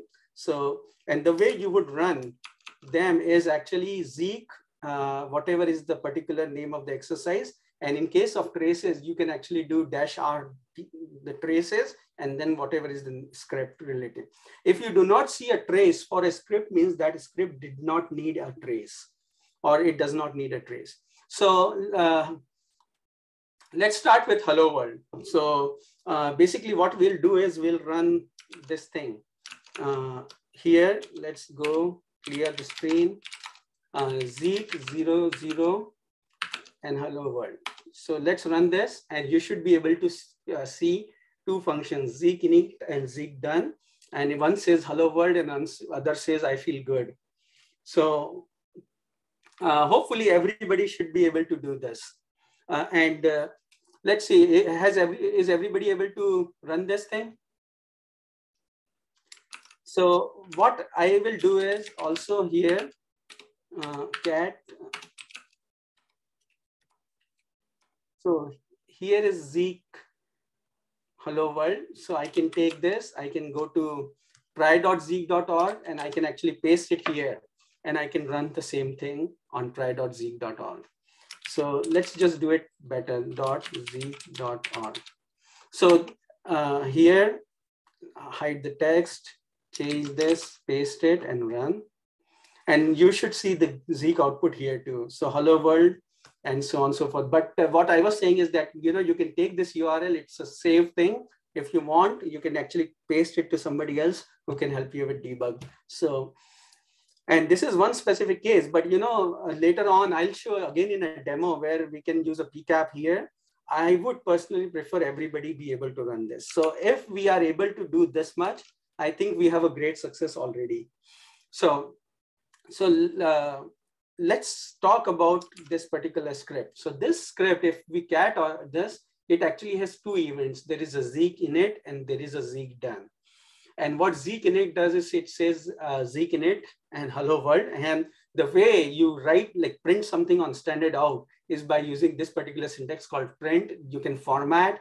We are not getting into pretty details about formatting and like what all different ways you can do that. But for now, let's just say uh, I am for printing this particular string uh, inside double quotes. Uh, so, but what happens is Zeek init is an event which runs at the very start when the Zeek starts running. And Zeek done is an event which will fire at the very end when the Zeek is done. So we know that Zeek started, Zeek is done, and this is the output from there. Now, yeah, so basically I already asked if everybody can, if somebody is unable to run Hello World, let me know, uh, or they can try it on uh, try.zeek. But I'm going to continue. Uh, so what is the use of Zeek init and Zeek done in real world? So uh, like Zeek init is primarily used for like setting variables, constants, redefinitions. Uh, I don't do this as much right now. And the reasons for that is because I actually use like input framework, configuration framework, but you know, you can actually set certain things. Like for example, in we will see later in the uh, course that in logging framework, you can actually set up log streams in Zeek-init too. Now, the second thing you can do is use input framework. So you can read into the tables from input framework. So let's say you have a, uh, a raw file, for example, a list of all the Tor exit nodes and you want that to be read inside the Zeek. So you can actually put that in a file, configure input framework to read that file, set that up in Zeek init. And when Zeek starts, it will read the file. And by the time Zeek actually is processing the traffic, everything should be in the data structures. Uh, you can define filters for logging frameworks. You can initialize clusters and define worker manager events, schedule timers and events. And this is actually stuff you may not actually understand for now, but there are certain things you can do in terms of uh, housekeeping, both in Zeek init and Zeek done. So for example, summaries are a good thing out of Zeek done. Uh, you can do cleanups, purge data. If you are using a backend database, you can do all, uh, or you can preserve certain states as well. So now, now chapter two actually is going to get a little uh, theoretical. Uh, I will still try to talk at a high level about script, get a, get everybody a little sense of what Zeek script is, a feel of it, and uh, and then certain pointers of like, okay, how do you uh, go and learn more about it, and then I'll get into some very specific things uh, at a certain more depth. So first question is, why do you want to write a Zeek script? What what what use is it? So if you look at this diagram here, it's a pretty simplified model of Zeek and uh, it's again available on the literature. So the way Zeek works is that it actually sees the, uh, hmm, so it actually sees the bytes on the network. So it actually sees these packets. Now those packets are analyzed by different analyzers and those analyzers actually are configured to fire certain events. So those actually between network and event engine, there is a whole lot of mechanisms uh, there. Let's not get into that. It comes down to that analyzers fires, fires these event engine. Uh, analyzers talk to the event engine, which fires these events. These events actually go into policy script interpreter, which is the Zeek script layer. And this is where you, uh, actually provides you with uh, all kinds of data uh, in a format which we as humans can also understand and interact with.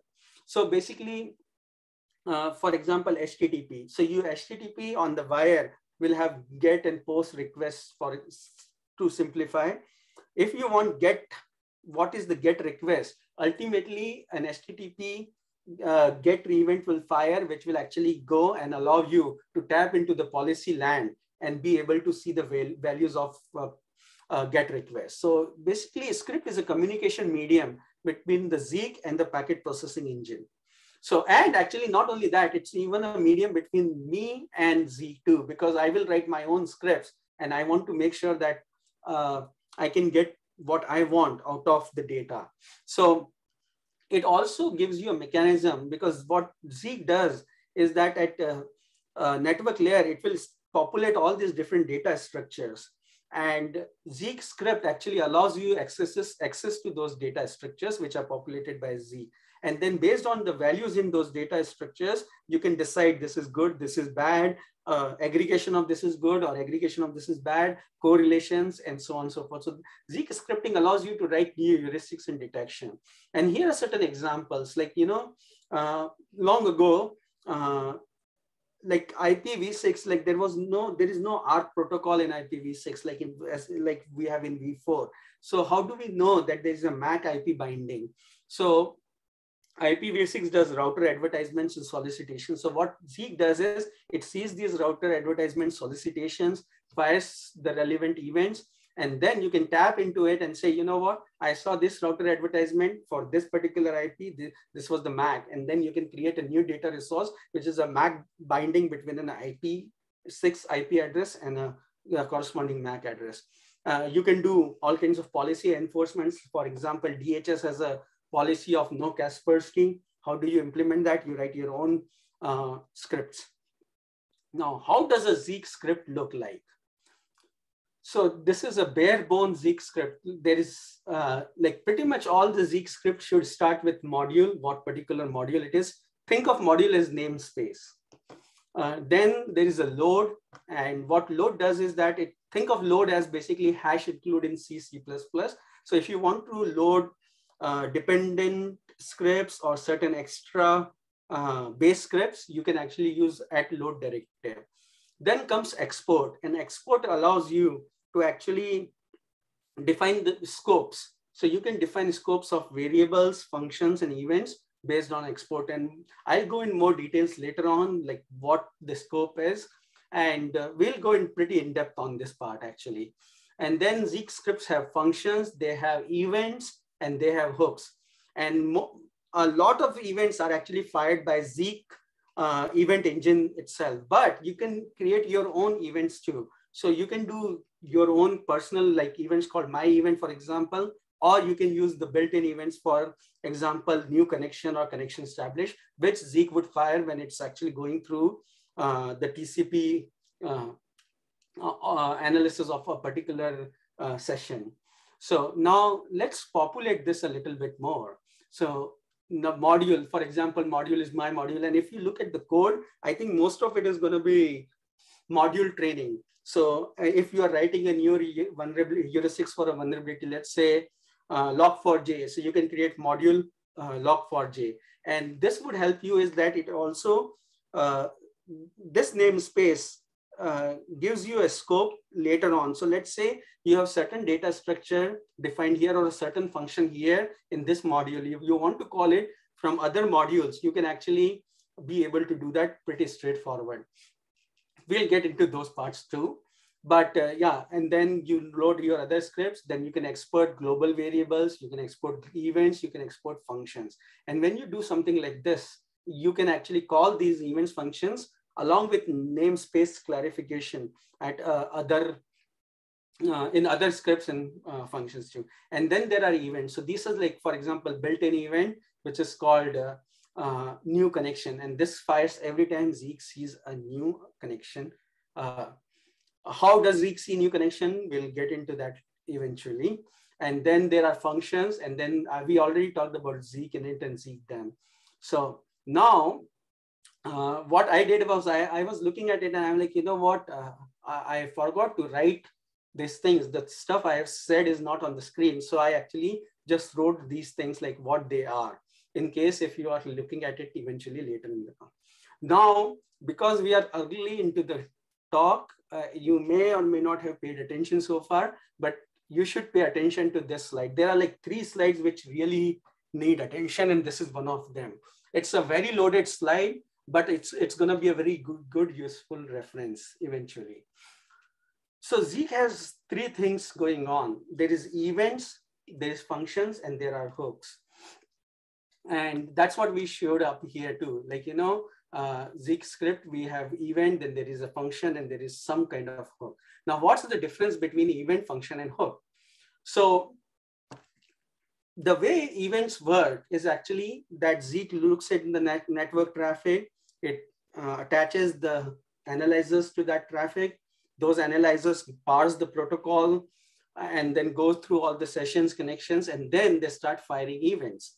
And those events are the ones which we will tap into either to see what's going on in the network uh, by stream or to actually make sure that we watch for certain extra things in those network byte stream.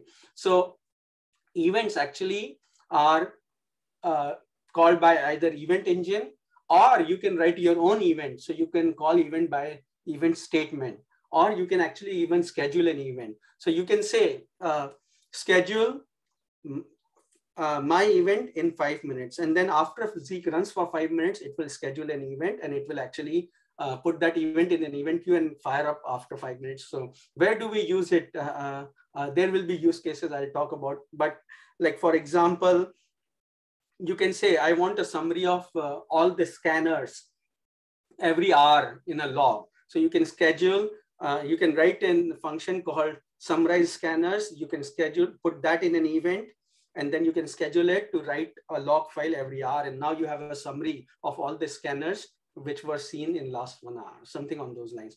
Uh, events don't execute immediately, but they get added to the event queue. So if you think that, you know, you say, call this event right now, and then based on that manipulation of the values inside that event, you are relying on the next thing, you may actually be in for surprise because that event may not actually fire until the event queue actually clears and that event finds its turn in that event queue.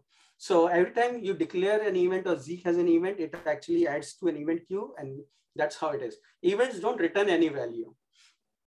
And then uh, but at the same time events the best part with the event is that you know uh, multiple event boundaries bodies can be defined for uh, event uh, a particular event. So like for example by default zeek has an event called new connection.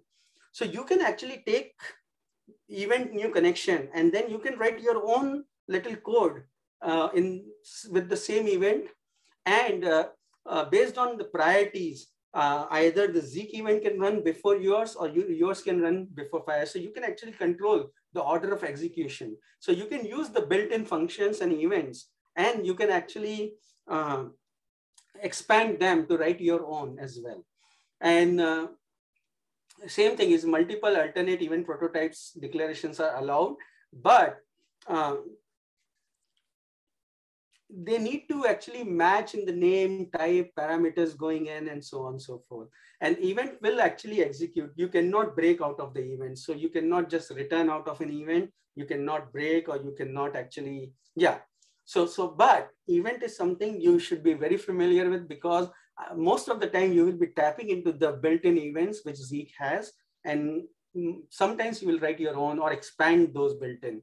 Now functions actually uh, can be called inside an event or hooks or another function. And think of these functions pretty much like C, C++. Actually, in fact, C is a more simplified version. So functions in C language, for example, or Python, or even Bash script. So functions get executed immediately. They can or may not return a value. And you can only define one single body for a function. So it's not that, you know, you create like in uh, uh, my function, my function, and then later on you can uh, expand, try to expand that. You cannot do it. You have to have just one single body. And there is no priority for functions, unlike events where you can say like, if there are three events, like three declarations of the same event, you can decide that event one runs first based on priority of one, two, and three, but you can't do that in function. And and functions actually you can do only one transformation in function which is actually you can declare a function with a list of arguments or you can define uh, default arguments. Generally you will not need to get into this part uh, even at a fairly advanced stage. But functions can return a value or they can not return a value. So both is possibility. And hook is actually a hybrid uh, between events and function. So hook is called similar to functions. Uh, hook's execution is immediate, pretty much similar to function. Hook may or may not return a value. And but unlike functions, hook multiple bodies can be defined for hooks. So that actually is a more similarity to events.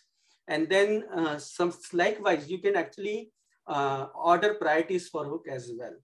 But what hook does is that hook actually allows you to break out of uh, hook which is either you can say, you know, break and then you don't have to run any further code of that particular hook declaration or uh, subsequent hooks with the same names. But, uh, or you can return out of this particular hook and the remaining hooks will keep running. So for now, bear with me. If you get this sense of event function and hook, that's more than enough. We'll get into more details very quickly. So, but yeah, here is how you will how these look like. So you can say event, here is something called my event. It has argument of boolean and a string. Uh, then there is an event called new connection, which is an argument of connection type C, C of connection type, which is a, itself a data structure, a record of connection. And then, as I told you before, you can call an event from inside an event too. So you can actually say in a new uh, connection event, which is run by Zeek, call my event and you can actually call that.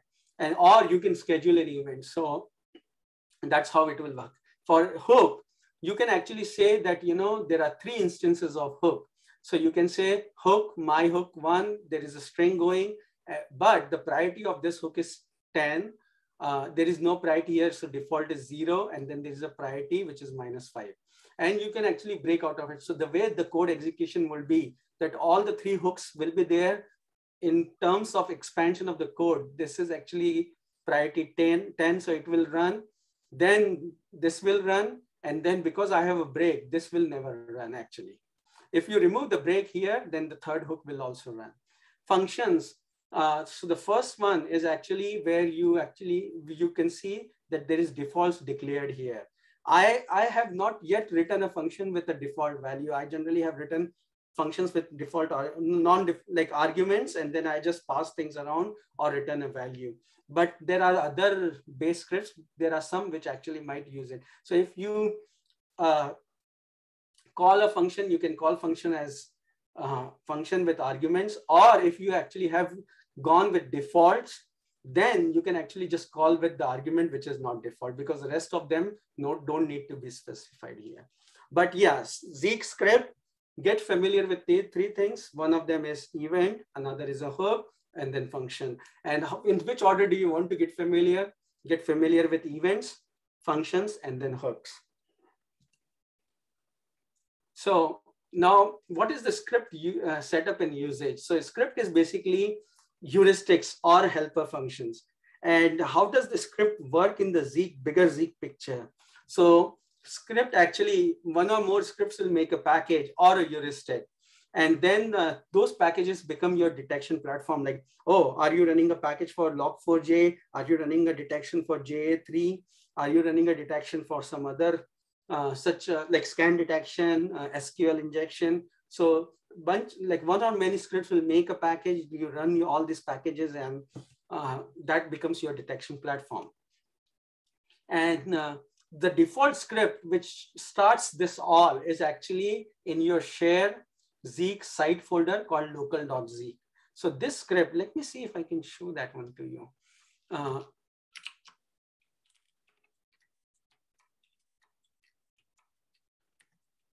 so my Zeek is installed in user local Zeek. So if you go here, then there is share, and this is where all the script stuff sets. So in Zeek, if you, oh, I apologize, the font needs to be bigger.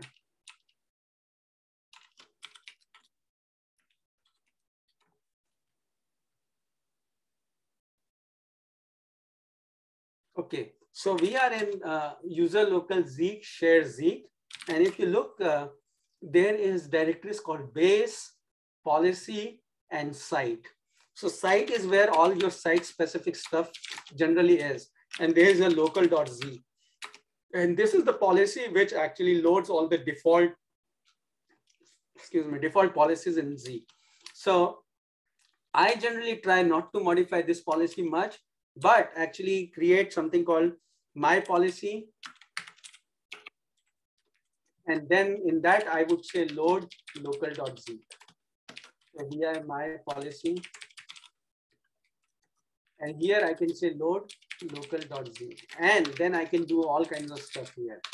So this is the way to go and that uh, and remember i mentioned load in the beginning so you can do it but yeah like default script which starts all is local.z and you can actually go into zeekctl.cfg and you can actually set up site policy path and site policy script. So recall I mentioned my policy. So I can actually go uh, set variable site policy path equals to uh, home, Aashish, Zeek, and then uh, it will find my policy there. Uh, and then my policy is already loading local.zeek. So this is the way you can actually do things outside the Zeek ecosystem too. And most of the scripts which are there is in going to be in base, policy, and site directory. So site generally has low local.zeek. But if you really want to get familiar with the scripting, look into the base and look into policies, uh, uh, directories. Uh, there is immense wealth of knowledge in there. So, uh, and then, uh, yeah, so and again, uh, for Zeek scripting, just go to Google, search Zeek scripting, and you will see Zeek manuals and stuff. So I actually, this is the old screenshot. Uh, I just searched it yesterday and it shows a later version of the manuals and stuff. But the reason I did not update it is because I, it has my picture in there and I'm like, I'm gonna just leave that one. So, uh, and funny is that it actually has uh, uh the talk which became the basis of this particular training. So I gave a talk in 18, which was like how to write this script in 45 minutes. So, so, but yeah, uh, uh, the point here is Google, just Google Zeek scripting and it will take you to the manual, to the latest version, and you should be able to use that. So this is so far uh, just an overview of scripting, uh, resources, what, where to look for, what to look for, as well as uh, just setting up our environment and getting a little familiar with uh, events and functions. Uh, warning, uh, things are going to get pretty intense and in depth as we move in the slide deck. Are there any questions so far?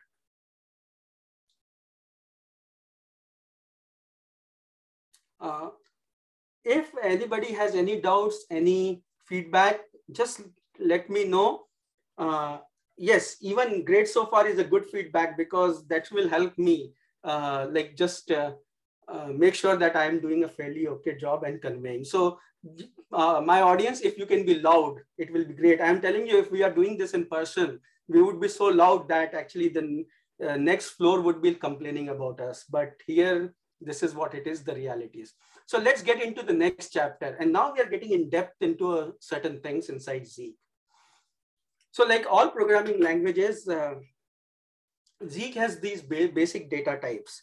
And we need to be familiar with these basic types. And actually, I, I like this section a little bit more because, you know, like I come from C background primarily and uh, a little bit, I can read a little bit C++, plus. but the deal is, you know, data type is the first chapter everywhere. So uh, the difference between like other programming languages in Zeek is that it has certain data types which are network centric, very, very specific to uh, uh, network traffic and allows us to expand them, expand on them very quickly uh, as, and we'll go through it. So I'm going to introduce the data types, what are the use cases, then what actually uh, uh, is redef, what does redef mean? And then uh, here is another slide which will be important to pay attention to, and it's called the concept of local and global scopes. So the previous slide, which was great, important was uh, events, functions, and hooks. The other one would be local and global scope. Uh, and then I'll talk about corner cases, subtleties, and then we start doing the exercises. And I think that's when the fun part starts. And, and trust me, like here, the slides are more theoretical, but as we move forward, the theory is going to be like two slides and we'll do more exercises.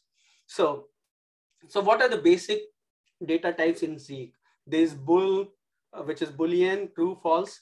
There is counts, integers, and doubles. And these are the numeric types based on unsigned integer, integer. Um, then there are time types, which is like just literal time as well as interval, which is difference of time. Then we have string. Now, network centric, IDS centric is a pattern. So this is actually a regular expression. Uh, so you can de declare all kinds of regular expressions as type pattern. And uh, use cases for those can be something like uh, uh SQL injection, uh, uh, a pattern which flags SQL injections in URL, for example. But here are the types which actually made me attract towards Zeek, which was that it has a built-in type called port, address, and subnet. So if you declare something as an address, it will actually pick it up as an address and it will compare things. So and an address is pretty smart in sense that you can define IPv4, you can define IPv6, and both are fine. But these are network types make them your friend. Then there are other types too, which is enum, uh, which actually is more uh, uh, for creating your own records in user-defined types. So we will get into this in section chapter five. So, but in this particular thing, make pattern your friend, port, address, and subnet your friend, get very familiar with them. And then here are the container types, which we'll want to get very familiar. You will end up using a table, sets, vectors and records quite a lot. And then there is, we've already talked about uh, functions, events, and hooks here. And there are additional types like opaque and uh, for example, uh, mm, Bloom filters are opaque, cardinality is opaque of cardinality is there. Uh, let's let's not get into it for now. But but yeah, here is the data types. Let's go into simpler version of it. So like, you know, port is a data type. So you can define SSH port of type port. And then you can say, you know what, 22 TCP is my SSH port. But now it gets further down, like you can say watch destination port. So these are the ports I want to watch on. And that becomes a set of port. And here is all these four different ports, which actually uh, are in my destination watch list.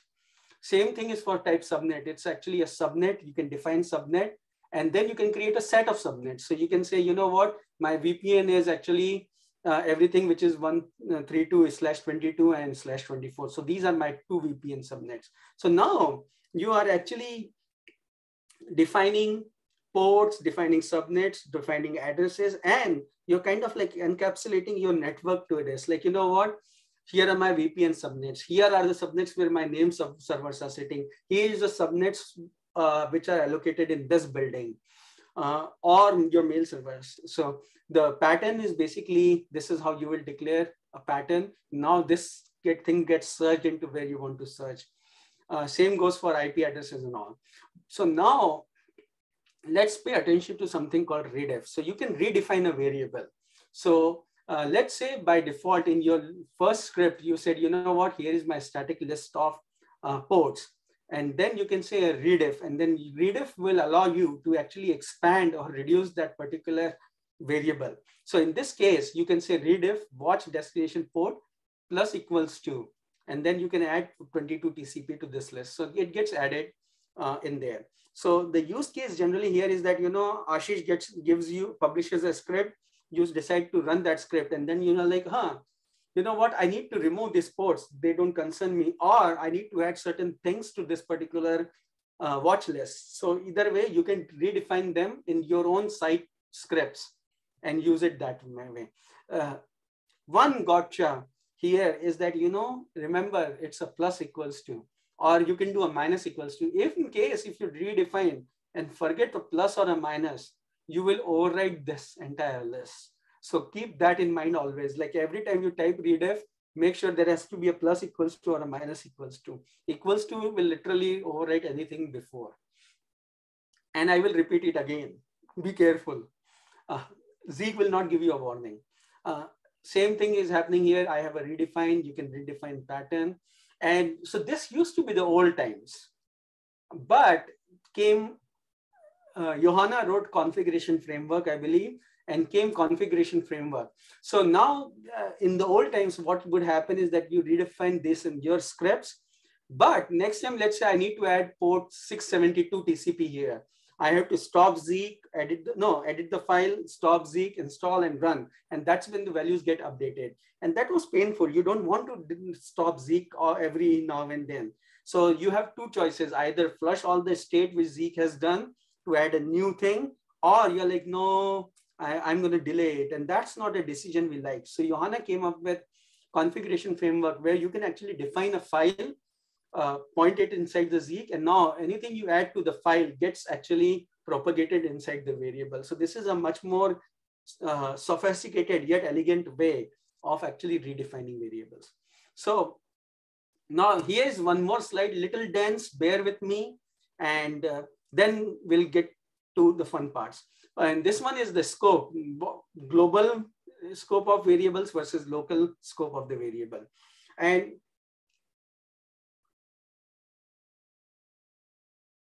No, this is uh, this is the right right place to ask this question about option, and uh, I'll paste you the link uh, once uh, I, I we get into a break or something. But uh, actually, you know what? Good point. This is a really good point. I like your question because I haven't even updated my slide deck for this. But what option does is that you know you define uh, variables as either global, you local, or uh, expand constant, but then you can expand them with redef. But then when the configuration framework emerged, you can actually define a variable as type option. And what option does is that that tells Zeek that, you know, oh, there is one here. Option tells Zeek that, you know what, this is going to be a configuration framework variable, which basically means that any changes in this file should get propagated and updated to this. So now uh, if we say option watch destination port, and let's say these three ports are added to uh, the file here, they will get propagated and they will get uh, updated in this. So option keyword is actually part of configuration framework. Search configuration framework, you will see it. Uh, so, and so the other scopes actually, so the option, the scope of option binds with configuration framework.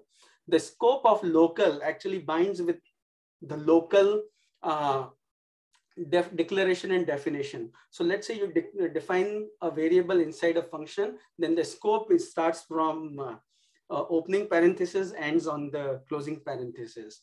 Uh, and you can actually define variables as a local scope inside functions, hooks, event handlers. And as long as they are local, they are inside that particular event, hook, function, or part of it.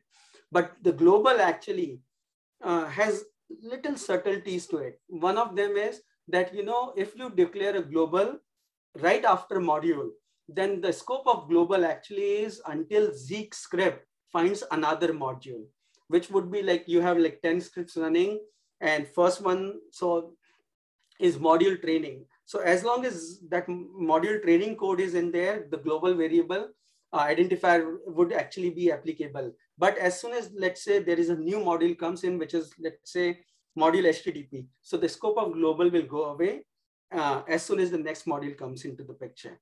But if you declare a global identifier inside an export block, then you should be able to, even if the scope ends when the next module comes in, you can call that uh, uh variable or a function inside another module with the namespace operator. So let's say there is something called module training. I declare a string called test. And then actually in another module called training two, I can actually call test with the namespace operator of double colons and I can say training colon colon test. And this actually expands the global. Export allows the global variables uh, and uh, functions and events to be accessed across module boundaries. So, so things to pay attention here is if you declare global in module outside ex, uh, export, it is only in that module until next module comes into the picture. But if you export it, then you can call it in other modules too. So now uh, we are on the, like this exercise uh, and like a first break for the talk.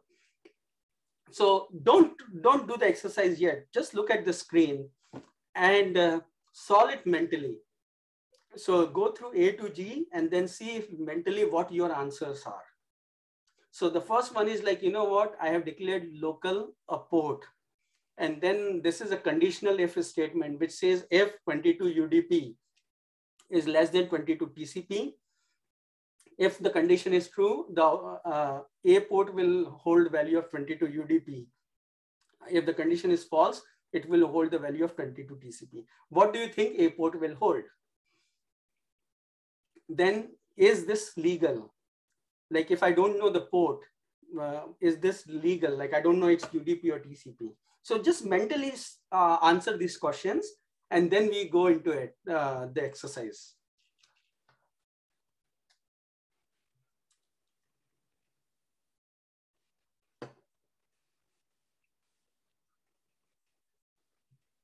This one is the C1 is, is uh, this equal to 192.168.100. Print true or false. What will be the value of a if I actually declare, define A as www.google.com. What do you think would be A? Would it be www.google.com or something else? Uh, so if you have already answered these questions, let's go to the exercise part, uh, which is here. So let's go to zero one basic types.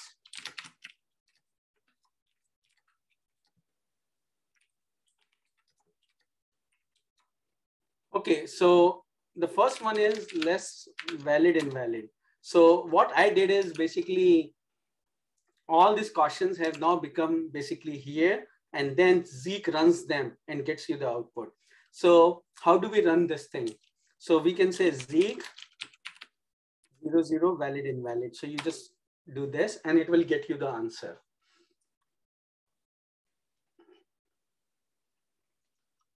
So a port is unknown. So 22 unknown is actually a valid port inside Zeek.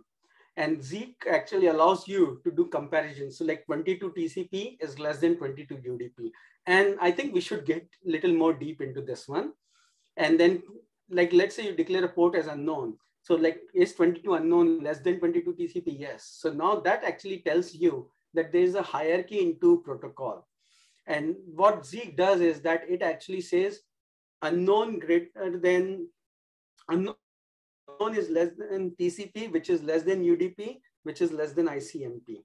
So, and but where would you compare ports? Like you can compare port is like is destination port equals to 80 uh, TCP, which is fine. But like, would you ever compare uh, port uh, 80 UDP with 80 TCP, you will not generally do it. It's not like it doesn't make sense. But what has hap what happens is that you know you might write heuristics or detections where you are like, you know what, uh, if destination port is less than 1024 TCP, then ignore. And in that case, what will happen is that, you know, anything uh, which is actually less than 1024, which includes all the unknown ports which are not defined yet, will be getting ignored as well. So uh, let's say in this case, if we say, you know what, if destination port is less than uh, 53 UDP, ignore. You are basically ignoring all the ports from 0 TCP to 65535 TCP and 0 UDP to 52 UDP. So you, you know, when you are doing an ignore with a comparison, make sure that you actually have a boundaries in place that, you know, if the port is less than equals to 53 UDP and zero UDP, for example. Uh, otherwise, you will end up, at may, you may end up ignoring the entire class of a protocol here. So hope this makes sense. And then let's look at the code. So, so we defined an IP address called IPv4. And then the, here is how IPv6 gets defined. So like any IPv6 address needs to be in a square brackets. Uh -huh. So they are represented with a square bracket. So now the question is like, is this is an IPv6 representation of an IPv4 address. That does is Zeek smart enough to know that this is an IPv6 representation of an IPv4 address? And if we do a comparison, what would it say? So it actually does say that, you know what, both of them are same here. So, so, so these, this is what makes uh, me actually uh, look forward to using Zeek in terms of network security because you know it has this built-in smartness with it. And same thing as here, uh, when you define local A and there is no type of this particular variable, Zeek would assume the type. And in this case, what we said is, is www.google.com. So Zeek would go resolve google.com, get the list of IP addresses. There is going to be more than one. So it defines A as a set of IP addresses. And that's what you will see here. A is a set of IPs with IPv6 address, which Google returned, and IPv4 address, which google.com returned at that point of time. So, so the point here actually is more that there is a built-in uh, smartness inside Zeek as well when you are playing with these particular uh, data types. So now let's get to the exercise. So, uh, so this was just valid invalid one. Now I would say that look at exercise one, two, and three. Those who are already familiar with these, I would say go look at find the bug and try to see if you can actually find these the bugs and fix them. Uh, and uh, for folks who actually are less adventurous or very new to the topic, I would say let's look at one, two, and three. So I'll walk through one first. So what we did in this particular case is that we defined a module called training and then we exported variables. And remember I told you, you can declare global outside uh, export as well, in which case its scope is only that particular module. But if you export it, then its scope actually goes beyond the module into other modules too, as long as you reference it with the namespace operator. So in this case, we said IP is 1.1.1.1, network is slash 24, 111024, and Boolean. And then in Zeek init, we are like, is IP part of this subnet? Then the answer is true. And then I cre created another module called module training.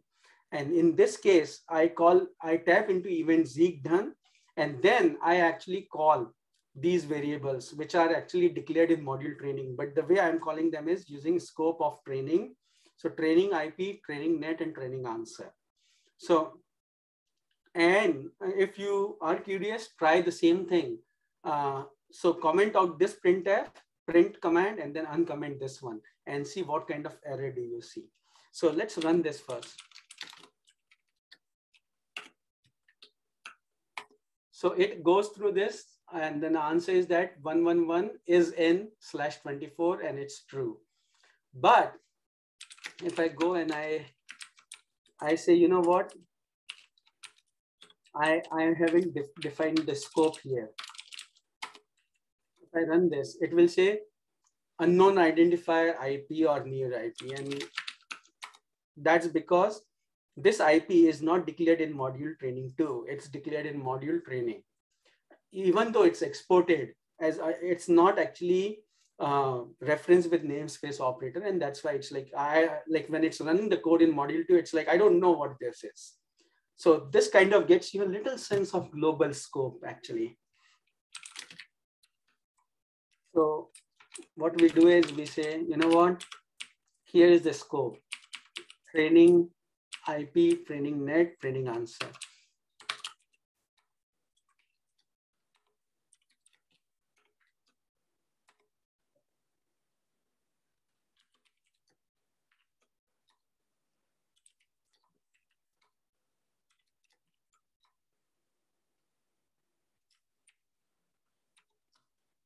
Let's run it this way. So the training two, I'm running, uh, it says, you know, IP is in one, two, and three. But what I actually did is that I created an, a variable called IP, which is actually of type, it's a set of addresses. And then I actually put the addresses in here. Then what I did is I re redefined this particular variable and later on, I expanded that variable. So I said, you know, redefine IP and plus equals to 2345. So when I go through this in Zeek, then I say, you know, for each IP address in this set of IPs, print me the number. So it actually would print all three of them. So this kind of tells you that, you know, uh, you can expand one variable. Uh, and number two, uh, you can redefine, expand by doing redefinitions, and then uh, this is how you will end up actually like sifting through those. Any questions so far?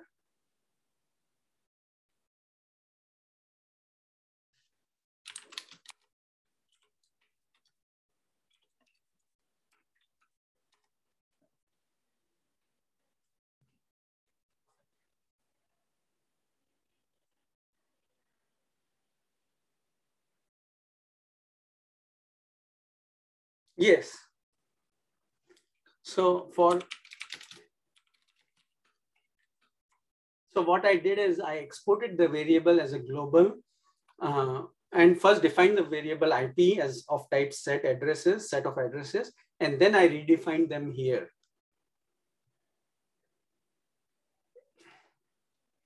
So redefine is basically expanded the set by adding a new value to it.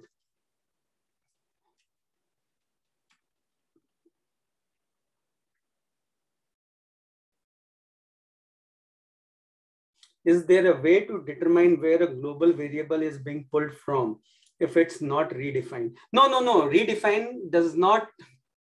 Uh, redefine actually is more for uh, adding a value to a variable or removing a value from a variable. Redefine does not actually affect the scope of the variable. And by scope, I mean that, you know, if the variable is global, then you can reference it across other scripts and modules as well, as long as it's exported. It's actually in between these two parentheses. But redefine generally is not for the scope purpose of it. It's more for cardinality, like for membership here in this case, where it's like, you know what, I want to expand this set and I, I want to add uh, something more to it. So is there a way to determine a global variable is being pulled from and not redefined? No, actually, the what will happen is something on this line. Let's just do this. So in this particular case, if you look at it, I actually defined the global variables in module training. And then I created another module called training two. And then I'm calling the variables from training one here. But because I'm not referencing the namespace of training, uh, module 2 does not know what these are because I haven't defined them here. And in that case, what will happen is that if I run, Zeek will say that this is an unknown identifier. I don't know what it is. So there is no way to quite determine it. The way to determine it is you, you do is fgrep dash w IP, and then you say star.z. And oh,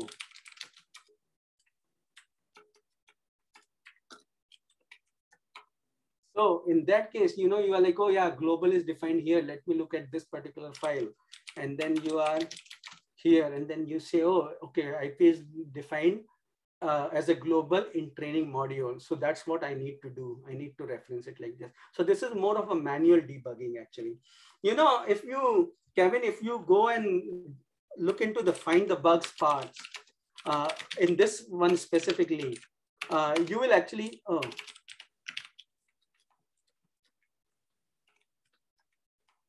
you know, if you go through these ones, you will get a pretty good understanding of the global versus local and how this works. And another one is actually here. Uh, let's see. Uh, so go to the Zeek documentation and global and let's search for global. So what this does is that, you know, it actually says, yeah, here it is. So now it actually gets you more illustration like variables are declared global. So this will help you actually get a better understanding on, of the description of uh, actually, yeah, maybe read this entire thing, declarations in uh, where is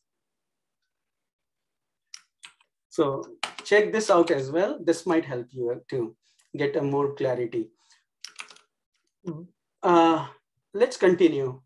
So uh, to repeat, uh, in case if uh, I confuse everybody else as well, uh, Zeek scripts are generally defined in modules, which are namespaces. Each heuristic is their own module. You can define variables locally in module as well as globally inside a module.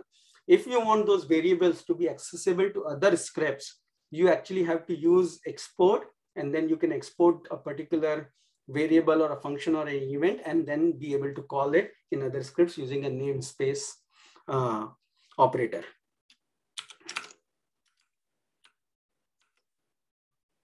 So uh, has anybody tried find the bugs?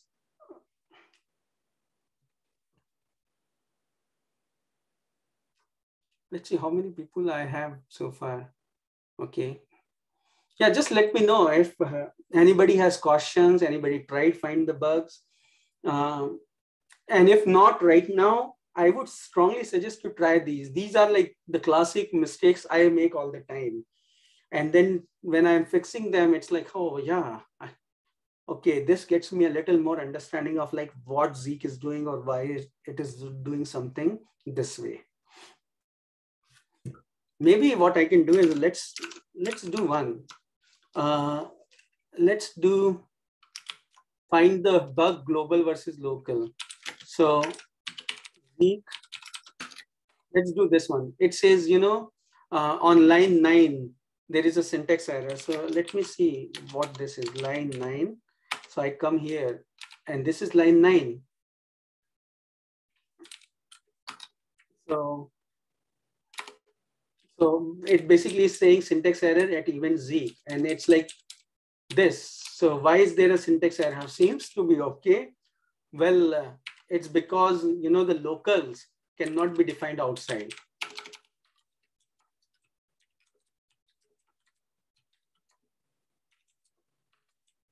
So here you can define local locals inside an event, inside a function or inside a hook, but not outside them.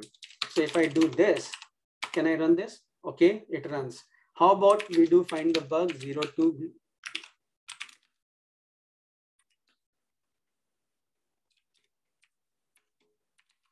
mm, zero one uh,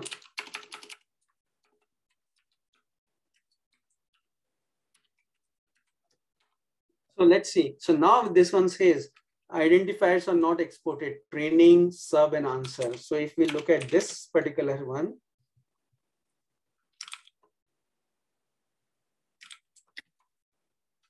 uh, so you know, Zeek has improved. So even though I defined them global, they are not in export.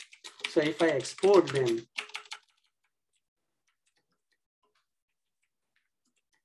now these actually get exported and uh, then their scope actually goes beyond the module training.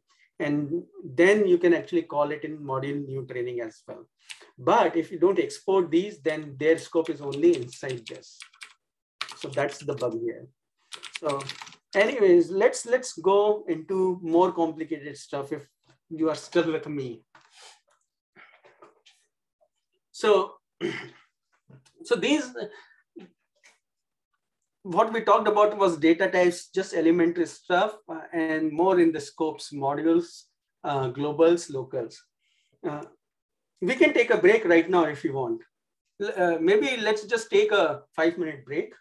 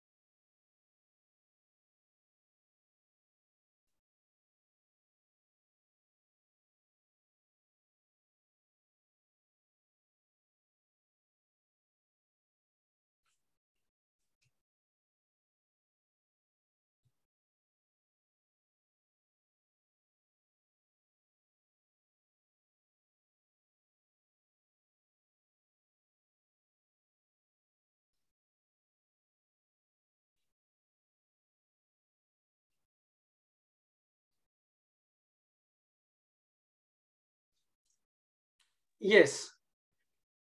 The, basically, the when it comes to syntax, it's very much similar to C++. It is pretty much C++ actually, just derived uh, uh, in a manner which actually suits more with the Zeek conventions of Zeek scripting. But underneath, Zeek is pretty much entire Zeek is C++. So yeah, if you are coming up from the C++ background, uh, if you don't uh, get a sense of Zeek, why, why Zeek is doing it, try to apply your C++ uh, fundamentals.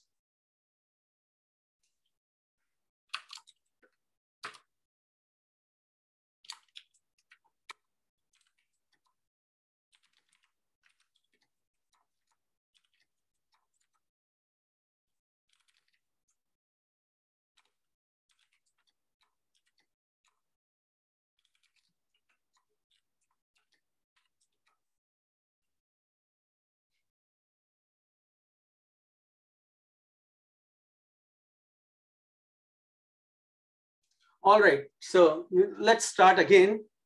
Uh, we are going to go into chapter two. This is going to be tapping into the events. And if you want to take, like, uh, just have one takeaway from this entire exercise class, uh, I, I hope it's chapter two. Because for beginners, this would actually get everybody into a mindset of like, okay, how do you tap into the events in Zeek? How do you use Zeek scripting actually? And uh, recall, I said there are three things which are primarily somewhat confusing. I have hard time like convincing people with it, but this is the third one of them. So like the scopes of the variables, if we can figure that part out.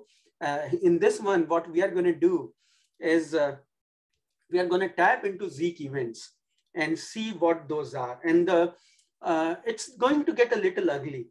And it's going to get ugly because, you know, the outputs are little uh, uh, difficult to read. Actually, they are just harsh on eyes. But let's go through this. So slide 35 to 40 is fundamentals of what events are. How do you look for right events? And then we go through the exercises. So now next like five slides. Now uh, the most of the class now is going to be a very few slides and some hands-on stuff. So let's see if, if we can give 15 minutes or so for this one. So so here is the thing. How does Zeek work at a high level? There are bytes going on the network. We actually put a tap or uh, like a load balancer, something, a network card, which feeds the bytes to Zeek on the interface. Zeek applies these protocol analyzers, which actually for me, it's like, you know, uh, something which understands the language of computers. So computers talk to each other, protocol analyzers understand that language, and then basically they translate the, those language of computers talking to each other to humans. And then the way they do it is they actually organize these protocols into structures uh, uh, and containers, and then they start populating those data structures. And then on certain conditions, which are defined inside Zeek, these particular uh, data structures actually uh, Zeek fires these events and then uh, puts those data structures as part of the event. So it actually is populated container, which actually we have access to if we can tap into that particular built-in function or an event. So event allows us access to the data. And then what we do is either we build upon that data or we manipulate this data and then we go into the next level, which is actually, is this data good or bad? Zeek does not tell us that. Zeek says, here is the bytes, here is the data. You decide if it's good or bad. So we actually manipulate this thing, uh, figure out anomalies, and then actually either our heuristics generate alerts or Zeek basically would uh, log it. So now let's get familiar with connection record. And of all places, this is the fun, most fundamental uh, to Zeek. But once you understand this, this, you should be able to understand across the board. So let, let me let me just go. Uh, what would be easier to do? Okay, so let's show you something. User local Zeek uh, logs current conduct. So this is actually so this is actually running on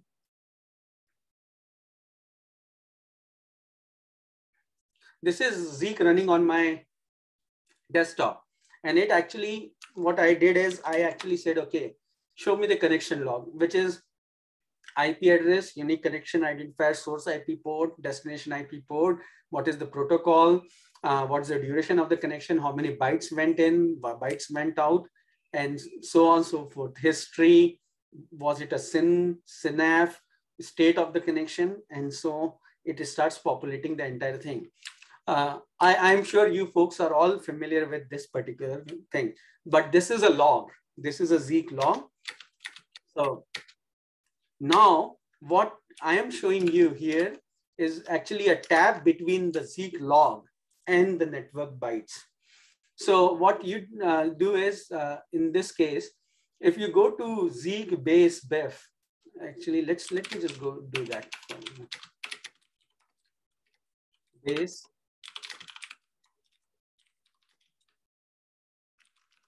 the CV plugins.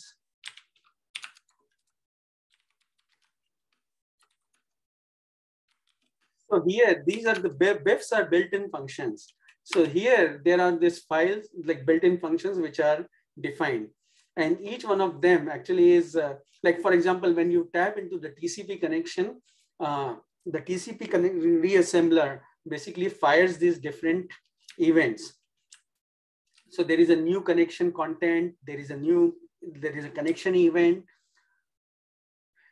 there are all these different events which are fired by the TCP reassembler. So for example, let's say partial connection. So this event is generated when a new active TCP connection, uh, for a new active TCP connection when Zeek did not see initial handshake. So maybe that the bytes get got dropped on the wire. Maybe the bad guys are just sending you a uh, ACK scan or reset packets. So Zeek will see all that and what will say, you know what, I am seeing a ACK packet, but I haven't seen a SYN packet. What's going on? So it will fire a partial connection event. So uh, I'll just show again. But th there are all these built-in functions available for all these different kinds of protocol analyzers which are put in place. Uh, we just pr primarily looked into TCP events. But going back here, if you grab on this particular file, TCP events, and just remove all the comments, you will see a list of all these different events which actually are built-in functions inside Zeek. For example, new connection contents, connection attempt, connection established. Recall, I just showed you new connection contents and partial connection one. So here are these Zeek built-in functions and events which get fired when Zeek sees a certain state transition in TCP reassembler. Now what we do is that the uh, what Zeek does is at the very end of all these things, uh, events which are fired, it will actually create a log entry and that log entry is what I showed you here, uh, the conn log. So this thing. So I don't want to just directly work with conn log. I want to do something with, uh, after Zeek sees the packets on the wire and before it gets written to the conn log. And this is what we'll be doing in this particular exercise. We are going to get fami familiar with the connection record and we are going to see how we can tap into it. So, so you know, uh, like you need to get familiar with different events in different protocol analyzers based on your needs. So in this specific screenshot, what you see is that I went into DNS uh, analyzer and then I grabbed on event and it actually gave me all the events which DNS analyzer provides to me. So let's say there is a uh, uh, basically DNS request. So when Zeek sees a DNS request, it actually fires an event called DNS request. It actually puts the connection record in there. Then what is the message, which is of type DNS message? What's the query? What's the query type? And what's the query class? So these things are seen by Zeek on the wire it understands it because it has a DNS protocol analyzer. Once it actually gets, parses all that data, it will populate these variables, uh, which are arguments to DNS requests. And what allows you is that you can call this event and actually tap into the values put into these particular arguments. So here is a little peek inside the connection record. So like, okay, how many different events which are, uh, which are related to TCP and uh, uses connection as an uh, uh, argument. So it's like If you see a SYN packet, Zeek will generate an event, connection attempt, established, finished. If you see the very first stack, it will generate an event, half finished, partial close, pending, rejected, reset. So there is all this different. So if you look at TCP as a state machine, every transition across the that particular state machine would generate a Zeek event. Now there are some which are useful to actually tap into, and then there are others which are a nightmare. If you just tap into Zeek SYN packet, you're going to get millions and millions of events, and you will just DOS yourself out. So that is not a smart thing to do. Uh, sometimes you tap into connection event, but most of the time, uh, you tap into the right ones, like for example, connection established. So if you tap, tap into connection established, it will let you create list of all the services because now you know that the TCP connection has been established. There was a full handshake and now uh, this particular service actually is accepting the connections and responding back. Uh, like for example, tapping into attempt actually allows us for scan detection. And connection state remove is a good one to know because it gets you an insight into the entirety of that particular connection. How many bytes were transferred, what was the state, what flags were in that particular TCP. Now, uh, a question here can be, like I'm just talking about TCP, what happens to in case of UDP or ICMP? So in UDP case, also Zeek actually treats UDP like TCP. So UDP has a source port, destination port. Zeek will treat that as a similar to source and destination port in TCP. But instead of like doing a TCP state machine tran uh, transition, Zeek does UDP specific functions like U, U, UDP request, UDP reply. So there would be UDP specific events which you can tap into. Same goes for ICMP. So now this is the theory. Now let's go through the exercise and let's see if I, we can make this a little more simplified than where we are. So here, uh, here. So now I am in actually uh, directory zero to exercise exploring events. So if you get there, uh, you will see four directories. There is traces, there is cautions, scripts, and find the bug. So let's cat on cautions. Okay, so everybody who already are familiar with connection events and all, uh, like how to tap into it, what I would like you to do is actually go and calculate, like do task one, task two, and task three, where uh, you want to calculate the total bytes used by a connection, and then uh, uh, what else you can actually do in connection 2.pcap. So answer these questions. So this is for people who already know this stuff, and for people who actually want to go ahead too. While uh, I'm gonna just slowly explain certain things in here. So I am now in scripts directory. And if you look at it, there are uh, about uh, eight different scripts which we will look at. So the first one is connection record preview. So what this does is that uh, recall there are some built-in functions and events, and this one is a new connection. So every time Zeek sees a connection, it will fire an event called new connection. And when it fires this event, it actually uh, gives you access to a data structure, a record called connect of type connection. And that is C. So now what we are going to do is that every time Zeek fires this event, what are the values of in, inside C? And please bear with me. This will hurt eyes a little bit. So Zeek uh, traces zero, one, and then you run the script like this. Huh. Oh, Okay, let me just explain what happened here so that others don't get surprised. What I did is I said Zeek, and then I said, here is the PCAP and here is the script. The reason this said unrecognized is because Zeek needs to read PCAP. So you have to say dash R. If you don't say dash R, it actually considers that actually as a Zeek script and tries to parse the script. So this should run. So if I run this, this is basically a dump of connection data structure inside Zeek. Now what you see here is that there is something called ID, connection ID, which actually is a record, has source IP address, source port, destination IP address, destination port. Then there is an ORIG. And then it actually, this is another record which actually measures the size, what is the state, how many packets were in this connection, bytes, what are the flow labels. And then this is actually the L2 address, but this generally is the IP address of the routers or the tabs. So this is for origin, uh, which is source in simplified words. And then this is for response, which is actually uh, the uh, destination. Then it also shows you the start time of this connection, what is the duration, and then there is a history. Now, these are all empty. If you see these fields are empty, it allocates a unique connection identifier. And then there are all these uninitialized sub data structures in there. And these are all initialized because we tabbed into new connection event. Zeek does not know anything except that it saw a SYN packet. So if we cat on this thing on conn.log, what we can see is that this is an SSH, but there is in full SF, but it just literally saw the first SYN and it actually generated this event. So in first SYN, what it would know is that there is this connection, source, destination, IP ports, etc., but nothing more than that. Now, uh, I, I mentioned something called source and destination. Zeek doesn't say source and dest here.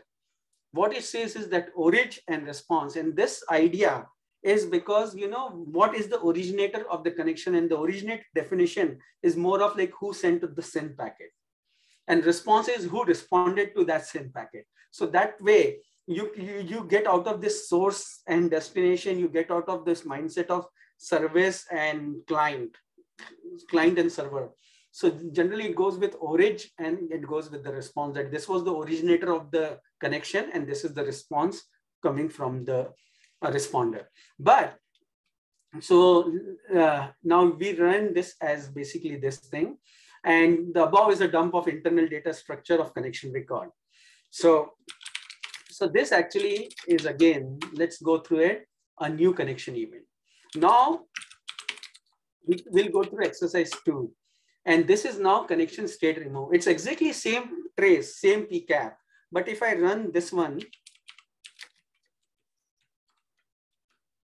uh,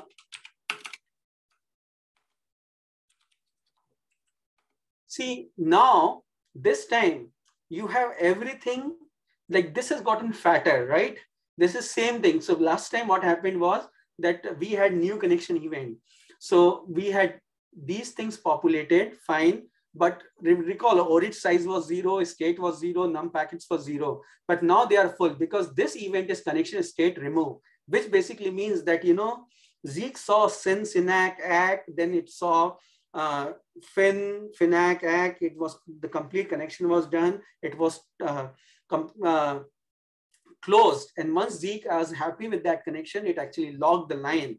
But connection state remove is the event which happens right before the connection is logged. And it actually now gives us a lot more information. It get, gets us all the bytes in the connection from responder, bytes in connection from the source. It even further goes and like attaches the SSH analyzer uh, with it. And then it says, you know, what kind of uh, things it saw in SSH.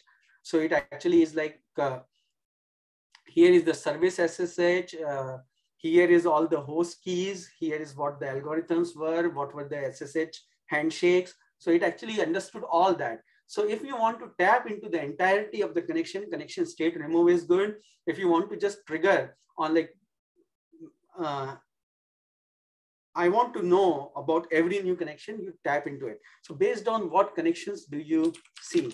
Now let's look at the third one, which is actually a hybrid what this one does is that it actually taps into new connection, connection established, and connection state remove. So basically, this is like uh, t equals to zero, t equals to five, and t equals to 10 in terms of the life cycle of this particular uh, SSH connection. And uh, I just try to make it like uh, like make the output more readable because yeah, this thing actually hurts a little bit of eyes. But if you see this, like I think uh, I was just looking at my own notes. Look at the SSH this on the 10th line onwards, the output, because this is all, uh, which I already talked about. But yeah, this is all basically uh, like SSH information inside the connection.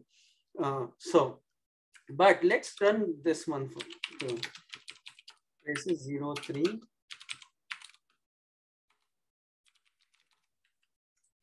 and I make the same, okay, here. So if you run this trace and it's same PCAP, what I showed you first time, the second time and third time. But what I did is instead of just dumping everything on the screen, now we are just looking at the bytes. So the first event was the new connection, then there was connection established and then removed. So when it was new connection, everything is zero. Connection established, now it actually says that there is, you know, one packet was sent, 64 bytes were there of which like I believe uh, uh, what 40 bytes are IP and then like 24 are uh, TCP, something like that, right? The size of the IP header is 40 bytes, the TCP or something on those lines. So, but it has 64 bytes. Uh, there is not much going on the response part, but the connection was established because it saw like SYN, SYN-ACK, ACK, and then here, when the connection is removed, it actually knows that how many bytes the origin sent, how many bytes the responder sent, what, what are, are the total things uh, going on. So, so this actually gets you idea. But if you look at this particular code, what we see is another thing, which is uh, see, like so far in zero one exercise and zero two exercise, we just printed C. But if you want to print the uh, values of other parts of the record, then you can use the operator called dollar. So now here what I said is, you know what, there is another record called orig and another record called response. So I wanted to print that out of the C, the, big C record. So it's like C dollar orig. And here, uh, see, so it has C dollar orig. And then this record actually has these particular members in it, which is size, state, bytes. So let's just pick this one. So if I say go back and edit this file,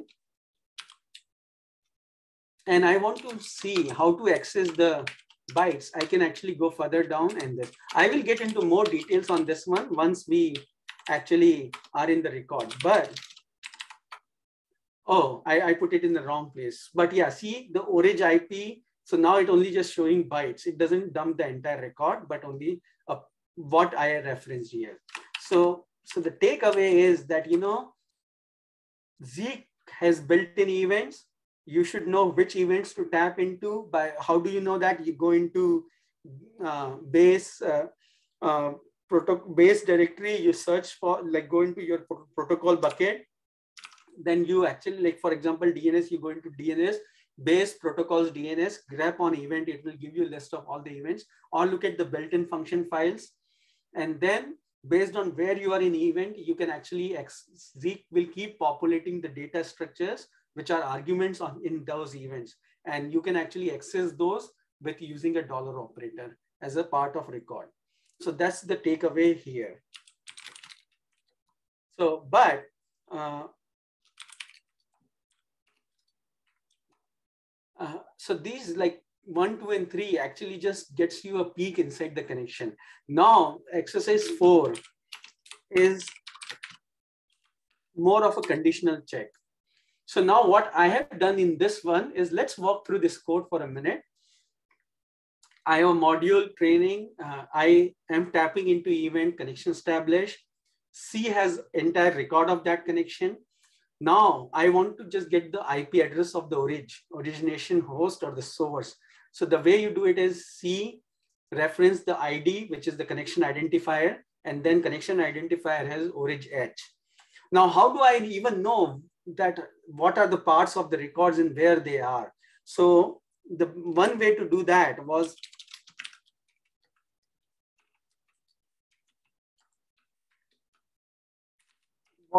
what I have done in past, which is actually just dump the variables the arguments in that event. And then you can look at it is like, this is identifier, this is origin, uh, this is the start time and so on and so forth. And other way to do the same thing is, uh, let me just go here because it's easy here. Uh, so I'm in the base directory. I go into protocols, look at it. So I am in user local Zeek, share Zeek base protocol. Let's go to conn. And then if you look at the main.zeek, here is the record. this is the timestamp unique identifier. This is connection ID, which itself is a record of that connection identifier. Here's protocol service. So you look at this thing, there is all the description here. And this particular record is what you see in the connection conn.log file as well. But it has all the description. Uh, I don't expect you to go remember all this stuff or look at this. Feel free to ask eventually or in an email as well or explore. Otherwise, I mean, the best thing to do is just grep. Uh, you will see a whole lot of things coming up. So, but uh, he, uh, yeah, so, so uh, we were looking at the four. So here, this is how you will actually go and get the value of the origin IP in here. This is the how you get the port in variable called service. And then uh, recall I mentioned about the variables as well, which says like the data type. So if the service is equals to port 22, then you can say I found the SSH connection. If the IP is 8692, then I find this connection and this service. So basically what I'm doing here is literally tapping into the connection record, extracting the IP address and the service, checking what they are, and then printing an output out of it. So let's just run this one.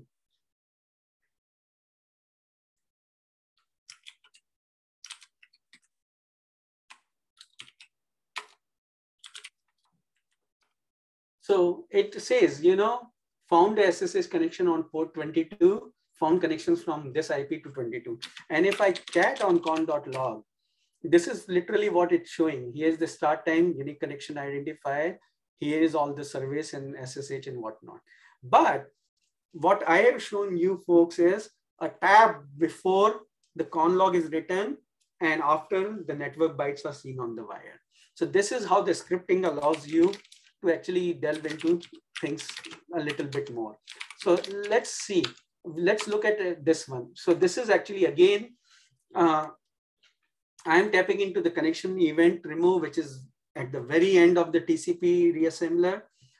I'm tapping into all the different variables. So there is like, you know, I can print the connection record as C conn. But then I'm like, you know what, here's the IP address, which is C connection identifier and then origination host. Connection identifier respond host. Then we have a destination port and then there is a service. And then what is the connection state? So we actually are able to tap into all this and pull those values into this variable. And then I say that if the IP is in local nets, so this is my set of network subnets. So if IP is in local nets, then you actually say that here is this output. So this is the way you actually tap into these built-in connections to pull things what you want. So let's run this one too. Uh, zero five, right? Zero five, and let's run this one. So it's a, it's here. So this is C a C dollar conn. So it actually gave me the entire connection and then it went through the conditional check and told me that, you know, I attempted an SSH connection to this IP on this port. So this IP address. So uh, are you folks with me where I'm trying to explain that, you know,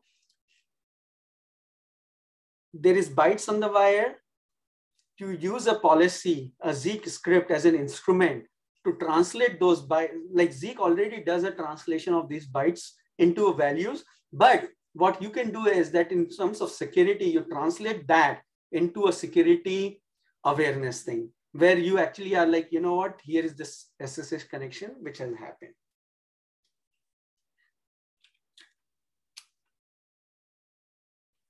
Uh, thanks, Kevin. Uh, your uh, uh, comment is great for me as well because I was actually getting nervous that am I actually uh, like scaring people away or confusing. It's it, this is useful to hear. Uh, so let's let's now I, I'll get ambitious and show one more. Uh, so here is one. Uh, uh, so here is this thing like the sixth one is connection attempt versus connection established. So let's just run this one first and then we can look into it. Zero six, and then you run this code.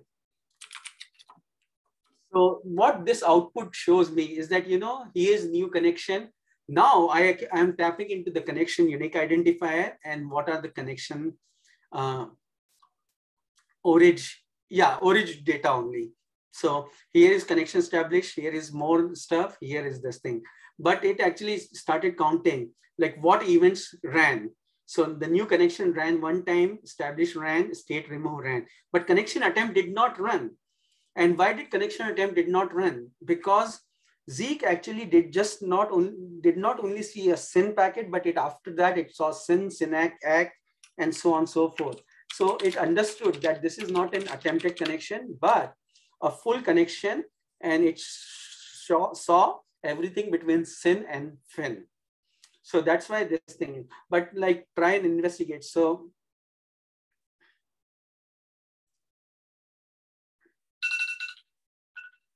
Okay, so so I actually I, I I am ahead of myself. What I wanted you to do is actually see in this particular trace, like you know, if we run it with HTTP PCAP, this thing.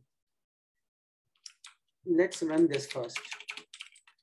I think I already answered the question, but it's still a good illustration. So we run with, oh,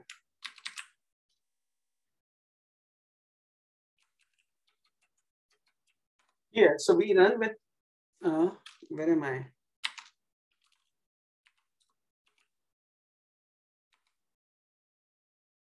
Huh, okay, maybe this is not quite updated. Let's just run it with uh, 07 again and let's go from there.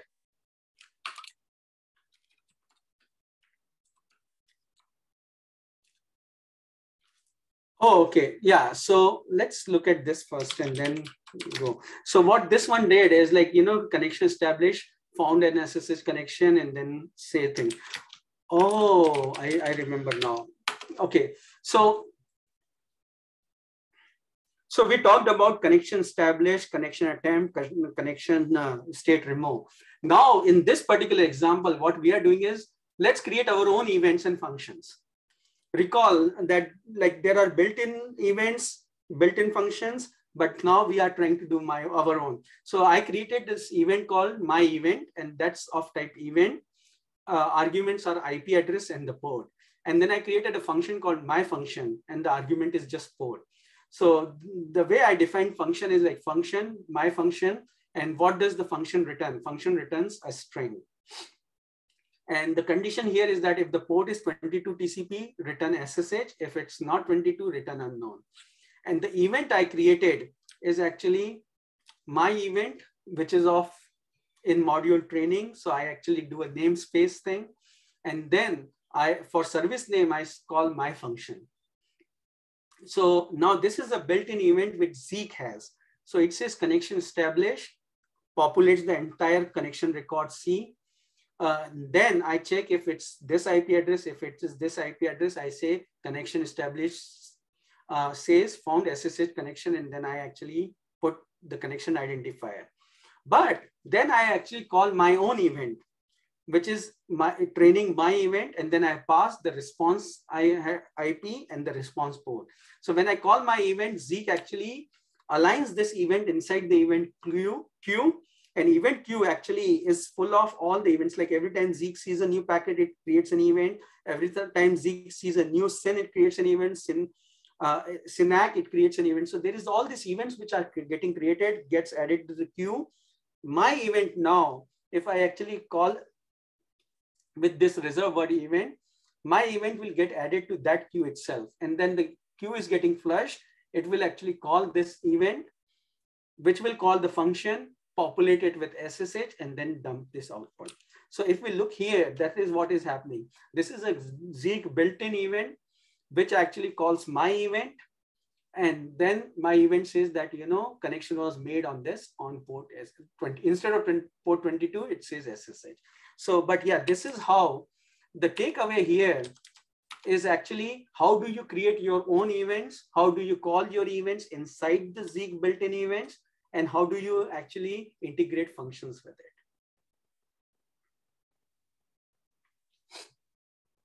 So, so this is what this particular exercise will show you.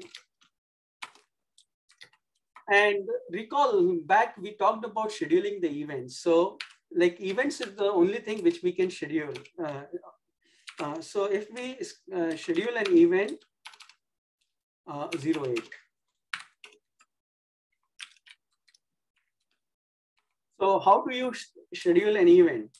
So the way you do it is you actually say schedule and then you put the timestamp, like how long after which it should get scheduled. And then you can call that. So this is, I mean, in the most simplified way, this is the syntax of calling an event, scheduling an event. Now, when you schedule an event, there is one thing which needs to be kept in mind. Zeek will run in two ways. One of them is running, running on the PCAP and another is running on the wire.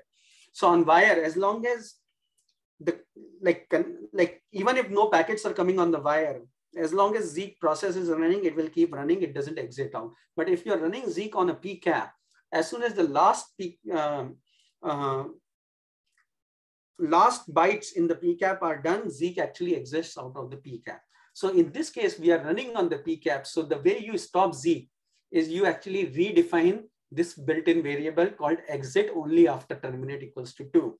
So this means that until I put a control C, Zeek will not exit out. And the reason for that is because it will process the PCAP, but the schedule of the event actually happens with the time relative to what the time is in the PCAP. So like Zeek runs, it takes less than microseconds to run through the PCAP, and then it schedules it for one second. By that time, the PCAP is over, Zeek will exit out. And if it exits out, I, it will not schedule my event. So this is my artificial way of actually making sure Zeek does not exit out. So let's let me show you this. Let me show you this. I'm going to say false. Zeek dash R traces 08 Oh, if there is no, uh, yeah, let's just use this.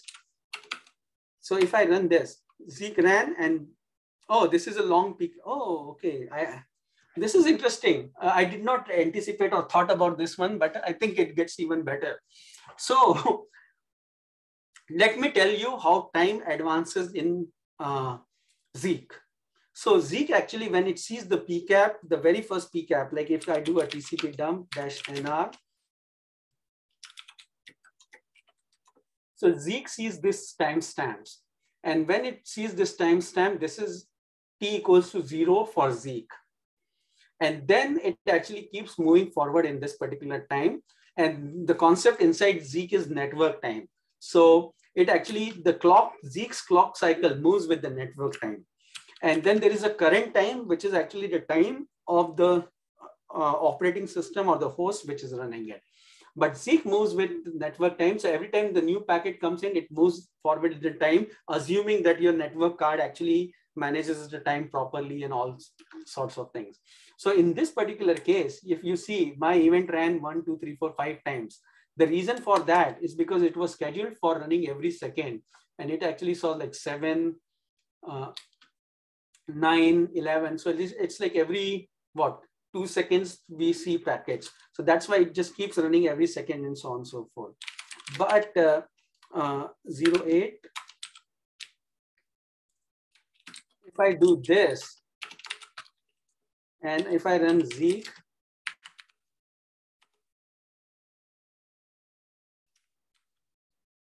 so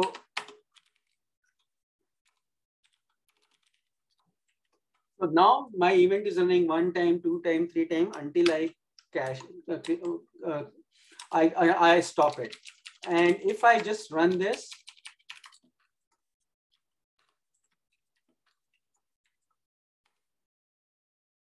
So this is how long Zeek took to just go through the code, run, boom, bang, done. So this is how you actually schedule the events out. You actually say the times. And in this particular case, I just said, you know what, uh, in Zeek init, call this event, and then this event actually schedules itself every one second. But uh, uh, let's take another little break. And uh, any questions so far? Yes. Why would one use schedule? So let me just think about it. Like where, where have I used schedule before?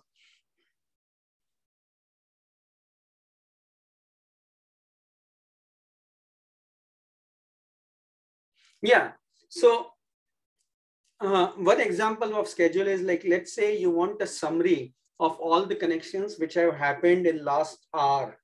So you can schedule uh, with a timer of one hour an event which actually goes through like your data structures or tables or sets, gets a summary and dumps it every hour for you. So that would be one way to do it. Other places I have scheduled is like, you know, one thing I can just remember directly is we have an end-to-end -end check running at Berkeley Lab. What that does is that it actually checks if the border DMZ blocking is working or not working properly. So when somebody scans LBNL, we find the scanner with Zeek and then we actually block them so that they cannot scan us anymore. Uh, is this capability working or not? So we actually have an end-to-end -end check, which schedules itself every half an hour to make sure that the blocking and unblocking is working or not uh, inside the Zeek subsystem. Uh, other places you schedule events is actually, let's say you have a file which you need to read uh, uh, every now and then. So you can schedule and then you can call input framework to read that file. Uh, and let me think of other places where I have used schedule quite a few times, but most of the time it has been generally for reading some values and then once I have collected all that information, then schedule an event to do something. For example, here, Kevin, you send me an email and that email actually says, hi, Aashish, how are you? And then you send me another email and it's like, uh, uh, hi, Aashish, uh, you didn't respond to my first email. So what I do is that I actually just read, like I make Zeek look at every email which Kevin sends to Aashish, and then I can schedule a summary of like how many emails did he send me all day and how, what all actually was the keywords in them, something on those lines. So, but we have another four minutes actually if there are other questions. Uh, and uh, otherwise people can have a bio break or a break, drink water, uh, relax, take a breath. And folks who actually uh, feel a bit adventurous, I would really love you to do like these exercises. Calculate and print total bytes in http.pcap.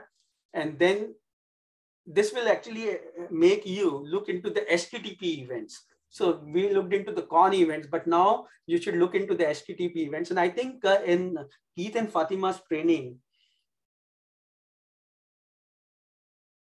uh, uh, good question, Brian.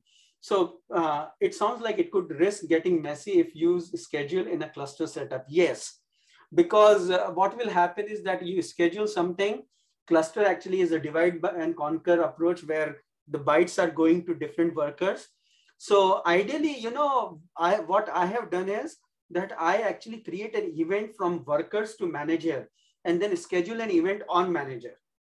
That way, all the workers report. Uh, I actually aggregate those uh, values in the manager and then basically, uh, let me see if I can sh show that one. Uh,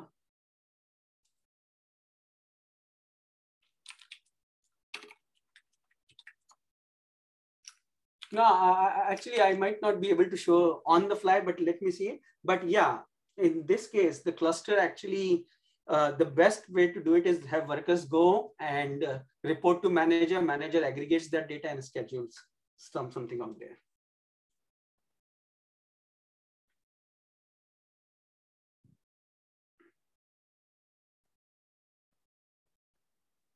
So, so that's uh, one way. Uh, what was I? Yeah, so if you go and look into this one, uh, the fun would be to actually look at HTTP PCAP and then actually tap into the right events for HTTP.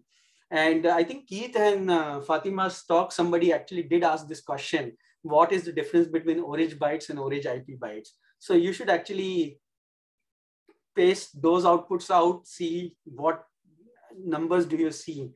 So one of them is actually based more on uh, TCP uh, sequence and acknowledgement number, and it Zeek tries to get guess the bytes based on how TCP protocol works. Whereas the other one is actually the bytes in the uh, IP headers. So, and then uh, it just goes on to like compare history, connection fields for both. So this is a little more advanced, but you know, you will definitely like uh, to learn out of these extra credits too. So I'm not going to go into this because I think uh, uh, I, am I'm doing pretty slow actually here. Uh, what do people think about the pace? Should I speed up?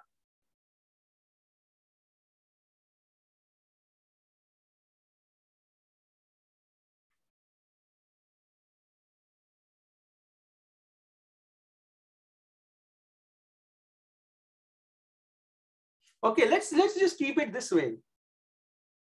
No, no, let's just keep it this way. I have no hurries to finish the slide deck. Uh, I'll rather have everybody like learn something and walk away, even if we do two slides today. So let's just keep it this way.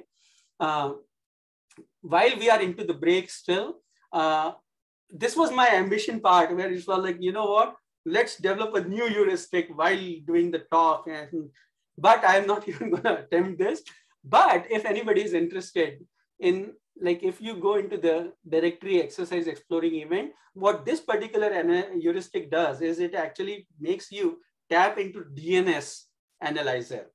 So uh, what you can do is you can come into this directory, uh, ls, and then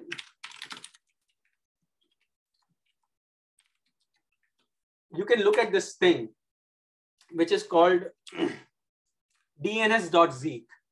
And what this one does is that, you know, it's module DNS.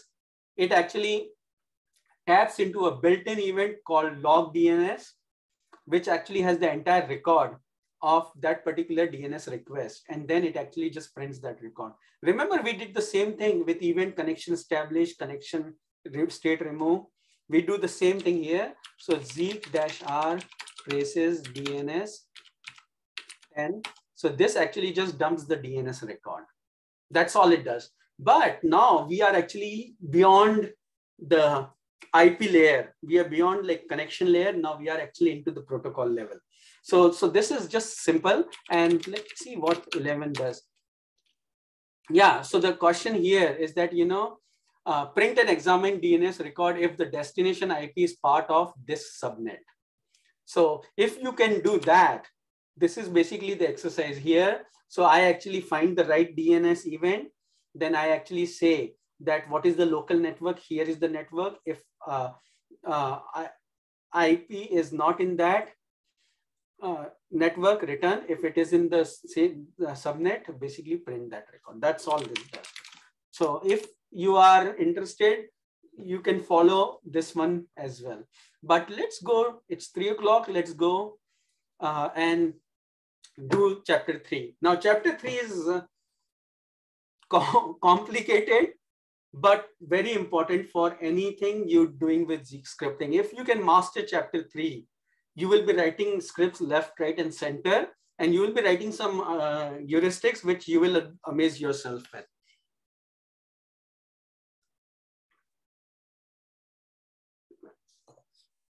And the thing here is uh, you cannot write Zeek scripts without uh, using these sets and containers, container types, sets, tables, and vectors, and so on and so forth. So these are very, very fundamental to Zeek scripting. What I'm doing here is that uh, next seven slides basically is introduce you to what sets and tables are, what their use cases are, then what is the richness, like how powerful they can get. And this is where things get confusing for a bunch of people so if you don't understand, uh, fear not, either ask or bear with me. I would rather prefer you ask. I think it gets little confusing when we are talking about expire functions and stuff. But then we'll go through the exercise and I can actually walk you through a few of them myself and let others actually try it out too. But yes, I know it's three o'clock. I know it's long, it's dense. I accept all that pay a little more attention if you can. So, so there are four container types inside Zeek. One of them is a set, uh, another is a table, then there is vector, and then there is record. So the set is actually uh, used to store unique elements of same data type. So let's say you have a set of IP addresses. Now, unique is that, you know, let's say the set of IP addresses is like 1.1.1.1, 2, 3, 4, 5. And now the same uh, IP address appears again 1.1.1, it will still be just one value inside the SIG. It's unique. Table is an associative array. Literally, like uh, you know, you can have a table uh, uh of uh, index address of type uh, of uh, count of a set of more complex record. Then there are vectors, and I think the vectors are pretty much arrays. But the person who I find is like stellar expert in vectors, Anthony Kasza. Uh, if you have a vector thing, you should like he has done stuff with vectors, which are way beyond uh, actually me. But uh, yeah, vectors is pretty much the arrays. Like that's the way you should uh, uh, see. Like you know, here is the vector of all the timestamps for this particular IP address, um, or he's a vector of uh, services. So something on those lines. And then there is record where you create your own unique data structure, which is not provided by Zeek, but you think that, you know what, I need a record or a data structure to store this particular things which are of my need. So let's, let's see. This will make it much easier. So like, for example, set. So set, you can use sets to represent networks. For example, you know, there is local nets you can actually create something called never drop nets. Like if here are these subnets, do not ever block on them. You can say, here are my live networks, here are my dark nets, here are my uh, subnets uh, or the IP addresses, which I have scan machines on them. Because if you have a vulnerability scanning program going on, you don't want Zeek to alert on everything your vulnerability team is doing. So you can actually create sets and tables for some things like that. You can even go further down and actually do much more better encapsulation. Like for example, you know, you create a table of type string of set subnets. And then you can say, you know what, building 11 has these subnets, building 12 has these subnets, building 13 has these subnets. So now you have a table of all the buildings and what all subnets are in those buildings. So that way, like, you know, you have a border Zeek running and you see something and then you're like, huh, why is this traffic going to building 11? And then you actually get somebody in building 11 to go and look into it. So you can do like a very uh, amazing kind of mapping of physical world with uh, network world here too. Or you can do things like whitelist, ignore these ports, ignore these services. Here are my institutional sets of DNS servers, mail servers. So table sets actually allow you for them. So now sets, how do you uh, use them? So the set is collection of unique elements. So like if you see on the right side of the screen, like I created a set called a set, which is a set of addresses. And now you actually have these values in there. And then you can do a membership test as well. Like, is this IP in set? Yes, that IP is in this set. And then it's a unique element.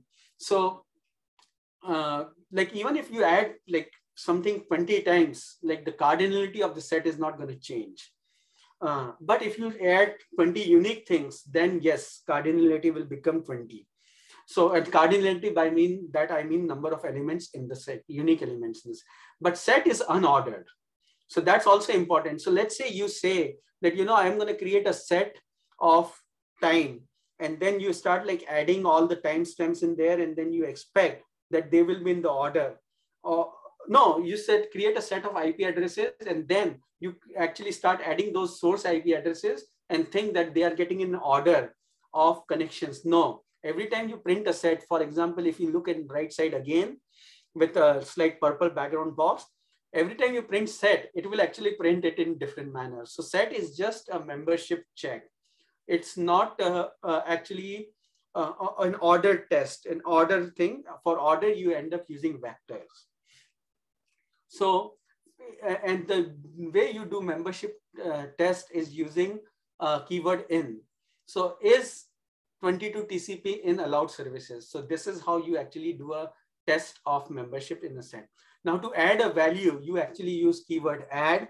And then, so like, let's say host. Host is actually a set of addresses I need to add an IP to the host. So I can just say add IP to host. If you want to delete, you just use delete and then same thing. Now set actually allows you some very powerful things. For example, you can do intersection of the set, union of the set, difference of the set. So, uh, and where do we use certain things like this? Well, what IP addresses overlap in building 11 and building 13?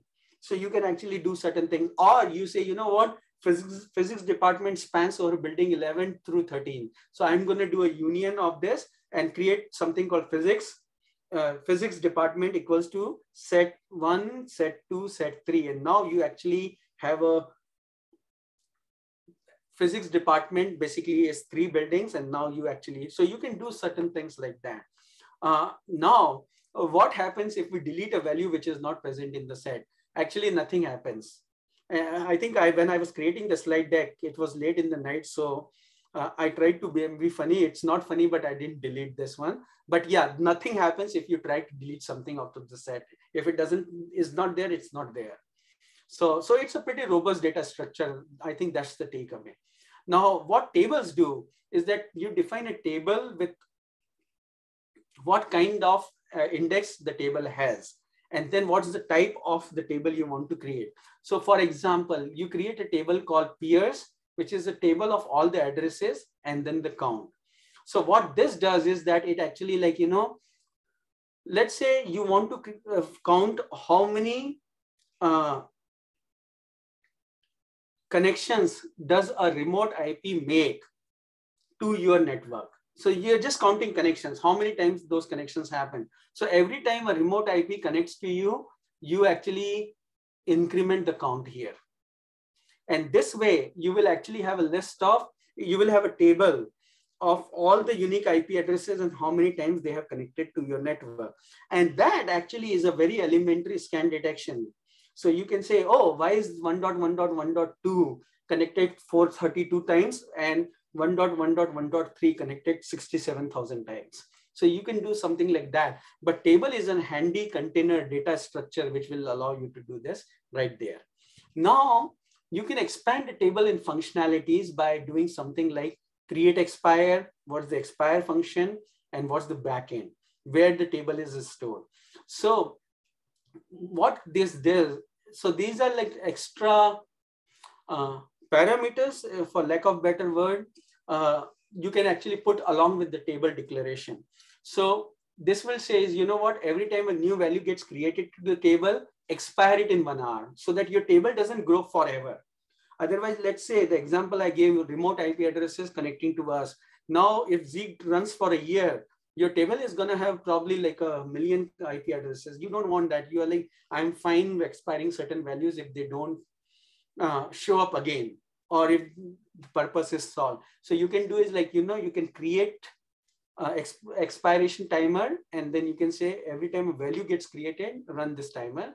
When it expires, it will actually fire a function called expire function. And this way you can actually say, you know what, this value got added to the table after an hour, it expires.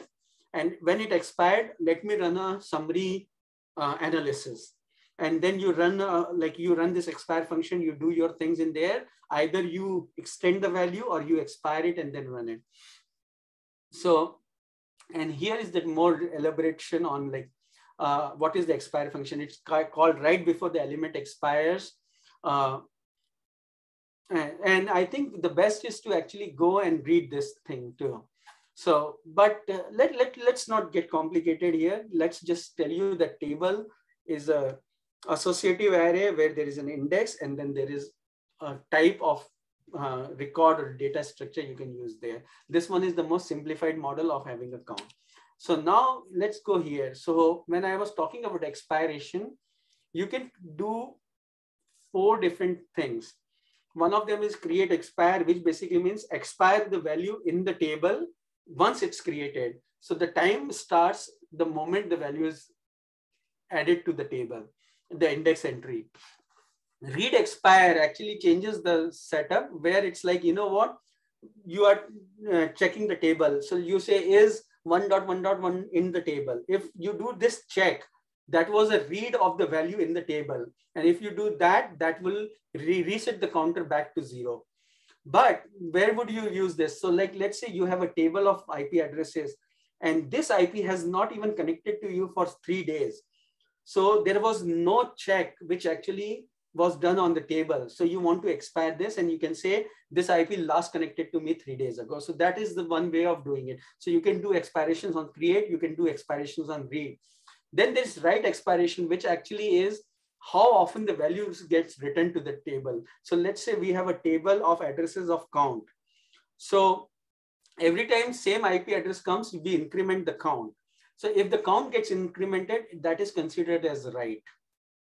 And if that is a write, then, you know, until uh, the value does not, uh, does not get appended or written again, that's when the timer will expire and it will go. So I know this is more than you asked for. That's why I put the URL. You should go and read this documentation. This will actually talk a lot about read expires, write expires, and create expire. But you know, like for example, create expires given amount of time since it has been inserted into the container, regardless of reads and writes. This one is expires amount of time, the last time it has, was written. And same goes for on change. On change is basically is the value gets manipulated, then you actually fire this event. Uh, most of the time, I generally end up with these three, create expire, read expire, and write expire. But let's make it little simpler so that it makes sense to you. So let's say I have a table uh, I have a table called distinct peers, which is actually a remote IP connecting to all the IP addresses in my network. So how many distinct IPs did a remote IP connect to? And let's say we give an expiration of three days by defining create expires three days. And once it expires, it actually calls this function called expire distinct peers. So what will happen is a remote IP, let's say IP.1 connected to 15 IP addresses in the lab or your network. So the set will contain 15 unique IP addresses. Let's say of those 15, it connected to one IP 20 times and another IP just one time. Doesn't matter. Remember, set only stores unique values. It does not store the number of times. So it will just still have 15 elements in there, even though the connections were uh, uh, 20 plus 14, 34 connections, but it will still show you 15 unique element IP addresses here. And then it expires. Once it expires, it calls this expire function. The way expire function is formed is actually what kind of table was it? So it's, it's this thing is literally the same definition of table here. So it's a table uh, uh, of index address of type set of addresses.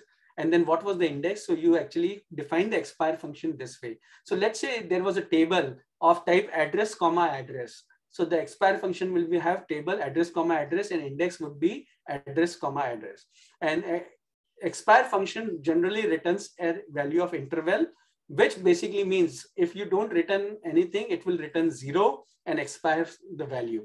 But in this case, I'm saying that, you know, if the IP is 1.1, just extend its life, don't expire it anymore.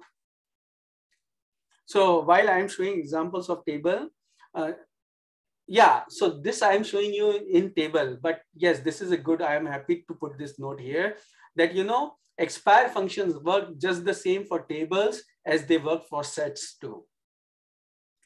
So this is theory. Maybe you are with me, maybe not, but let's go through the exercise and I'll explain a lot more and it will make uh, a lot better idea here. So uh, I will say just look at uh, zero, zero, uh, valid, invalid sets, and then basically just look at this script and see if you, it makes sense to you before I start actually going through other exercises. And let's uh, spend like 10 minutes on here till like 3.30.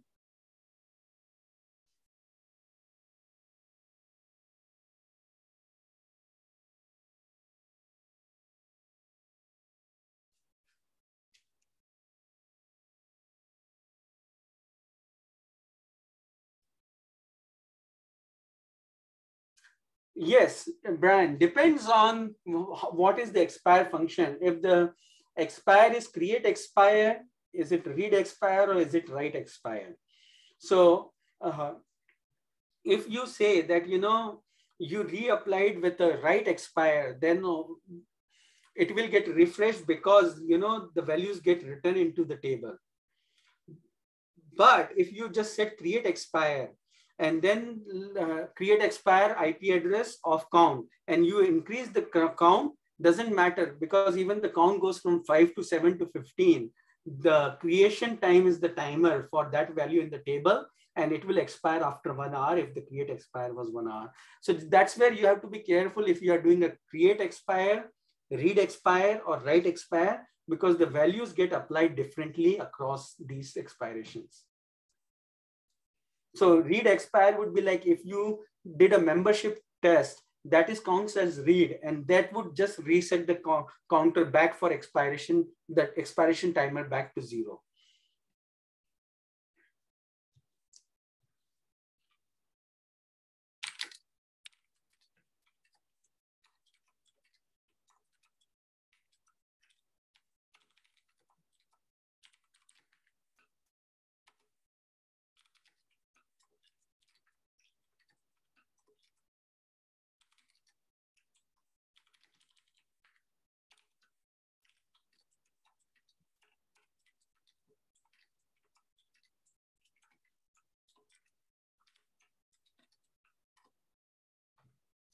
So uh, folks who actually are advanced or understands this stuff, I would say that, you know, if you're familiar with tables and sets, you should actually attempt these things like for each remote IP, how many unique ports do you see? Each remote IP, how many unique destinations do you see?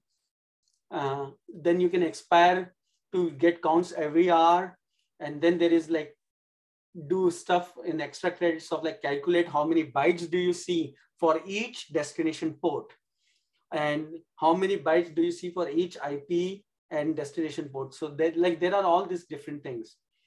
So if you want to do this and like the material I have covered would allow you to actually be able to answer these questions.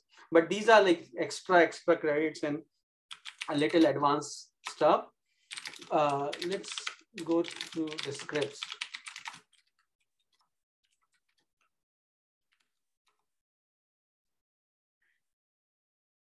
So this one basically just literally does is shows you set operations. Uh, so I'm going to keep quiet, and take a break myself, let people read it for a few minutes, like at least like two minutes. Then we, I start talking again.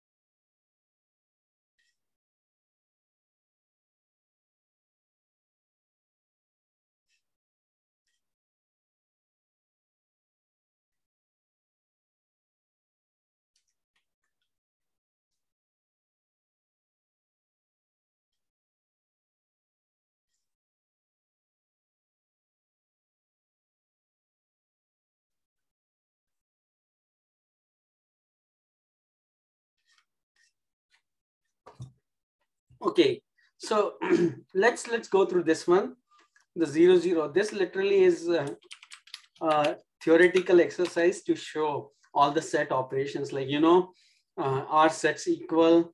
Uh, what is the union of the set? What is the intersection of the set? What is the difference of the set? And then recall long ago we did talk about local A, we did not even define what type it is. And then here, so that becomes a set of IP addresses. And then this is the membership check is 1.1 in a new. If yes, print this way. Uh, same thing, print this way. And then the membership test. So when you run these things here, this is the kind of output you're going to get. And then same goes for set addition subtraction. So here is, uh, in this exercise, we have following two sets. One is the set of ports and remote host is the set of IP addresses. So we store, oh, Zeek dash R traces zero one. So if we run this, it actually says, you know, unique services are seen are three, unique IPs are seen are 56. And if I look at this, uh, what it does is that I, I, I, just want to know how many unique IP addresses I am uh, talked with us and how many unique services. So I tap into just new connection event. I pull origin IP, I pull service, and then I create uh, actually I create uh, two variables, services, which is a set of port and remote host, which is set of addresses. And now remember, these are not exported. So they are global only in training module. So they cannot be quite accessed from another module. So let's say you have a module called DNS or training two, it cannot, to do, in order to do that, you have to put it inside export. In this case, I did not need it, so I did not do it but you have two sets. If service is not in the set of services, then you add service into the set of services. If IP is not in remote host, you add it to. And in event Zeek done, what I am doing is that I am part, traversing through the, all the members of the set and going through each service and then print the service, doing the same thing for host. And then the way you do the cardinality or the membership count is actually by putting it between two pipes. So now this will actually not give you all the elements of the services, but the number of unique elements in the services. And that's the output you see here, that the unique remote IP seen as 56, unique services seen as three, but here is the dump of all the elements of the set. So hope that makes a bit sense. So what I am doing is I'm actually dumping all the unique services and then all the unique IP addresses which are seen remote, and then the counts, which is the membership. So uh, let's look at, uh, so these are all the set operators in tables. Let's look at tables. Actually, this would be a better one. Uh, so in this case, what I did is remember in last time I had a services which was a set of ports and host which was a set of addresses. So I changed that now to actually have a table of index port of count. So now for every port, it will act. we will have a count of how many connections were to that particular port. And same is for how many connections we had to a particular remote from a remote IP addresses. We do the same thing again. We tap into new connection and we pull the variables out of the connection record uh, values and then we do a membership test. Same thing what we did in table. Uh, so set is service in services no. So in this case, because it's actually a service of type count, we have to initialize. So we initialize by saying services now has a service. So let's say 22 uh, TCP. Is 22 TCP in services? No. So services 22 TCP equals to zero. And then we increment the count here. Plus one. And same thing we do here. So this, if I run this one,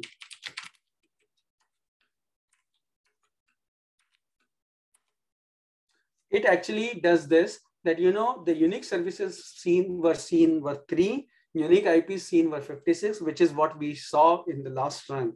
But now we know that port 22 was seen 30 times, 23 was seen 30 times, port 45 was seen four times, and this unique IP address was seen four times. And if I do a less on conn.log, this is what we'll see in the conn.log. That you know what, uh, here is this thing, right? All the services. Uh, here is this IP addresses. So traditionally what you do is this thing, awk dash f print dollar six, which is the service. So you see the dollar six and then you say sort unique dash C, and then you see this thing. So what I have done in this specific script is just take these bash commands and translate it into Zeek code. So now we know that port 22 was 30 times, 23 was 30 times, and 445 was four times. So let's just look at this again for simplicity purpose. I created a table, how many counts for port, how many counts for addresses, do a membership test. If not existing, initialize it. If it exists, no need to initialize, it actually goes here. Now, you can skip this part by actually doing something like this, where it's like default zero. So if you do a default zero, you don't even have to do a membership test to initialize. But it's a nice thing to do because when the, this gets complicated, like a table address of type, custom type, then you actually either do a default initialization or you just do initialization. So it gets, when your tables get complicated, initialization helps a lot here. So it's a good habit to actually do it this way. So let's look at uh, distinct peer services. So this one is same thing, but what I am doing this time is that, you know, what remote IP addresses was doing service. So I am doing more of a unique IP and the port count. So because we don't know yet that, you know, when we saw port 22 has 30 connections, like what IP had those 30 connections. So, and then I'm looking at distinct peers, like, you know, how many uh, distinct destination IPs did a, uh, uh, a, a specific remote IP touch, talk to. So how many distinct peers a remote IP ad address had. Same thing again, we pull the very values out of this connection record. This is built-in function. Zeek auto populates it for you, gives you everything handy. You test the membership. Previously, we were just testing the service. Now we are testing the response and service because that is the index we have here. Initialize them, increment the value. Same thing goes here. But now you see the difference.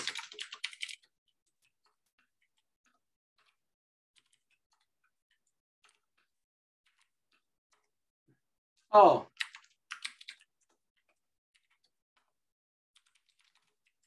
So now what you see is that unique services seen over 18 unique remote IP is this, but the cleaner version is that, you know, this particular IP connected to the 18 host and here are those 18 hosts.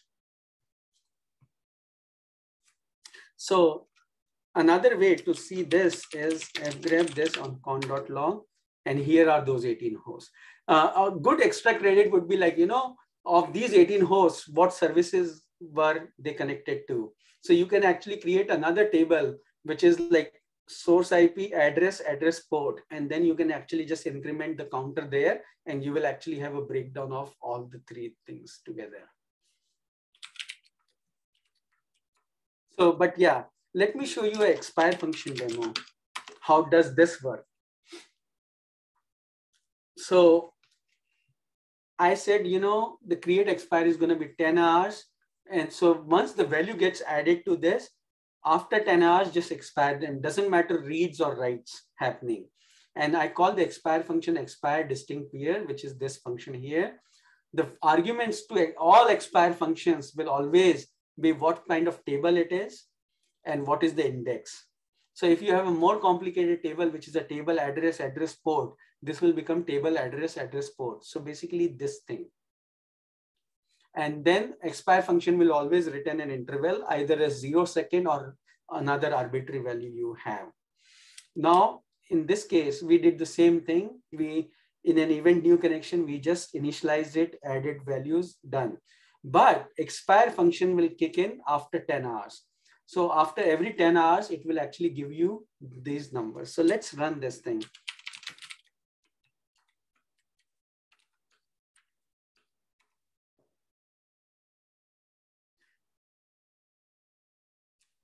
So here it literally says your process is not frozen. And the reason for that is because remember, I have a redef uh, exit only after terminate as true.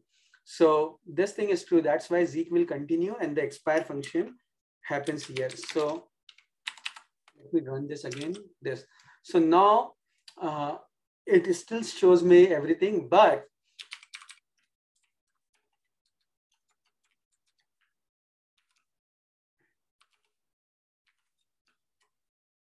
but my output actually is coming from the expire function. My output is not coming from Zeek done. So this is one of the ways you can actually add values to the table, uh, generate a summary as you see fit, and expire it after a certain amount of time. Now, you may not uh, be with me, but the takeaway here is that, you know, if you look at this code, you will know how to write an expire function, how to use it. If nothing, just have that as a takeaway. But uh, the, fun part is like, you know what? I can actually go even further. So let's just do this. Uh, let's do eight.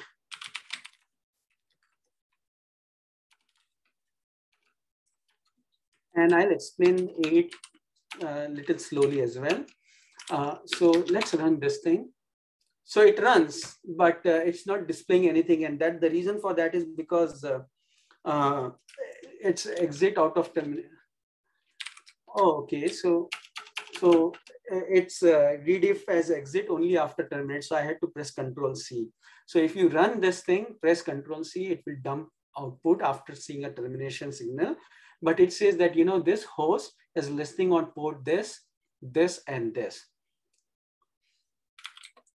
And it says why, like have you looked at HTTP log? So I'm like, oh, okay, let's look at the HTTP log. But let's not look at it first. First, look at uh,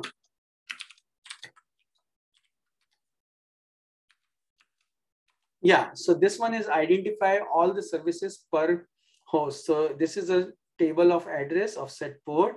It comes in here. You populate the services, and then event Zeek done. Actually, it just prints everything out. So in this case, uh, the print was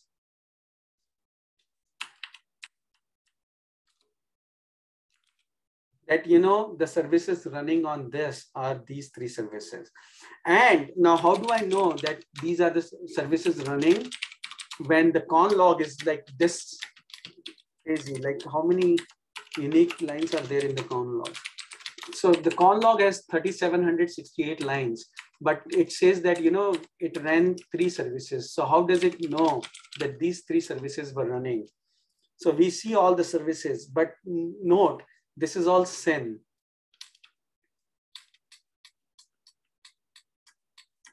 right but somewhere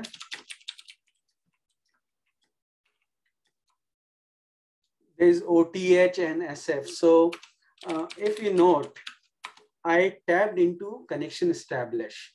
And connection establish is an event which will give you in already Zeek knows that you know there was a full SYN SYN-ACK ACK.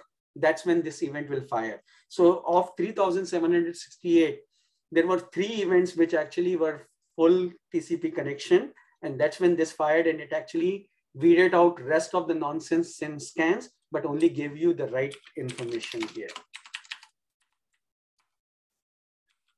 that you know this machine was listening really on these only and not other garbage which was just uh, uh, scan or probes going on so, so uh, look at these stuff again and find the bugs is a good part to learn in this one as well uh, i wish i would do it but you know we have another like what uh, do you guys want me to do find the bugs on this one and elaborate or uh, we can go further down and I'll explain certain more things. Uh, I my like my big win is if we have we are able to just be able to generate notices. So let me know. Meanwhile, I'll continue. So here is the deal. What I showed you so far has been Zeek scripts. But uh, ultimately, it just comes down to let's translate security into the code. Like, you know, the security is like, I would like to track how many connections does a remote IP address make? So that is the security. Now it translates to code as like, you know, table scanner of unique IP addresses, unique connections and IP address makes. So the IP address is here, it becomes index and how count is actually how many. So this becomes uh, basically a, like Zeek script of a security question like how many times two hosts have talked with each other in last one hour. So now that's a good security question. So what you do is you say, chatty or distinct peers. And then you can say, you know, here is source and destination IP addresses and how many times they have talked. And because it's past one hour, you say create expire of one hour. Every time the new record gets created, the timer actually expires in an hour. In expire function, you can actually go and say, uh, dump this output. And now you know how many times these two hosts have talked in last one hour. But it also matters which particular event you want to tap into. So you just want to know they have connected to each one each other. Connection attempt is a good one. Uh, or a new connection or if you think that you only want to talk you want to know about meaningful connections where the data has been transferred then you actually go with connection established so depending on what particular state of tcp you want to know about so the third one is like can you build all the services which are running on all the hosts in the network. And like this now actually translates more to security philosophy than even security question. It's like know your network. So, and by know your network, you want to know all the services running on all the hosts inside your network.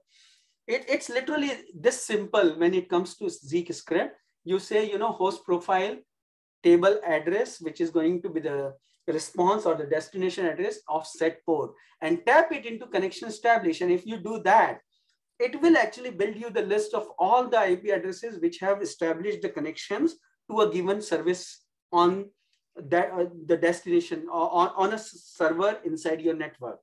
So, so this way, if you dump this table, you will know all the services running inside your network. So, so this is this is how you will translate security into the code. So you think about the next question you have, think about what data structure you want to use and then think about what event you want to tap into.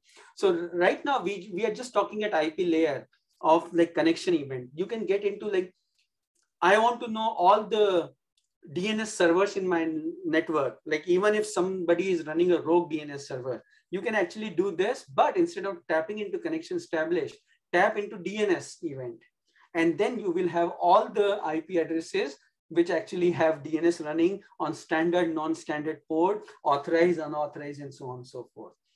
So, and now this is again like developing the new heuristic. Let's not go into this one. If I have uh, cycles at the end, I will just walk through all of this together.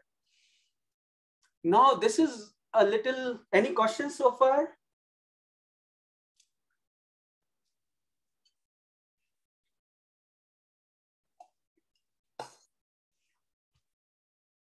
Okay, so let's go to chapter four. This should be a simpler chapter actually. In this, we, we have like four slides to cover in theory, and then we'll just run some more exercises. Uh, if you want to go run the exercise, you can do or look into them as well. But uh, what are records? How, how do you access the records? How records can be used? And then certain exercises. So record is a, actually a custom data type. In C, it's actually a structure uh, in C++, you can call it a class in loose sense, actually, but yes. So the way, and then record is actually, a, you know, your own defined data type. It's a user defined data type, and it allows you to build a lot of different uh, heuristics in a much more elegant manner. So in this particular example, what we are doing is we created a record called connection info. So the way you do it is the syntax is actually literally you say, this is a new data type, mm, put the name for that type, it's a record, and then what are the members of that record? So we said, you know what, I want to create a record called connection info with start time, end time, how many hosts, and because it's a set, it's going to be unique host, and what is the connection count. So basically, we are creating, we are actually now recording a given remote IP address, when did it start touching our network? When did it end touching our network? How many unique hosts did it touch? And how many unique connections did it make? And if I say a word, it will make more sense to you. Scan detection, right? When did this IP start scanning us? When did it end? How many did it uh, host it touched and how many connections because sometimes they touch only one host uh, sometimes they touch one host 100 times So the numbers will be different. And so the way you will end up doing this is global con, it's a table of remote IP address of type connection info. And connection info is this record here. And uh, to access the member of record, remember long ago I showed you that sees a connection record and it has member of like connection ID type. So you use dollar to actually reference it. And then if this ID has further records, a record of record, you use a dollar to reference it as well. So, and then sometimes there is uninitialized record. Long back, when I dumped the connection record uh, in new connection event, if you recall, there were a lot of uninitialized uh, variables. So if it's uninitialized, the way you check initialize or uninitialize is by putting a question mark in front of the reference to the record. So if it's initialized, if the value is set for this value uh, start time, it will be true. Otherwise, it's a false. So this is how you will actually know if the record is initialized or not. How you will know it soon. So basically, this is stolen from the tutorials, sorry, manual, Zeek manual. If you want to access the fields in record, you use a dollar sign. If you want to know if the field value exists, you use a question mark and a dollar. And this is a Boolean value, so it turns out to be a true or a false. Here are certain examples. So the connection record C actually has SMTP, and then is mail from set up in SMTP or not. So for that, you just do a check like this. Is reference set up in HTTP or not? You do a set like this. So, but here's the one I'm talking about. So you, you create a log here is a remote IP. It was blacklisted. How many days was it seen? Uh, what was the first time seen? What was the last time seen? How, what, when was it last active? How many hosts did it connected to? How many total connections did it make? And then because this is blacklist, it's actually the source of this blacklist was Tor. So these were all Tor IP addresses. So the way I created a record here is that, you know, connection stats is a record. What was the start time? Default is supposed to be zero and it's of type time. Same thing, end time is type time, default is zero. And then let's not go into opaque for now, but I, there is this data structure called opaque of cardinality. And this is a probabilistic data structure. So this allows you to replace sets and actually do a much better uh, uh, memory management, but let's not get in this one. Let's go this way.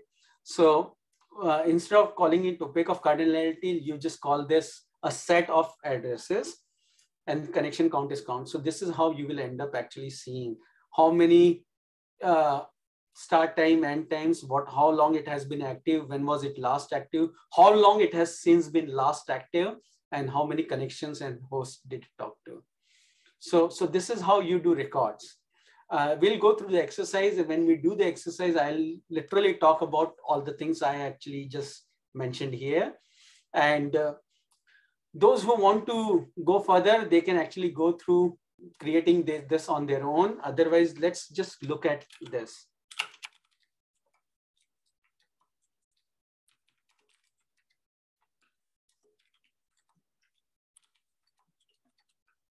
So the questions is, you know, you can go through these things like how many of, uh, can you keep a track of start and the end time of each IP pair? That's the big task we have.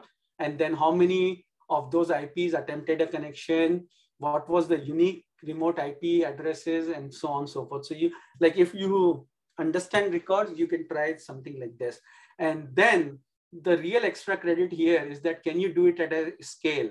Like the example I showed you was a Tor, generally like 2000 IP addresses.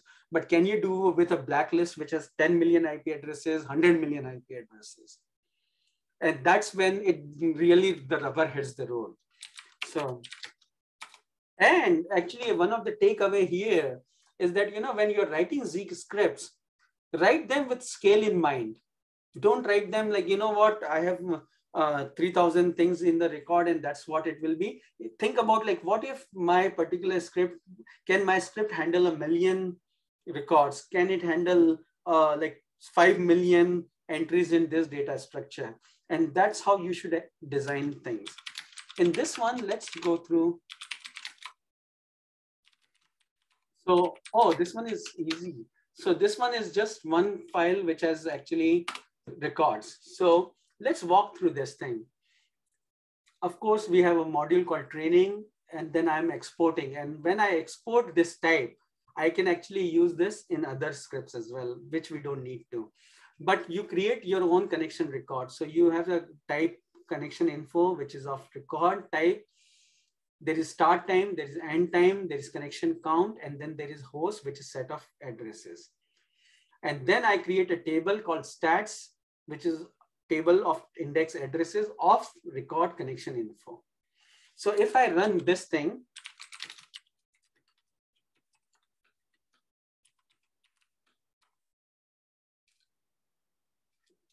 so you can see in this dump below, you can see the contents of stats table.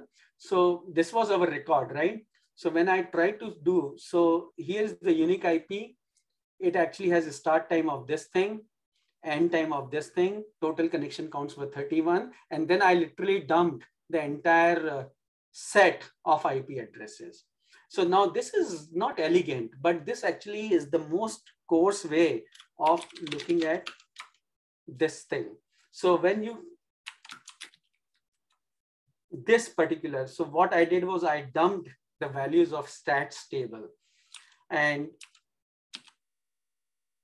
when you see this, this is how stats table looks in the memory. There's an index and then the index has is a table of uh, connection ID. So start time, end time, and then all the sets. So, so now I think what I say is uh, try to pin, print individual members of the record and you can use the dollar operator. So how do you do it? Like, can anybody answer that on Slack? If I want to print the individual members of this host record, how would I end up doing that?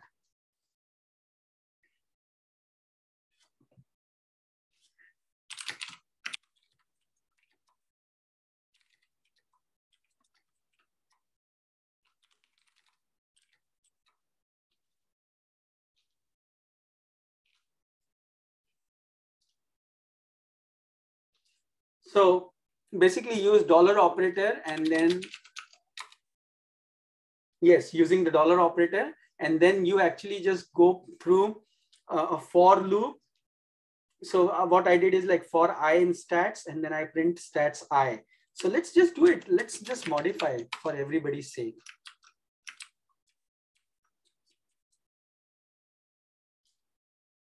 Uh, ID origin, no, but but no, no, no. In this case, see, uh, what we are doing is we are using table stats and stats has origin host, which actually is a uh, set itself. So, you know, for all the entries in table stats, I instead of printing this, what I will do is for IP in stats I, which is a host, print I stats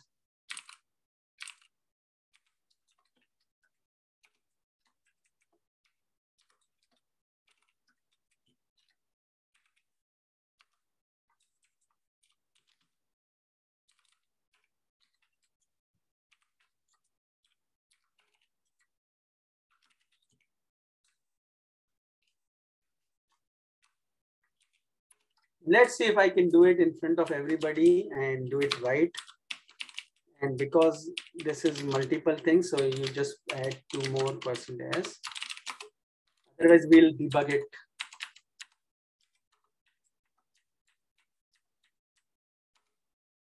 Okay, uh, syntax error, redef at end of file. So let's just go. Oh, bug here is that I put everything in a, I didn't close the parenthesis like this for loop. Okay, here. So what it did is this actually went through host, every value of the host, it iterated through it, and then it actually print, this is the IP address like record I, start time, end time, and then what are the elements values in the host. So it actually went through uh, the table and then it will print the value. Exactly, yes. So this is what I did. I actually went, I put another for loop and this. Okay, uh, uh, uh, uh, uh experienced advice. you know, try to avoid for loops inside Zeek. So this is nice for illustration purpose of like dumping in Zeek done event, but try like if you're putting a new connection event, try to avoid, try to write scripts without for loops. It's possible. If you ever find yourself writing something with a for loop inside a Zeek event, think twice or send me an email, aashish at lbl.gov. Uh, but uh, try to avoid. It's nice as an illustration. So, uh, but oh yeah, it's like see when we are developing this U, U, DNS heuristic, same thing is like you know DNS pointer queries are types like you know 0, 1, 2, 3, 4, 5. These are different kinds. So you create a record and now you actually say, you know what, here is this different things in this record. But uh, don't worry, I'll go through this at the end. Like at 420, I will walk through this entire thing. So now, uh, so this was so far, we have been pretty much stuck uh, with connection uh, log and everything inside connection. So we used sets, tables, records, uh, we use data types, but uh, all our examples have so far only been limited to uh, parsing the connection record with an assumption that you know you can do the same thing in HTTP, you can do the same thing in DNS, SMTP, SSL, and so on and so forth. So if you understand this part so far, it's just changes what particular uh, analyzer you are dealing with later on. Now we let's spend some time actually like 10, 15 minutes looking at extended logging. No, maybe five, seven minutes, and then uh, looking at the notice framework. So the logging framework actually is uh, another powerful tool. Uh, yes, there are other common pitfalls, like definitely don't use for loops, but uh, the, uh, the other common pitfalls generally comes into picture. Uh, Brian, you already mentioned one of them, which was a cluster. So when you're writing heuristics, make sure that they actually are clusterized or at least uh, uh, localized in a manner that it doesn't create a mess. So that's another common pitfall. People don't think of it from the clustering point of view. And I will, I, I have a few slides later in the deck, which actually uh, make you think in that manner. Then there is another common pitfall, uh, which actually is like, you know, try to minimize the number of uh, uh, execution paths or steps inside your Zeek script. If you don't need something, don't process it. And I will illustrate that too. But uh, let's look at logging and I will answer you. I, I'm going to keep this question in mind and answer it. I have a very good section to do that actually. Uh, so in logging framework, what Zeek allow, allows you to do is like you see the log. So we did talk about uh, uh, network bytes and connection log. And we talked about uh, most of the like tapping into the connection record we talked about is much closer to the network than to logging. But when we talk about logging framework, it actually is like we can tap into the things right before the uh, information is logged in the file or a little further than that, as well as you can create your own logging. So the way logging framework works is actually, you know, you should just look at this page, read this thing. This will actually explain it in thousand times better than I would ever be able to explain. So I, I put a handy URL here, but a log actually is basically, there are log streams. On those log streams, you can actually put filters. And like the filters, the concept of the filter was generally that, you know what, I just want to log source IP. I don't want to log destination IP addresses. I want to log uh, uh, only this part of the network, but not other part of network. And sometimes these are actually policy decisions. For example, Europe has a different way of uh, saying what you can log and you cannot. US has a different way of. Uh, my lab has a different way of logging certain things. So there are filters put in place for that. I generally end up using filters more uh, on things which are just too verbose logging. Uh, I remember a university used to have a undernet IRC servers uh, on their campus. And it's like, I don't want to log these billion connections to internet. Other times it's like, you know, your uh, name server is actually part of certain configuration file, which uh, Apache distributed to rest of the world. And now you don't want to log those. So you can do certain filterings like that. And, and then there are custom log files too, like where you create a new heuristic, uh, new analyzer. So you want to have your own custom log file. Won't it be pretty cool to have your own log? uh, which logs your own things. And then there are certain log separations and policy compliance. So the way you extend logging, for example, is basically you, so like the connection record, actually connection has a, a connection log, which we see here, like this thing. So this is a connection record and all the values of this record are actually these fields here. Now, let's say you want to actually put something after this. Let's say country code or GeoIP was one of the things which Keith and Fatema's uh, session actually mentioned. So you want to extend this further. So what you do is that, you know, uh, in this case, the example is like, is this a private IP address or is it not a private IP address? So you can actually extend the connection info record, which is this thing and just say is private and then that would be a true or false so the way you do it is you say plus equals to remember long ago i talked about redef if you don't say plus equals to it may override. So make sure it's plus equals to and then you extend is private of type boolean default is false. And then you can actually in connection state remove you can say is it pri- uh, see site private address space is actually in a set. Is your IP address in this set of private address spaces. If they are like 192.168, 172.16, 10.00.28, then you say this value is true.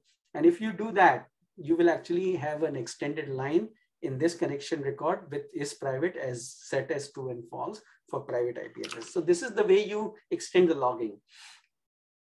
So do says like, you know, you enrich your logs with more data uh, you like the things which you care for and you remove the log file sizes by removing like uninteresting things but remember when you extend the logging especially for stuff like conn record don't make sure that you you know the log file is not going to be the same as default. So if you are exporting your logs to splunk and you change your logging file you you may have odd like problems in parsing the columns. Uh, so especially in ASCII, now you can actually like dump in JSON and it's a much more elegant way of parsing things out. And the order matters too in extended logging. So like, you know, uh, if is private and then there is something else here like country code, that ordering will add two columns in the order in which this was written. So, and I, I, I put this actually because we had a personal, I had a personal experience uh, LBL, the logs actually get pulled into ClickHouse. And I actually, what I did was I added, like I had two extensions, uh, redefs of the con, con, info. And one was peer. It's like what particular line mm, worker of the cluster actually processed this log line. And another one was GeoIP country codes, like source and destination country codes. So I, I, I loaded the files in different order. I first loaded peer and then I loaded country code. But ClickHouse actually was expecting country code before peer.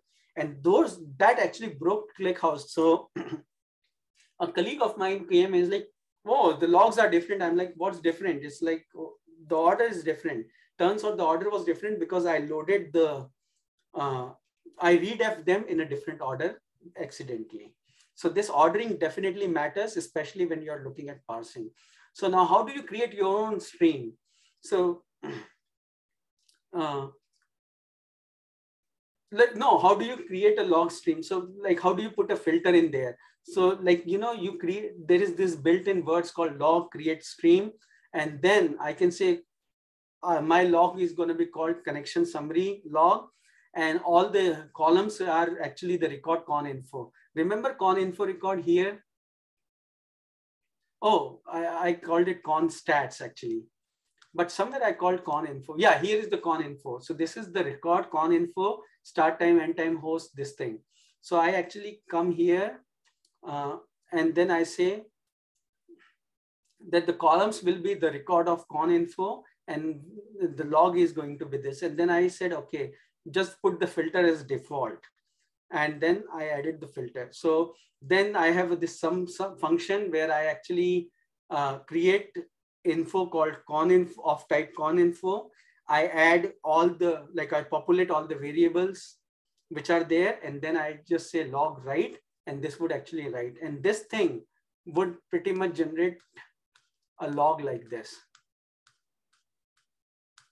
Where did it go? This one. So this one is like, you know, just that this one was more of a constats, but this would create you another log of your own choice. So I think the takeaway for you right now is more of pay attention to the syntax and this is how you do things. And uh, uh, you can actually use config framework. This is a little more sophisticated. So, you know, I, I, want to log all the connections as long as they are in my, they are not in this list of filtered port. So you can use a configuration framework, point to a point file called filtered port. And then it says like you put a hook in there and hook has a break. So if the destination port is in list of filtered port, it actually says break in the log policy. And then this particular log line will not get written to the log file because it was a filtered port. So, and remember, uh, long ago I talked about events, functions, and hooks. Hook is a hybrid between event and a function. Events don't allow you the capability to break out of it, but hook allows you the capability to break out of the particular thing. So this particular log policy, if this condition doesn't fulfill, it breaks out, which means that no further logging will be done it, this is illustrated a lot better actually in the logging framework documentation if you look here. So go through this more. Any questions come? But uh, the idea here is like I walked through the slide deck, but let me just go through the exercise and explain this little more. Those who understand logging or want a challenge of the logging uh, should actually uh, attempt this particular parts of the thing. Now I, I see there is a question uh, how expensive should we consider log writers to be? Uh, actually, you know, I have found log writers to be more disk IO dependent than actually CPU process dependent. And is it acceptable performance wise to use regular expressions and filters? Oh man, I love your questions. This is such, such practical questions. So is it acceptable performance wise to use regular expressions and filters in production environment how efficient are regular expression implementation, wildcard matches, wildcard matches in Zeek. Regular expression eh, implementation is very, very efficient actually. Uh, recall one wrote Zeek regular expression stuff and one actually is uh, uh, wrote flex and bison as well. At least he improved them at one point or another. So the regular expression engine is really good. I think I have done certain, like I will not uh, recommend you to like put a million things in the pattern with like or, but if you put that, it will not have a big performance dent. Uh, definitely don't go million, but a few hundreds is fine. Uh, few thousands is fine. I haven't found problems with it, even with few thousands added in the regular expressions. That said, in reality, in practical world, you will not even get to few thousands. Like uh, what I showed you here, let's say you want to do certain logging policy where you want to filter on certain ports.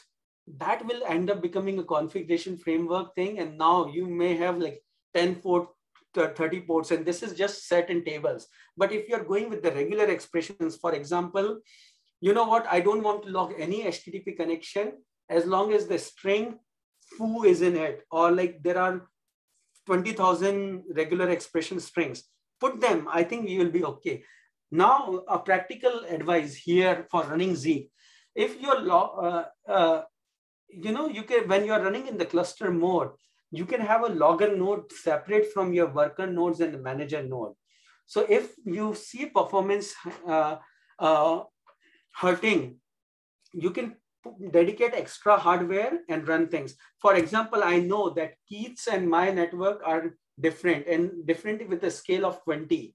So if we generate uh, a million connection logs, Keith's uh, uh, network uh, would generate like 100 million or no, no, 20 million actually. So they are like 20 times more than us. So sometimes it depends on your network to like what particular thing is causing you backlog and uh, uh, is expensive.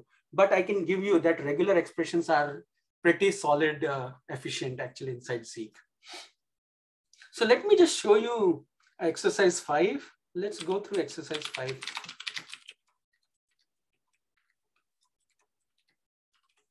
So if people can keep up with it, go look at the extra credit part. Uh, it will be, become like a takeaway in Zeek scripting is look at volumes. Think about things in terms of millions, maybe billions too. Uh, but let's go to scripts. So here is the, oh, okay, wow. I kind of forgot this. I'm happy that we have this thing. So this one is actually uh, using the configuration framework to list of, read the list of filtered ports and then uh, basically enable the logging and disable the logging. So what this does is that, you know, uh, I export, uh, so like somebody did mention about option. So option is primarily used when you are using configuration framework. Either generally it's local or global, sometimes constant.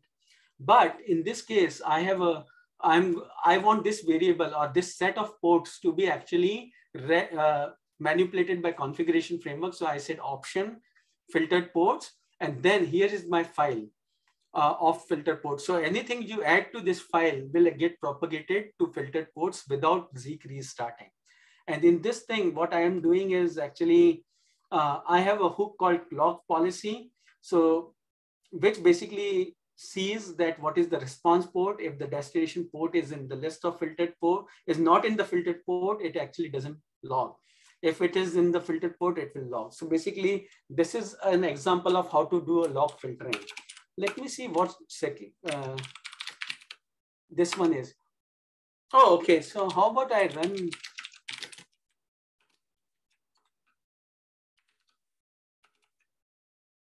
Okay, let me just run second first. So z dash R basis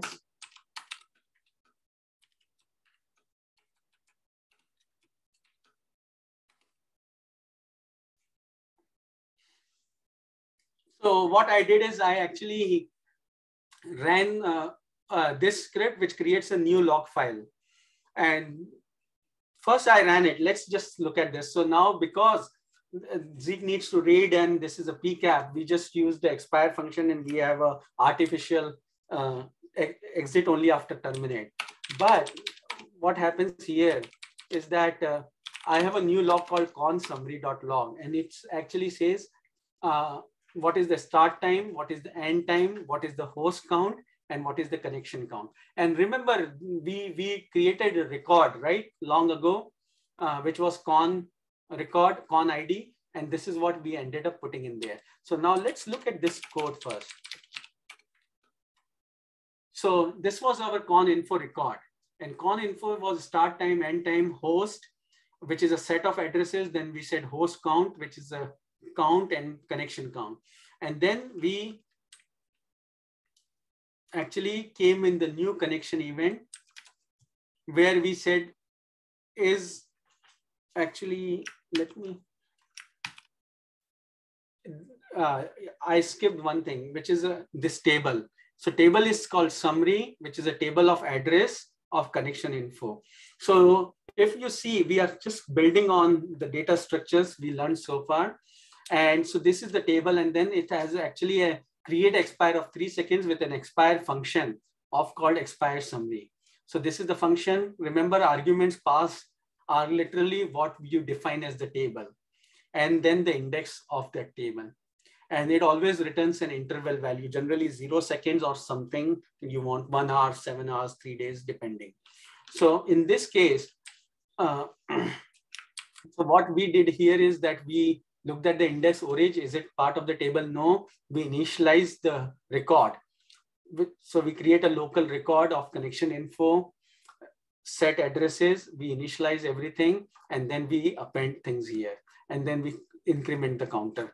Now we did all that, but what did we do here? So we call expire function in which we actually say that, you know, info is of type connection info. We populate this local record with the values coming from the table. So table has index address, what is the start time, end time, everything.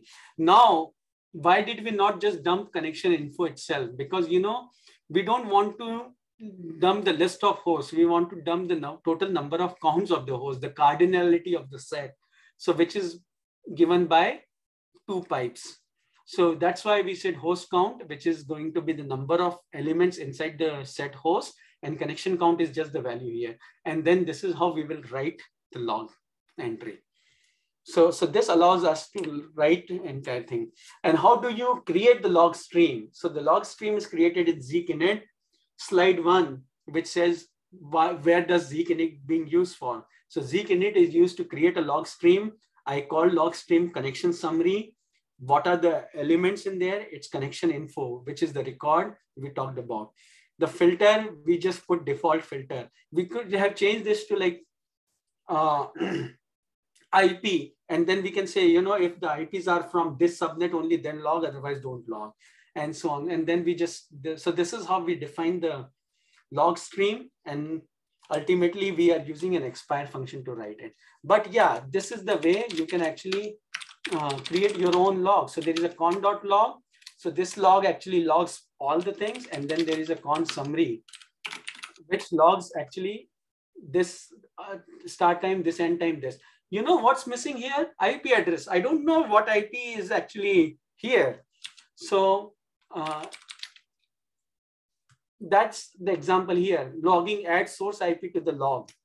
So if we do this, now what I did is that I expanded the connection record to have timestamp, the IP address, and then all these values. So if I run this now,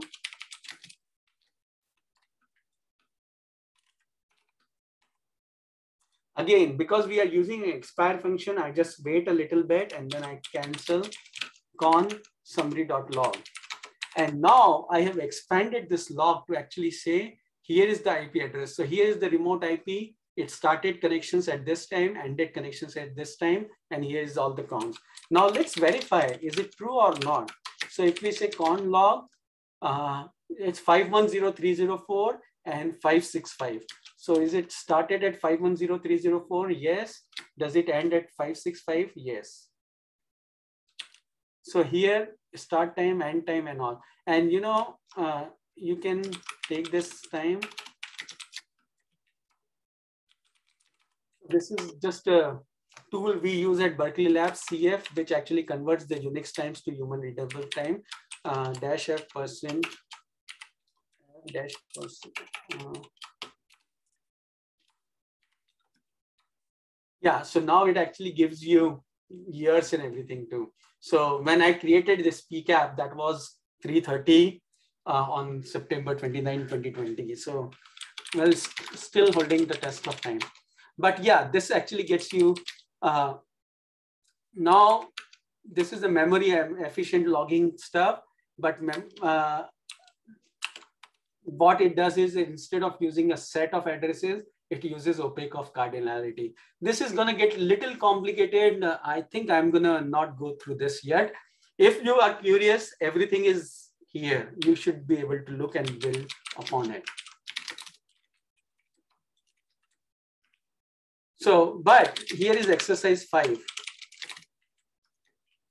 So this one is like, you know, here's this code, expand it, and you should be able to actually address this entire thing. So what have we learned so far? We've learned actually how to find the relevant events. We uh, like go into uh, like Zeek base scripts, protocols, and then see what events you want, grep on word event. Uh, like we have found events like connection established, new connection, DNS request, DNS reply, so on and so forth.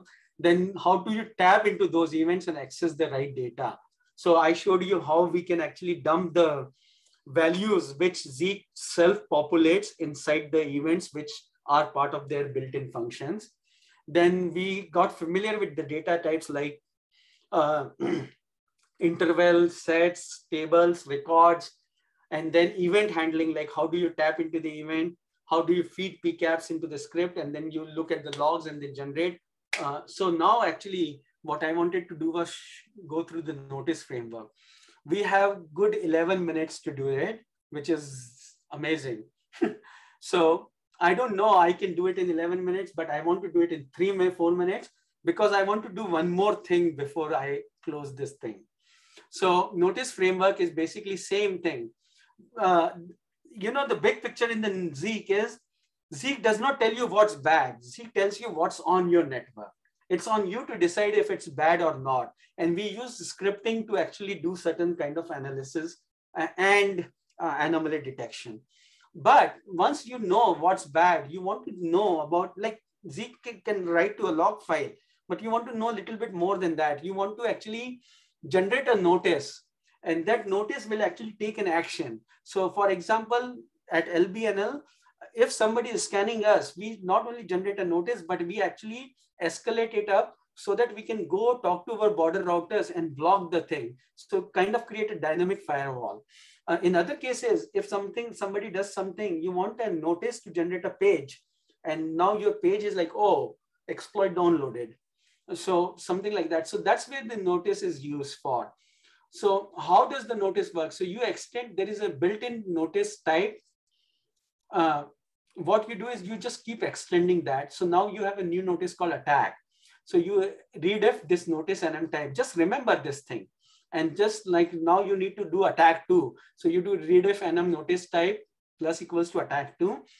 This is how you inside the script, you actually populate the notice record. So it's like note is attack. Here's a connection record. What is the identifier? So each unique notice, you can put a unique identifier and that way notice framework will allow you to suppress a notice. Like I don't want this notice to be generated more than once an hour. And then you can actually define the policy for notice. Like for this like training attack, I want an email. For others, I just want it suppressed. For others, I don't want an action uh, alarm or action page. So notice allows you these different kinds of actions going on.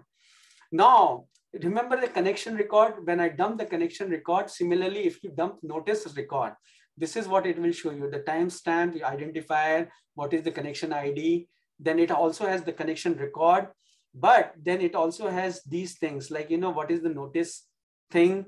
What is the message of the notice? What are the actions? What is the suppress for and so on. But this is noisy, hurts the eyes, very detailed. So what I generally care about in notice record is just note, source, what is the port, what are the messages, if I am actually doing connection, uh, record information, and then what if I want to suppress this notice, not generate it every like thousands of times. Generate one, wait 15 minutes, generate another entry. So, so how, how do we use notices in the scripts? You define notice like this, and then uh, you basically start populating. So in this case, there is an attack. What's the IP origin is the source. Uh, what's the number of count is the thresholds. And the, so basically we'll generate a notice where 1234 has scanned 512 host. And here are the subnets of how many of those 512 IPs are in which subnet. So you can do certain things like this with the notice framework. Uh, and there are built-in notice things too. Like these are notice variables like, you know, ignore types. So if you say add something to ignore types, for example, like training attack, if you add that to ignore type, it will always get ignored. So it results in notice being ignored. It won't have anything to do even in action log. It will completely say, if you see false positive, I would recommend against blanket ignoring notices, but you can do that. You can actually say, you know, the I want emails for this. I will again recommend against it because, you know, let's say you say attack and now 20,000 notices get generated, you will get 20,000 emails. So do it reasonably sensibly when you are playing with certain th things like this. So uh, here is a good example. Like for example, here, I have a CVE 2020 1350 high confidence. If I am actually detected with high confidence, send an email and send an email to alerts mailing list as well. But it's a potential, then just send an email. But uh, just instead of sending it to alerts, send it to reports. So, you know, you can do a, a little manipulation of notices. Like here, the notice is sensitive user agent. If it's not scan machines, it's not local, then drop them. If it's Harvage, then send an email and drop them. So, you know, you can go into the notice policies and you can do definitions like this. Here is some examples of notices I have. But uh, I want to actually spend six minutes doing something uh, which Brian actually asked for too. And I think it's a good thing to end with. So there are all this opaque of cardinality, Bloom filter. So when I was talking about scales, this is how you will do scales. Like you can actually put million things in uh, like opaque of cardinality and you won't even burn any memory. Or Bloom filters. I have used Bloom filters exclusively, extensively for a lot of things, including like putting 10 million IP addresses in blacklist or actually watching for all the HTTP URLs if they get clicked on. Input framework is, if you want to learn two things, learn input framework and learn uh, Intel framework. I will just pass all this stuff. Uh, I apologize, but I feel better actually that I did not rush to things. Uh, same for clusterizations. Let's pass all this stuff. But I want to talk about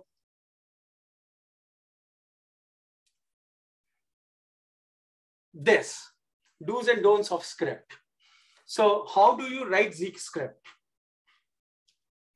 So here is a Zeek script. Uh, everybody, I know you're tired, just pay attention to this. This is worth it.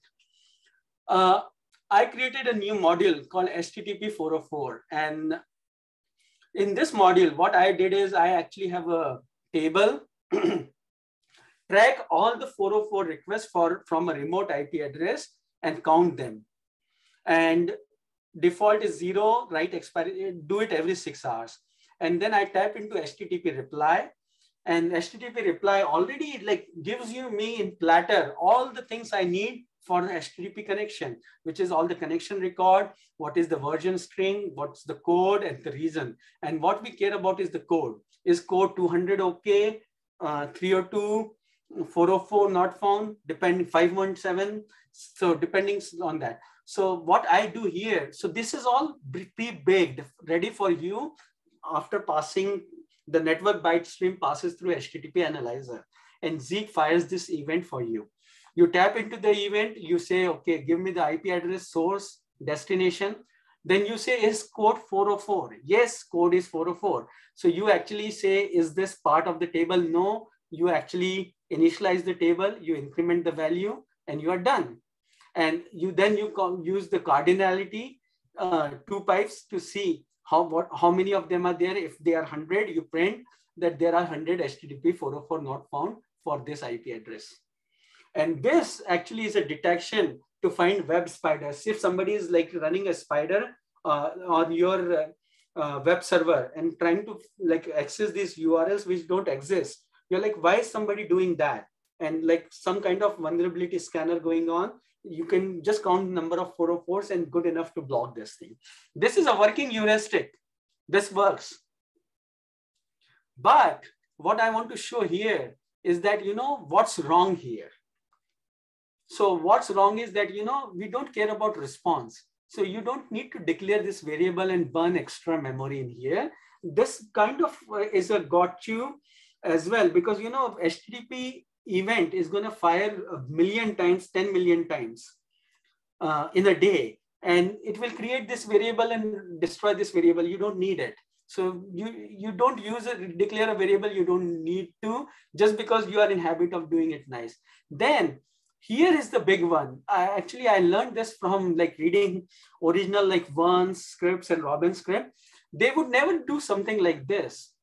Uh, you always think it the other way around you know, there are like how many, like if you do a graph of 200 OKs and 404, 200 OKs are very high. So if code is this, then do this. So if the code is not this, the code is, eh, still goes here calculates the value, does a condition. So there is like at least three instructions more which may be running, which you don't need. So what you do here is that instead of saying if the code is equals to 404, say code not equals to 404.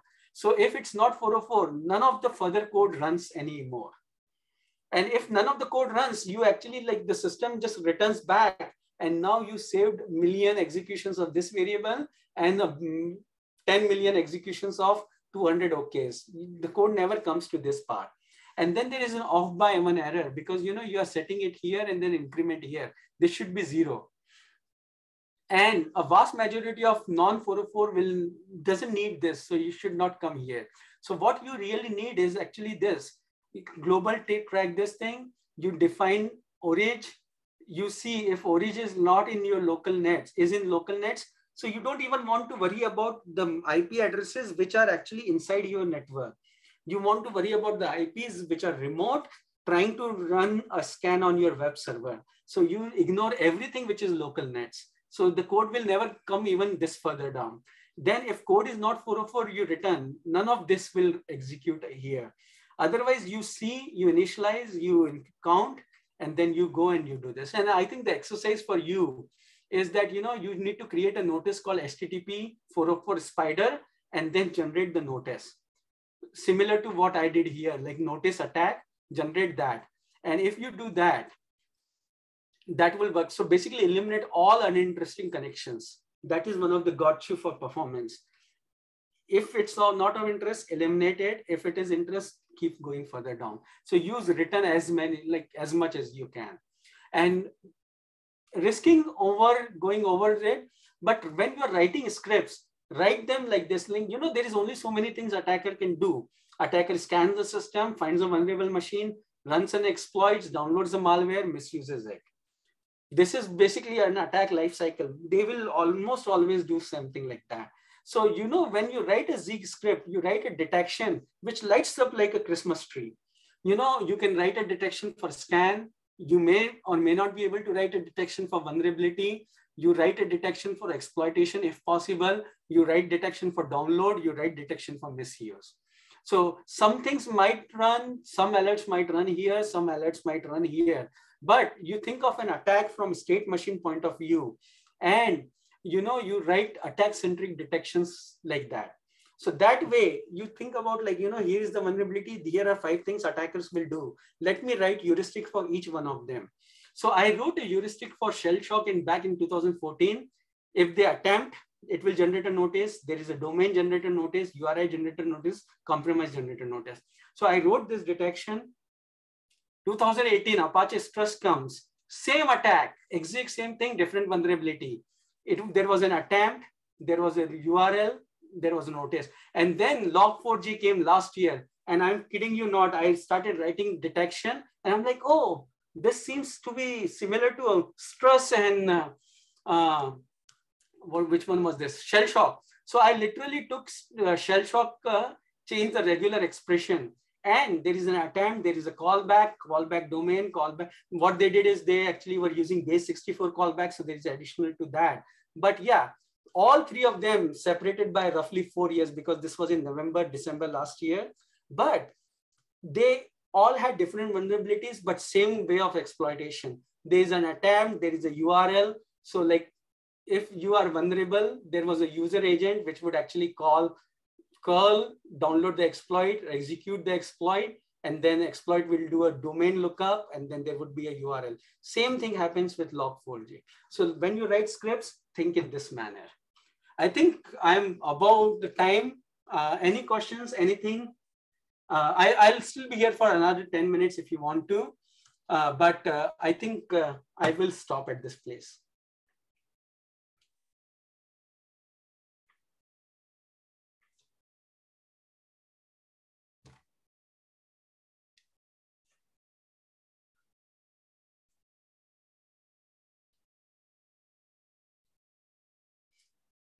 So uh, everybody who is still here, uh, we will have this channel open for another week, two weeks, maybe a month. Uh, send questions here. If uh, actually uh, I stopped the screen. Okay, hold on. And if you want, uh, here is my contact info actually here. You can send an email to Aashish at Zeek or uh, at LBL if you have any questions. Uh, I will make sure we are available for you. All the material is already on GitHub with the slide deck. So I know this is too much stuff, but uh, uh, we haven't even scratched the surface. Thanks, everybody. And any questions, I'm still around for next few minutes at least. So.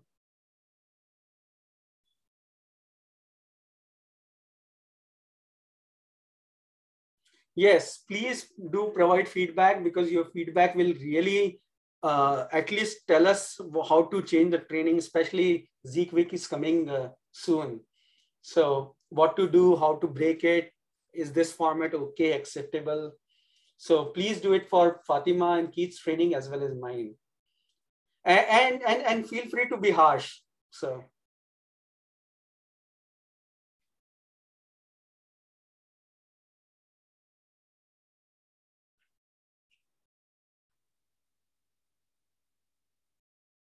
It's a lot of content.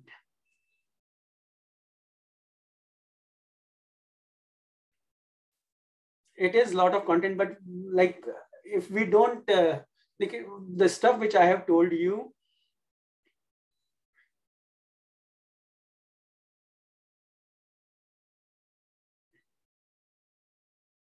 No, no, actually, I think uh, not much more, Kevin. Pretty much just feedback would be useful. And I am available for answering questions. We'll keep this Slack channel open for uh, at least next few weeks. So if you're going through exercise, feel free to ask questions or if you get stuck.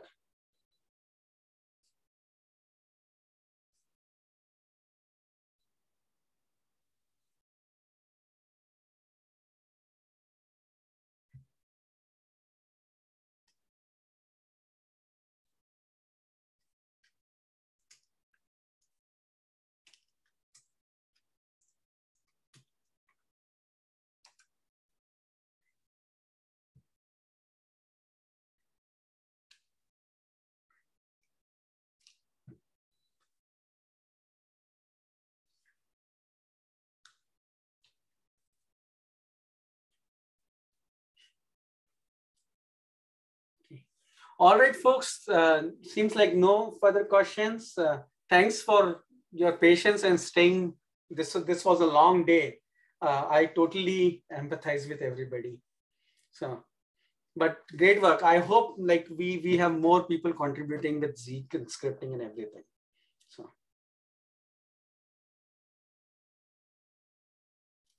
Bye, everyone.